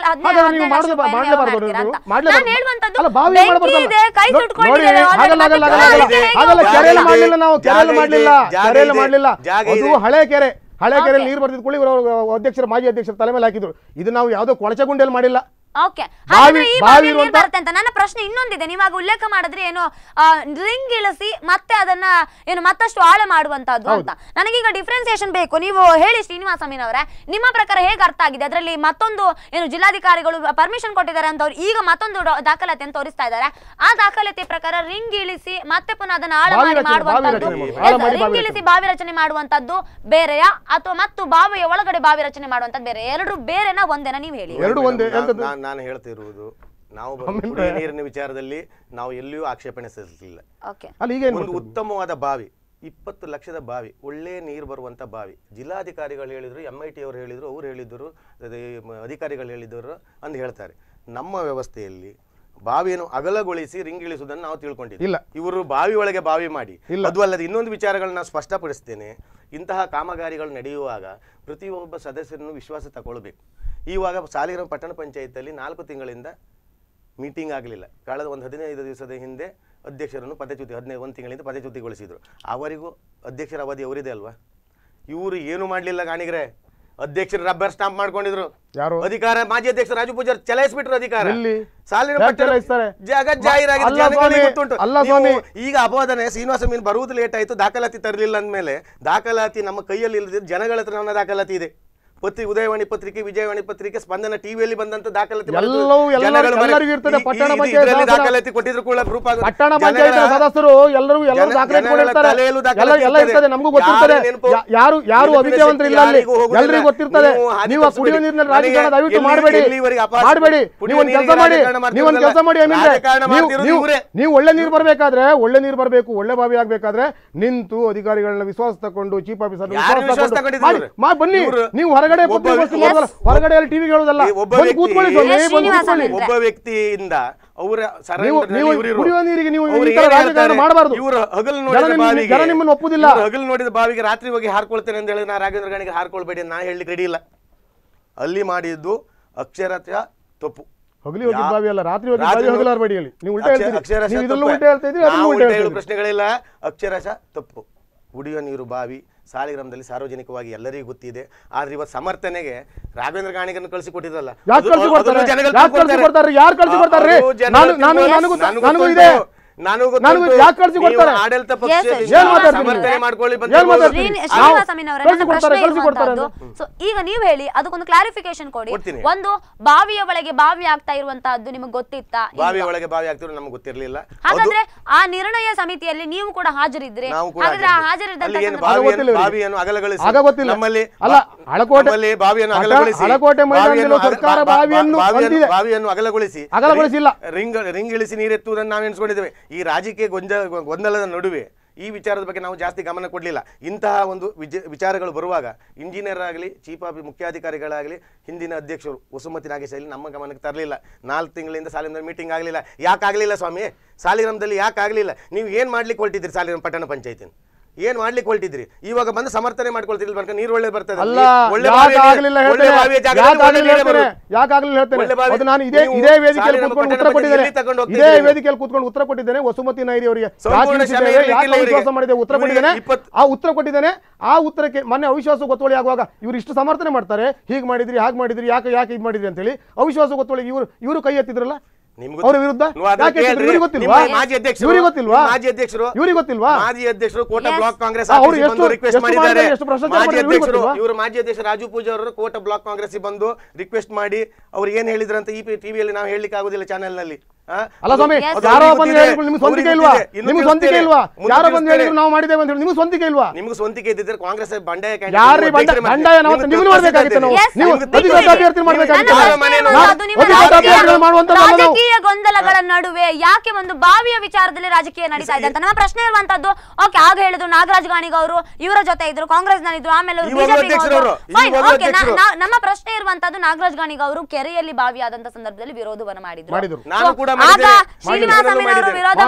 ನಾನು. ಮಾಡಿದ್ದೇನೆ ಇವರು ದಾಖಲೆ ತೋರಿಸಿ ಇನ್ನೊಮ್ಮೆ ಬರ್ತೇನೆ ನಾನು. ಜನಗಳಿಗೆ-. ಗೊತ್ತುಂಟು. ನೋಡಿ. ಕೆರೆ ಇದ್ದದ್ದು ನಿಮ್ಮದೇ ವಾರ್ಡ್ನಲ್ಲಿ. ಆ ಸಂದರ್ಭದಲ್ಲಿ ನಿಮಗೆ ಯಾಕೆ ವಿರೋಧ ಮಾಡೋದಕ್ಕೆ ಸಾಧ್ಯವಾಗಲಿಲ್ಲ ಆ ಸಂದರ್ಭ ವಿರೋಧ ಇವ್ರು ಹೇಳ್ತೀರ ಅಂತ ನಾನು ವಿರೋಧ ನಾನು ಉತ್ತರ ಕೊಡ್ಲಿಕ್ಕೆ ಬರ್ತೇನೆ ನಾನು ನೀವು ಯಾವುದೇ ಸಭೆಗಳಲ್ಲಿ ಈ ವಿಚಾರವಾಗಿ ವಿರೋಧ ಸಭೆಯಲ್ಲಿ ಮಾಡಿಲ್ಲ ವಿರೋಧ ಮಾಡಿದ್ದಾರೆ ಮಾಡಿದ್ದು ನಿರ್ಣಯದಲ್ಲಿ ವಿರೋಧ- ವಿರೋಧ ಇನ್ನೊಮ್ಮೆ ಬರ್ತೇನೆ ನಾನು. ನಿರ್ಣಯಗಳಲ್ಲಿ ವಿರೋಧದ ಏನು ಉಲ್ಲೇಖ ಆಗಿದೆ ಪತ್ರಿಕೆ ಹೇಳಿಕೆ ಕೊಟ್ಟಿದ್ದೇವೆ. ಓಕೆ ಅಂದ್ರೆ ಪತ್ರಿಕಾ ಹೇಳಿಕೆಗಳು ಮತ್ತು ಸಭೆಯಲ್ಲಿ ನಿರ್ಣಯ ಎಲ್ಲ ವಿಚಾರದಲ್ಲಿ ದಾಖಲಾತಿಗಳಿದೆ. ರಾಘವೇಂದ್ರ ಗಾಣಿಗ ಅವರ ಹತ್ರ ದಾಖಲಾತಿಗಳಿದೆ. ಅವರು ಅದಕ್ಕೆ ವಿರೋಧ ಮಾಡಿರೋದಕ್ಕೆ ದಾಖಲಾತಿಗಳಿದೆ. ಇದಕ್ಕೆ? ದಾಖಲಾತಿಯನ್ನು ತಂದ್ರೆ ಶ್ರೀನಿವಾಸಮೀನರು ಆ ಕೆರೆಯಲ್ಲಿ ಭಾವಿಯಾದಂಥದ್ದು ವಿಚಾರಕ್ಕೆ ವಿಚಾರದಲ್ಲಿ ಇವ್ರದ್ದು ಆಕ್ಷೇಪಣೆ ದಾಖಲಾತಿ ಪಟ್ಟಣ ಪಂಚಾಯತ್ನಲ್ಲಿ ನಿರ್ಣಯ ಆಗಿ ಆ ನಿರ್ಣಯದ ಕಾಪಿಯನ್ನು ತಂದ್ರೆ ನನ್ನ ಕರೆಸಿ ಪುನಃ ಬರ್ತೇನೆ. ನಾವು ಎಷ್ಟೊತ್ತಿಗೂ ಯಾವ ನಾವು ರೆಡಿ ಇದ್ದೇವೆ. ಶಾಸಕರೇ ಫೋನ್ ಮಾಡಿದ್ದಾರೆ. ಕೊಡಿ, ಮೊಬೈಲ್ ಅಲ್ಲಿ ಕಾಲ್ ರೆಕಾರ್ಡ್ ಮಾಡ್ಕೊಳ್ಳುವಂತ ಬೇಸಗಳಿಲ್ಲ ಶಾಸಕರೇ ಫೋನ್ ಮಾಡಿದ್ದಾರೆ. ಕುಡಿಯ ನೀರಿನಲ್ಲಿ ಜಯಪ್ರಕಾಶ್ ಹೆಗಡೆ ಅವರನ್ನು ಸುದ್ದ ಕರ್ಕೊಂಡು ಹೋಗಿದ್ದೇವೆ ನಾವು ಆ ಬಾವಿಗೆ. ನೋಡಿ ಸರ್ ಈಗ ಆಗ್ತಾ ಇದೆ. ಸುಳ್ಳ ಇದೆ ಅದೇ ಕೆರೆಯಲ್ಲಿ ಬಾವಿ ಪೇಪರ್ನಲ್ಲಿ ಇದರಲ್ಲಿ ಇದ್ದು ಕೂಡ ದಾಖಲಾತಿ ತೋರಿಸಿದ್ರು ಕೂಡ ಇಲ್ಲಿ ಸ್ಟುಡಿಯೋ ಬಂದು ದಾಖಲಾತಿ ತೋರಿಸ್ಕೊಳ್ಳೋ ಜನ ನಂಬುವುದಿಲ್ಲ ಬದ್ಧತೆ ಇರಬೇಕು. ನಾಲಿಗೆ ಮೇಲೆ ಅಪಾದನೆ ಒಂದು ಒಂದು ಅಪಾದನೆ ಮಾಡಲಿ ನಾನು ಭಾರತೀಯ ನಾನು ಒಂದು ಪಾರ್ಟಿಯಲ್ಲಿ ಅಧಿಕಾರದಲ್ಲಿದೆ. ನೀವು ಎಷ್ಟು ವಿಶ್ವಾಸ ತಕೊಳ್ತಾ ಅನ್ಕ ಸಾಲಿಗ್ರಾಮದ ಎಲ್ಲ ಜನತೆಗೆ ಗೊತ್ತುಂಟು. ನೀವು ಇನ್ನೊಬ್ಬರ ಮನೆಯನ್ನು ಒಡೆದು ಆಡಳಿತ ಮಾಡುವ ನೀವು ಶ್ರೀನಿವಾಸ ಅವರೇ, ಅವರೇ, ಈ ಪ್ರಶ್ನೆ ಬಾರದವ್ರು ಒಂದು ನಿಮಿಷ ನೀವು. ಶ್ರೀನಿವಾಸ ಅವರೇ ಹೇಳಿ ಅಮೀನ್ ಅವರೇ ಈ ವಿಚಾರವಾಗಿ ಮಾತನಾಡೋದಾದ್ರೆ ಈ ಬಾವಿಯ ವಿಚಾರವಾಗಿ ನೀವು ಕೆರೆಯೊಳಗೆ ಬಾವಿ ಆದಂತ ವಿಚಾರದಲ್ಲಿ ನೀವು ಸಭೆಯಲ್ಲಿ ವಿರೋಧವನ್ನು ವ್ಯಕ್ತಪಡಿಸಿದ್ರಿ. ಆಗ ಯಾರೆಲ್ಲ ಇದ್ರು ಮತ್ತು ಅದಕ್ಕೆ ಯಾರೆಲ್ಲ ಬೆಂಬಲ ಸೂಚಿಸಿದ್ರು? ಆವಾಗ ಎಲ್ಲರೂ ಬೆಂಬಲ ಸೂಚಿಸಿದ್ದಾರೆ. ಓಕೆ ಅದಾದ್ಮೇಲೆ ಆ ನಿರ್ಣಯ ಆದ್ಮೇಲೆ?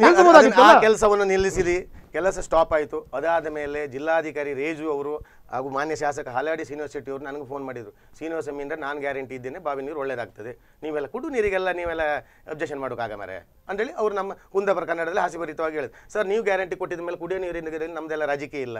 ಆಡಳಿತರು ನಿಮ್ಮದೇ ಕ್ಷೇತ್ರದ ಶಾಸಕರು ನೀವೇ. ಕ್ಷೇತ್ರದ ಶಾಸಕರು ನೀವೇ. ನೀವು ಮಾ- ಮಾಡಿದ ಮೇಲೆ ನಮ್ದು ಏನಿಲ್ಲ. ನೀವು ದೊಡ್ಡವರು. ಮಾಡಿ ಸರ್ ಅದಾದ ಅದಾದ್ಮೇಲೆ ನೀರು ಒಳ್ಳೇದು ಬರಲ್ಲ. ನೀರು ಒಳ್ಳೇದು ಬಂದಕ್ಕೆ ಉತ್ತರ ಬಂದಿದೆ ಅವ್ರಿಗೆ. ಎಸ್ ನೀವು ಶಾಸಕರನ್ನ ಮತ್ತೆ ಸಂಪರ್ಕ ಮಾಡಿದ್ರ? ನೀರ್ ಬರ್ಲಿಲ್ಲ. ಅವತ್ತು ನೀವು ಗ್ಯಾರಂಟಿ ಕೊಟ್ಟಿದ್ರಿ. ಮತ್ತೊಂದು ಪ್ರಶ್ನೆ ಏನು ಅಂತಂದ್ರೆ ರಾಘವೇಂದ್ರ ಗಾಣಿಗ ಅವರೇ ನನ್ನ ಪ್ರಶ್ನೆ ಆಗ ಕೆರೆಯಲ್ಲಿ ಬಾವಿ ಆಗ್ತಾ ಇದ್ದಂತ ಸಂದರ್ಭದಲ್ಲಿ ಇದ್ರಲ್ಲಿ ನೀರ್ ಬರುತ್ತೆ ಅಂತ ಏನು ಸರ್ಟಿಫಿಕೇಟ್ ಕೊಟ್ಟಂತಹ ಅಧಿಕಾರಿಗಳನ್ನ ಮತ್ತೆ ನೀವು ಪ್ರಶ್ನೆ ಮಾಡಿದ್ರಾ ಅಂತ? ಯಾರು? ಅಧಿಕಾರಿಗಳು ಬರ್ತಾರೆ. ಏನು ಸಿಆರ್ ಡಿಪಾರ್ಟ್ಮೆಂಟ್ನಿಂದ ಅಧಿಕಾರಿಗಳು ಬರ್ತಾರೆ. ಅಲ್ಲಿ ಪಟ್ಟಣ ಪಂಚಾಯತ್ನ ಸದಸ್ಯ ಆಗಿರ್ಲಿ. ಎಸ್ ಖಂಡಿತ. ಒಂದು ನಾನು ಸಾಮಾನ್ಯನಾಗಿ ನಾನು ಆ ಕೆರೆಯನ್ನು ಆ ಕಾಮಗಾರಿಯಾಗಿ ಆಗೋ ವೀಕ್ಷಿಸಿದ್ದೇನೆ.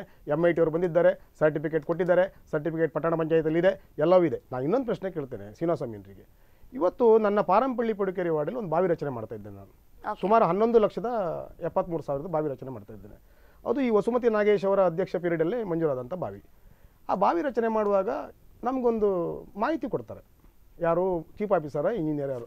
ಸರ್ ನಿಮ್ಮ ಏರಿಯಾದಲ್ಲಿ ಒಂದು ಬಾವಿ ರಚನೆ ಮಾಡ್ತಾ ಇದ್ದೇವೆ. ಇಂತಿಷ್ಟು ಮೊತ್ತದ ಬಾವಿಯನ್ನು ಮಾಡ್ತಾ ಇದ್ದೇವೆ. ಸರಿಯಾದ ಸೂಕ್ತ ಸ್ಥಳವನ್ನು ನೀವು ಕೊಡಿ ಅಂತೇಳಿ ಆ ಸ್ಥಳ ಕೊಡುವವರು ಯಾರು? ಪಟ್ಟಣ ಪಂಚಾಯತ್ ಸದಸ್ಯ ಕೊಡ್ತಾನ?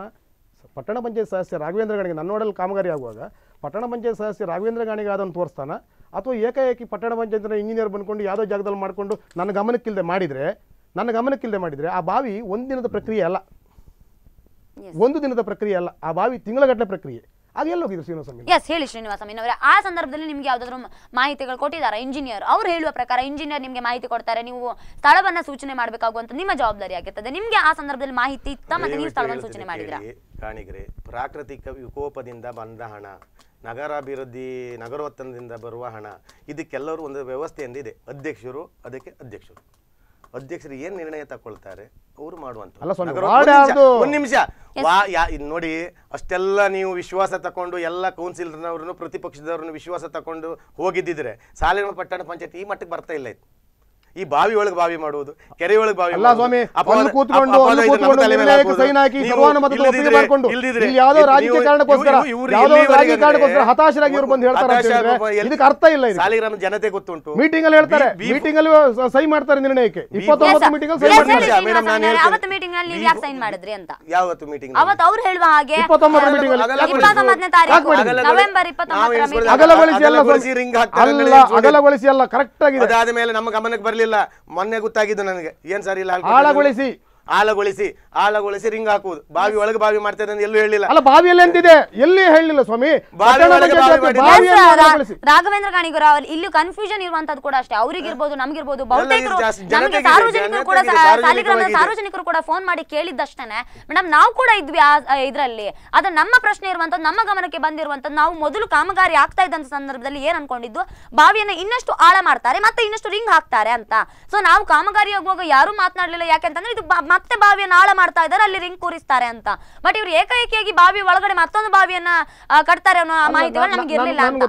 ನಮಗೆ ಕ್ಲಾರಿಫಿಕೇಶನ್ ಬೇಕಾಗಿರುವಂತದ್ದು. ಬಾವಿ ಒಳಗೆ ಬಾವಿ ಆಗುವುದಕ್ಕೂ ಮತ್ತು ಬಾವಿಯನ್ನ ಆಳ ಮಾಡಿ ರಿಂಗ್ ಹಾಕುವುದಕ್ಕೂ ಏನು ವ್ಯತ್ಯಾಸ? ಬಾವಿ ಒಳಗೆ ಬಾವಿ ಅಂದ್ರೆ ಬಾವಿ ಒಳಗೆ ರಿಂಗ್ ಹಾಕಿ ರಿಂಗ್ ಹಾಕಿ ಅದನ್ನ ಏರ್ಸ್ಕೊಂಡ್ಬಂದು ಆ ಬಾವಿ ಈಗ ಏನಿದೆಯಾ ಅದಕ್ಕಿಂತ ಎಷ್ಟೋ ಫೀಟ್ ಕುಸಿತಾರೆ.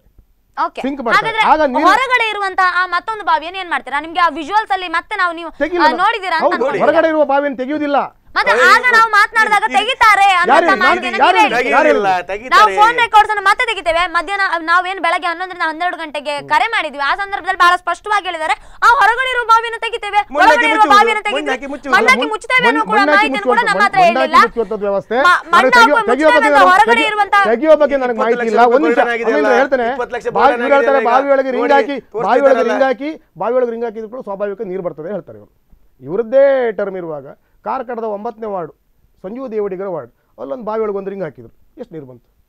ಎಸ್ ಇದಕ್ಕೇನ್ ಹೇಳ್ತೀರಾ ನೀವು ಹಾಗಾದ್ರೆ? ನಮ್ಮ ಟರ್ಮ್ ಇರಲಿಲ್ಲ ನಮ್ಮ ಟರ್ಮ್ ಇರೋದು ಅವರ term ಇಂದ ಬೇರೆ ಪ್ರಶ್ನೆ. ಒಂದು ಕಾರ್ಕಳದಲ್ಲಿ ಬಾವಿ ಒಳಗಡೆ ರಿಂಗ್ ಹಾಕಿದ್ರು ನೀರ್ ಬರ್ಲಿಲ್ಲ. ಓಕೆ ಫೈನ್ ಹಾಗಾದ್ರೆ. ಸೊ ಹಾಗಾದ್ರೆ ಬಾವಿ ಒಳಗೆ ರಿಂಗ್ ಹಾಕಿದಾಗ್ಲೇ ನೀರ್ ಬರ್ಲಿಲ್ಲ. ಈಗ ಬಾವಿ ಒಳಗೆ ಬಾವಿ ಮಾಡಿದ್ರೆ ನೀರ್ ಬರ್ತದಾ? ಅಲ್ಲ ನಿಮ್ಗೆ ಅರ್ಥ ಆಗಿಲ್ಲ ನೀರು ಇದ್ದಲ್ಲಿ ಮಾಡಿ. ಅರ್ಥ ಆಗಿಲ್ಲ ಬಾವಿ ಒಳಗೆ ರಿಂಗ್ ಹಾಕುದು ಒಂದು ರಿಂಗ್ ರಾಘವೇಂದ್ರ ಗಾಡಿ ಒಂದು. ಬಾವಿಯ ಒಂದು ಬಾವಿಯ ಅಂತರ್ಜಲ ಮಟ್ಟ ಅನ್ನುವಂಥದ್ದು ಒಂದು ಸಾಮಾನ್ಯ ಮನುಷ್ಯನಿಗೆ ಅರ್ಥ ಆಗ್ತದೆ. ಒಂದು ಬಾವಿಯ ಒಂದು ಬಾವಿಯ ಸುತ್ತಮುತ್ತಲೇ ಒಂದು ಇಂತಿಷ್ಟು ಅಂತರದವರೆಗೆ ನೀರಿನ ಅಂತರ್ಜಲ ಮಟ್ಟ ಇದ್ರೆ ಆ ಭಾಗದಲ್ಲಿ ಯಾವುದೇ ಭಾಗದಲ್ಲಿ ನೀರು ಕೊಡಿದ್ರು ಕೂಡ ನೀರು ಬರ್ತದೆ. ಅಲ್ಲಿ ಒಂದು ಅಂಶ ಕಲ್ಲಿನ ಬಂಡೆಗಳು ಯಾವ್ದಾದ್ರು ಅಡ್ಡ ಇಲ್ಲದೆ ಹೋದ್ರೆ ಆ ಕಲ್ಲಿನ ಬಂಡೆಗಳು ಅಡ್ಡ ಇದ್ರೆ ಖಂಡಿತ ಅದನ್ನ ಬಾವಿ ತೊಳೆಯೋ ತೋಡೋದಕ್ಕಾಗೋದಿಲ್ಲ ಕಷ್ಟ ಆಗ್ತದೆ. ಅದು ಬಿಟ್ಟು ಅಂತರ್ಜಲ ಮಟ್ಟ ಉಜ ಅಂತ ಏನ್ ನಾವು ಕರಿತೇವೆ ಅದಿದ್ರೆ ಖಂಡಿತ ಬರ್ತದೆ. ಒಂದೊಮ್ಮೆ ಆ ಬಾವಿಯಲ್ಲಿ ಉಜ ಇಲ್ಲದೆ ಹೋದ್ರೆ ನೀವು ಹತ್ತು ರಿಂಗ್ ಹಾಕಿದ್ರು ಕೂಡ ಬರೋದಿಲ್ಲ. ಬಾವಿಯಲ್ಲಿ ಆಲ್ರೆಡಿ ಅಂತರ್ಜಲ ಮಟ್ಟ ಆಗ್ಲಿಂದ ನಿಮ್ಗೆ ಹೇಳ್ತಾ ಇದ್ದೇನೆ. ನಾನು ಆಗ್ಲಿಂದ ಅದನ್ನೇ ಸ್ಪಷ್ಟಪಡಿಸ್ತಾ ಇದ್ದೇನೆ. ಆ ಬಾವಿಯಲ್ಲಿ ಈಗ ಸಿಂಕ್ ಮಾಡ್ತಾ ಇದ್ದಾರೆ. ಮೂರು ಇಂಜನ್ ಇಟ್ಟಿದ್ದಾರೆ. ನೀರು ಹಾರಿಸ್ಕೊಳ್ಳಿಕ್ಕೆ ಆಗ್ತಾ ಇಲ್ಲ. ಅದರ ಅಂತರ್ಜಲ ಮಟ್ಟ ಏರ್ತಾ ಇದೆ. ಉಜ ಬರ್ತಾ ಇದೆ. ನೀರು ಹಾರಿಸ್ಕೊಳ್ಳಿಕ್ಕೆ ಆಗ್ತಾ ಇಲ್ಲ. ಇನ್ನೂ ಸಿಂಕ್ ಮಾಡಬೇಕು. ಜಾಸ್ತಿ ನೀರು ಬರಬೇಕು ಇಪ್ಪತ್ತು ಲಕ್ಷದ ಬಾವಿ ಹೋಯ್ತಲ್ಲ. Yes, sir. ಇಪ್ಪತ್ತು ಲಕ್ಷದ ಬಾವಿ ಈಗ ಹೋಯ್ತಲ್ಲ ನೀವ್ ಹೇಳ್ತಾ ಇರೋದು ಈಗ ಈ ಬಾವಿಯ ಬಗ್ಗೆ ಹೇಳ್ತಾ ಇರೋದು. ಹಳೆಕೋಟೆಯಲ್ಲಿ ಇರುವಂತ ಬಾವಿಗಳ ಬಗ್ಗೆ ಹೇಳ್ತಾ ಇರೋ ಅಂದ್ರೆ ಅಲ್ಲಿ ನೀರಿನ ಅಂತರ್ಜಲ ಮಟ್ಟ ಇದೆ. ಅಂತರ್ಜಲ ಮಟ್ಟ. ಇರುವಾಗ ರಿಂಗ್ ಹಾಕಿದ್ರು ಬರುತ್ತೆ. ಬಾವಿಯೊಳಗೆ ಒಳಗೆ ಬಾವಿ ಕಟ್ಟಿದ್ರು ಬರುತ್ತೆ. ಅಲ್ಲ ರಿಂಗ್ ಬಾವಿ ಅಂದ್ರೆ ರಿಂಗ್ ಹಾಕಿ ರಿಂಗ್ ಹಾಕೊಂಡೇ. ಏರ್ಸ್ಕೊಂಡ್ ಬರ್ತಾ ಇದೆ. ಈ ಬಗ್ಗೆ ಒಂದು ಕರೆ ಇದೆ. ಸ್ವೀಕರಿಸೋಣ. Hello hello? ಹಲೋ? ಮೇಡಮ್ ನಮಸ್ತೆ. ಎಸ್ ನಮಸ್ತೆ. ಯೋಗಿ ಶೇಟ್ ಅವರು ಸಾಮಾಜಿಕ ಕಾರ್ಯಕರ್ತ ಯೋಗಿ ಶೇಟ್ ಅವರು ನಮ್ಮ ಜೊತೆ ನೇರವಾದ ಸಂಪರ್ಕದಲ್ಲಿದ್ದಾರೆ. ಹೇಳಿ ಯೋಗಿ ಶೇಟ್ ಅವರು. ಎರಡು ನಿಮಿಷ ಆಯ್ತು ನಾನು ನೋಡಿ ನೋಡ್ಲಿಲ್ಲ. ವಿಜುವಲ್ಸ್ ನೋಡಿದೆ. ನಂದು ಬೇರೆ ಏನು ಆಕ್ಷೇಪ ಇಲ್ಲ. ಬಾವಿ ಒಳಗೆ ಬಾವಿ ಮಾಡಿ ಅದು ವಿಷಯ ಅಲ್ಲ. ಯಾಕೆ ಹೇಳಿದ್ರೆ ನೀವು ಕೆಳಗಿನಿಂದ ಮೇಲೆ ತನಕ ಕಾಂಕ್ರೀಟ್ ಅಲ್ಲಿ ಮಾಡಿದ್ರೆ ಎಂತ ಆಗ್ತದೆ ಹೇಳಿದ್ರೆ ನೀರಿನ ಉಜೆ ಬರುವಂತದ್ದು ತುಂಬಾ ಕಷ್ಟ ಆಗ್ತದೆ.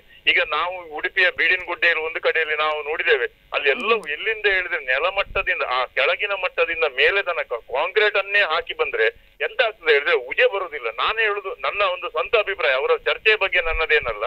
ನಾನು ಹೇಳುವಂತದ್ದು ಅಂತ ಹೇಳಿದ್ರೆ ಆ ಅಡಿಯಲ್ಲಿ ನೀವು ಕಾಂಕ್ರೀಟ್ ಚೌಕವನ್ನು ಅಳವಡಿಸಿ. ಅದ್ರ ಮೇಲೆ ಹದಿನೈದರಿಂದ ಇಪ್ಪತ್ತು ಸಾಲು, ಅಂದ್ರೆ ನಮ್ಗೆ ಆ ಮಟ್ಟದಲ್ಲಿ ಎಷ್ಟು ನೀರು ನಿಲ್ತದೆ, ಅಂದ್ರೆ ಅಲ್ಲಿ ಗೊತ್ತಿದ್ದವ್ರು ಯಾರಿದ್ದಾರೆ, ಹಿರಿಯರು ಯಾರಿದ್ದಾರೆ, ಅವ್ರ ಹತ್ರ ಕೇಳಿ ಏಪ್ರಿಲ್ ಮೇ ಅಲ್ಲಿ ಎಷ್ಟು, ಆ ಮಟ್ಟ ನೀರು ನಿಲ್ತದೆ, ಆ ಮಟ್ಟಕ್ಕೆ ನೀವು ಏನು ಮಾಡ್ಬೇಕು ಹೇಳಿದ್ರೆ, ಅಲ್ಲಿ ಒಂದು ಕಲ್ಲಿನ ಸಾಲು, ಒಂದು ಹದಿನೈದು ಸಾಲ, ಇಪ್ಪತ್ತು ಸಾಲ, ಹತ್ತು ಫೀಟ್ ಹದಿನೈದು, ಅದ್ರ ಮೇಲೆ ನೀವು ಬೇಕಾದ್ರೆ ಕಾಂಕ್ರೀಟ್ ಹಾಕಿ, ಬಲಕ್ಕೆ. ಅಷ್ಟೇ ವಿನ ಬೇರೆ ನನ್ನದೇನು ಆಕ್ಷೇಪ ಇಲ್ಲ. ನನ್ನದಂದ್ರೆ ನನ್ಗೆ ಗೊತ್ತಿರುವ ಅಂದ್ರೆ ನಾನೇ ನನ್ನ ಬಾವಿಯಿಂದ ನೀರು ಕೊಡ್ತಾ ಇದ್ದೇನೆ. ನನ್ಗೆ ಗೊತ್ತಿರೋದನ್ನ ಹೇಳಿದ್ರು. ಸರಿಯಾ ತಪ್ಪು. ಅವರು ಹೇಳಿದ್ರೆ ಸರಿ ಎಸ್ ಎಕ್ಸಾಕ್ಟ್ಲಿ ಖಂಡಿತ. ಧನ್ಯವಾದಗಳು ಯೋಗೀಶ್ ಶೇಟ್ ಅವರೇ ನಿಮ್ಮ ಮಾಹಿತಿಗಳಿಗಾಗಿ. ಎಸ್ ಸಾಮಾಜಿಕ ಕಾರ್ಯಕರ್ತ ಆಗಿ. ಅವರು ಸಾಲಿಗ್ರಾಮ ಪಟ್ಟಣ ಪಂಚಾಯತ್ಗೂ ಸೇರೋದಿಲ್ಲ. ಅವರು ಉಡುಪಿಯ ಸಾಮಾನ್ಯ ವ್ಯಕ್ತಿ ಅವರು. ಸೊ ಅವರ ಪ್ರಕಾರ. ಗೊತ್ತಾಯ್ತು. ನಾನು ಹೇಳ್ತೇನೆ. ಒಂದು ರಿಂಗ್ ಅಂದ್ರೆ ಒಂದು ರಿಂಗ್ ಅಂದ್ರೆ ಎರಡು ಫೀಟ್ ಇರ್ತದೆ. ಆ ಎರಡು ಫೀಟ್ ರಿಂಗಿಗೆ ಫುಲ್ ರೌಂಡಿಗೆ ಒಂದೊಂದು ಹೋಲ್ ಇಟ್ಟು ಸ್ಟೀಲ್ ಮೆಶ್ ಹಾಕಿದ್ದಾರೆ. ಇವ್ರು ಹೇಳೋದೀಗ ಅದು ಸರಿ, ಅವ್ರು ಹೇಳಿ ಸರಿ. ಈ ಎಲ್ಲ ಕಾಂಕ್ರೀಟೇ ಕಟ್ಕೊಂಡು ಹೋದರೆ ಉಜಯಲ್ಲಿ ಬರಬೇಕು, ನೀರೆಲ್ಲಿಂದ ಬರಬೇಕು ಅಂತೇಳಿ. ಪ್ರತಿಯೊಂದು ರಿಂಗಿಗೂ, ಎರಡೆರಡು ಫೀಟ್ ರಿಂಗ್ ಅದು, ಪ್ರತಿಯೊಂದು ರಿಂಗಿಗೂ ರೌಂಡ್ ಆಗಿ ಹೋಲ್ ಇಟ್ಟು ಸ್ಟೀಲ್ ಮೆಶ್ ಹಾಕಿದ್ದಾರೆ. ಯಾವುದೇ ಕಾರಣಕ್ಕೆ ನೀರು ಬರಬೇಕು, ಬೇರೆ ಕಸ, ಮಣ್ಣುಗಳು ಒಳಗೆ ಬರಬಾರ್ದು ಅನ್ನೋದು ನೀರು ಹಾಕಿದ್ದಾರೆ ಮೆಶ್ ಹಾಕಿದ್ದಾರೆ. ಆದ್ದರಿಂದ ಆ ಸಮಸ್ಯೆ ಆಗೋದಿಲ್ಲ. ಓಕೆ ಸೊ ಇದು ಇಷ್ಟು. ಓಕೆ ಎಸ್ ಈ ಬಗ್ಗೆ ಬಹುಶಃ ಮುಂದಿನ ದಿನಗಳಲ್ಲಿ ಮತ್ತಷ್ಟು ಚರ್ಚೆಗಳನ್ನು ಮಾಡೋಣ. ಧನ್ಯವಾದಗಳು ರಾಘವೇಂದ್ರ ಗಾಣಿಗ ಮತ್ತು ಶ್ರೀನಿವಾಸ ಮೀನವರೇ ನಮ್ಮ ಜೊತೆ ಇಷ್ಟೊತ್ತು ಚರ್ಚೆ ಮಾಡಿದ್ದಕ್ಕೆ ತುಂಬ ಹೃದಯ ಧನ್ಯವಾದಗಳು. ಎಸ್ ಬಾವಿಯೊಳಗೆ ಬಾವಿ, ಮತ್ತೊಂದಷ್ಟು ಕಥೆ ವ್ಯತಿಗಳಾಗಿದೆ ಈ ಬಗ್ಗೆ ಮತ್ತೊಂದಷ್ಟು ವಿವರಣೆಗಳನ್ನು, ಮತ್ತೊಂದಷ್ಟು ಚರ್ಚೆಗಳನ್ನು ಮುಂದಿನ ದಿನಗಳಲ್ಲಿ ಖಂಡಿತ ಮಾಡೋಣ. ಇಲ್ಲಿಗೆ ಕರೆಂಟ್ ಅಫೇರ್ಸ್ ಮುಕ್ತಾಯಗೊಳ್ಳುತ್ತೆ. ನಿರಂತರ ಸುದ್ದಿ ಮನರಂಜನೆಗಾಗಿ ವೀಕ್ಷಿಸ್ತಾ ಇರಿ. ಸ್ಪಂದನ.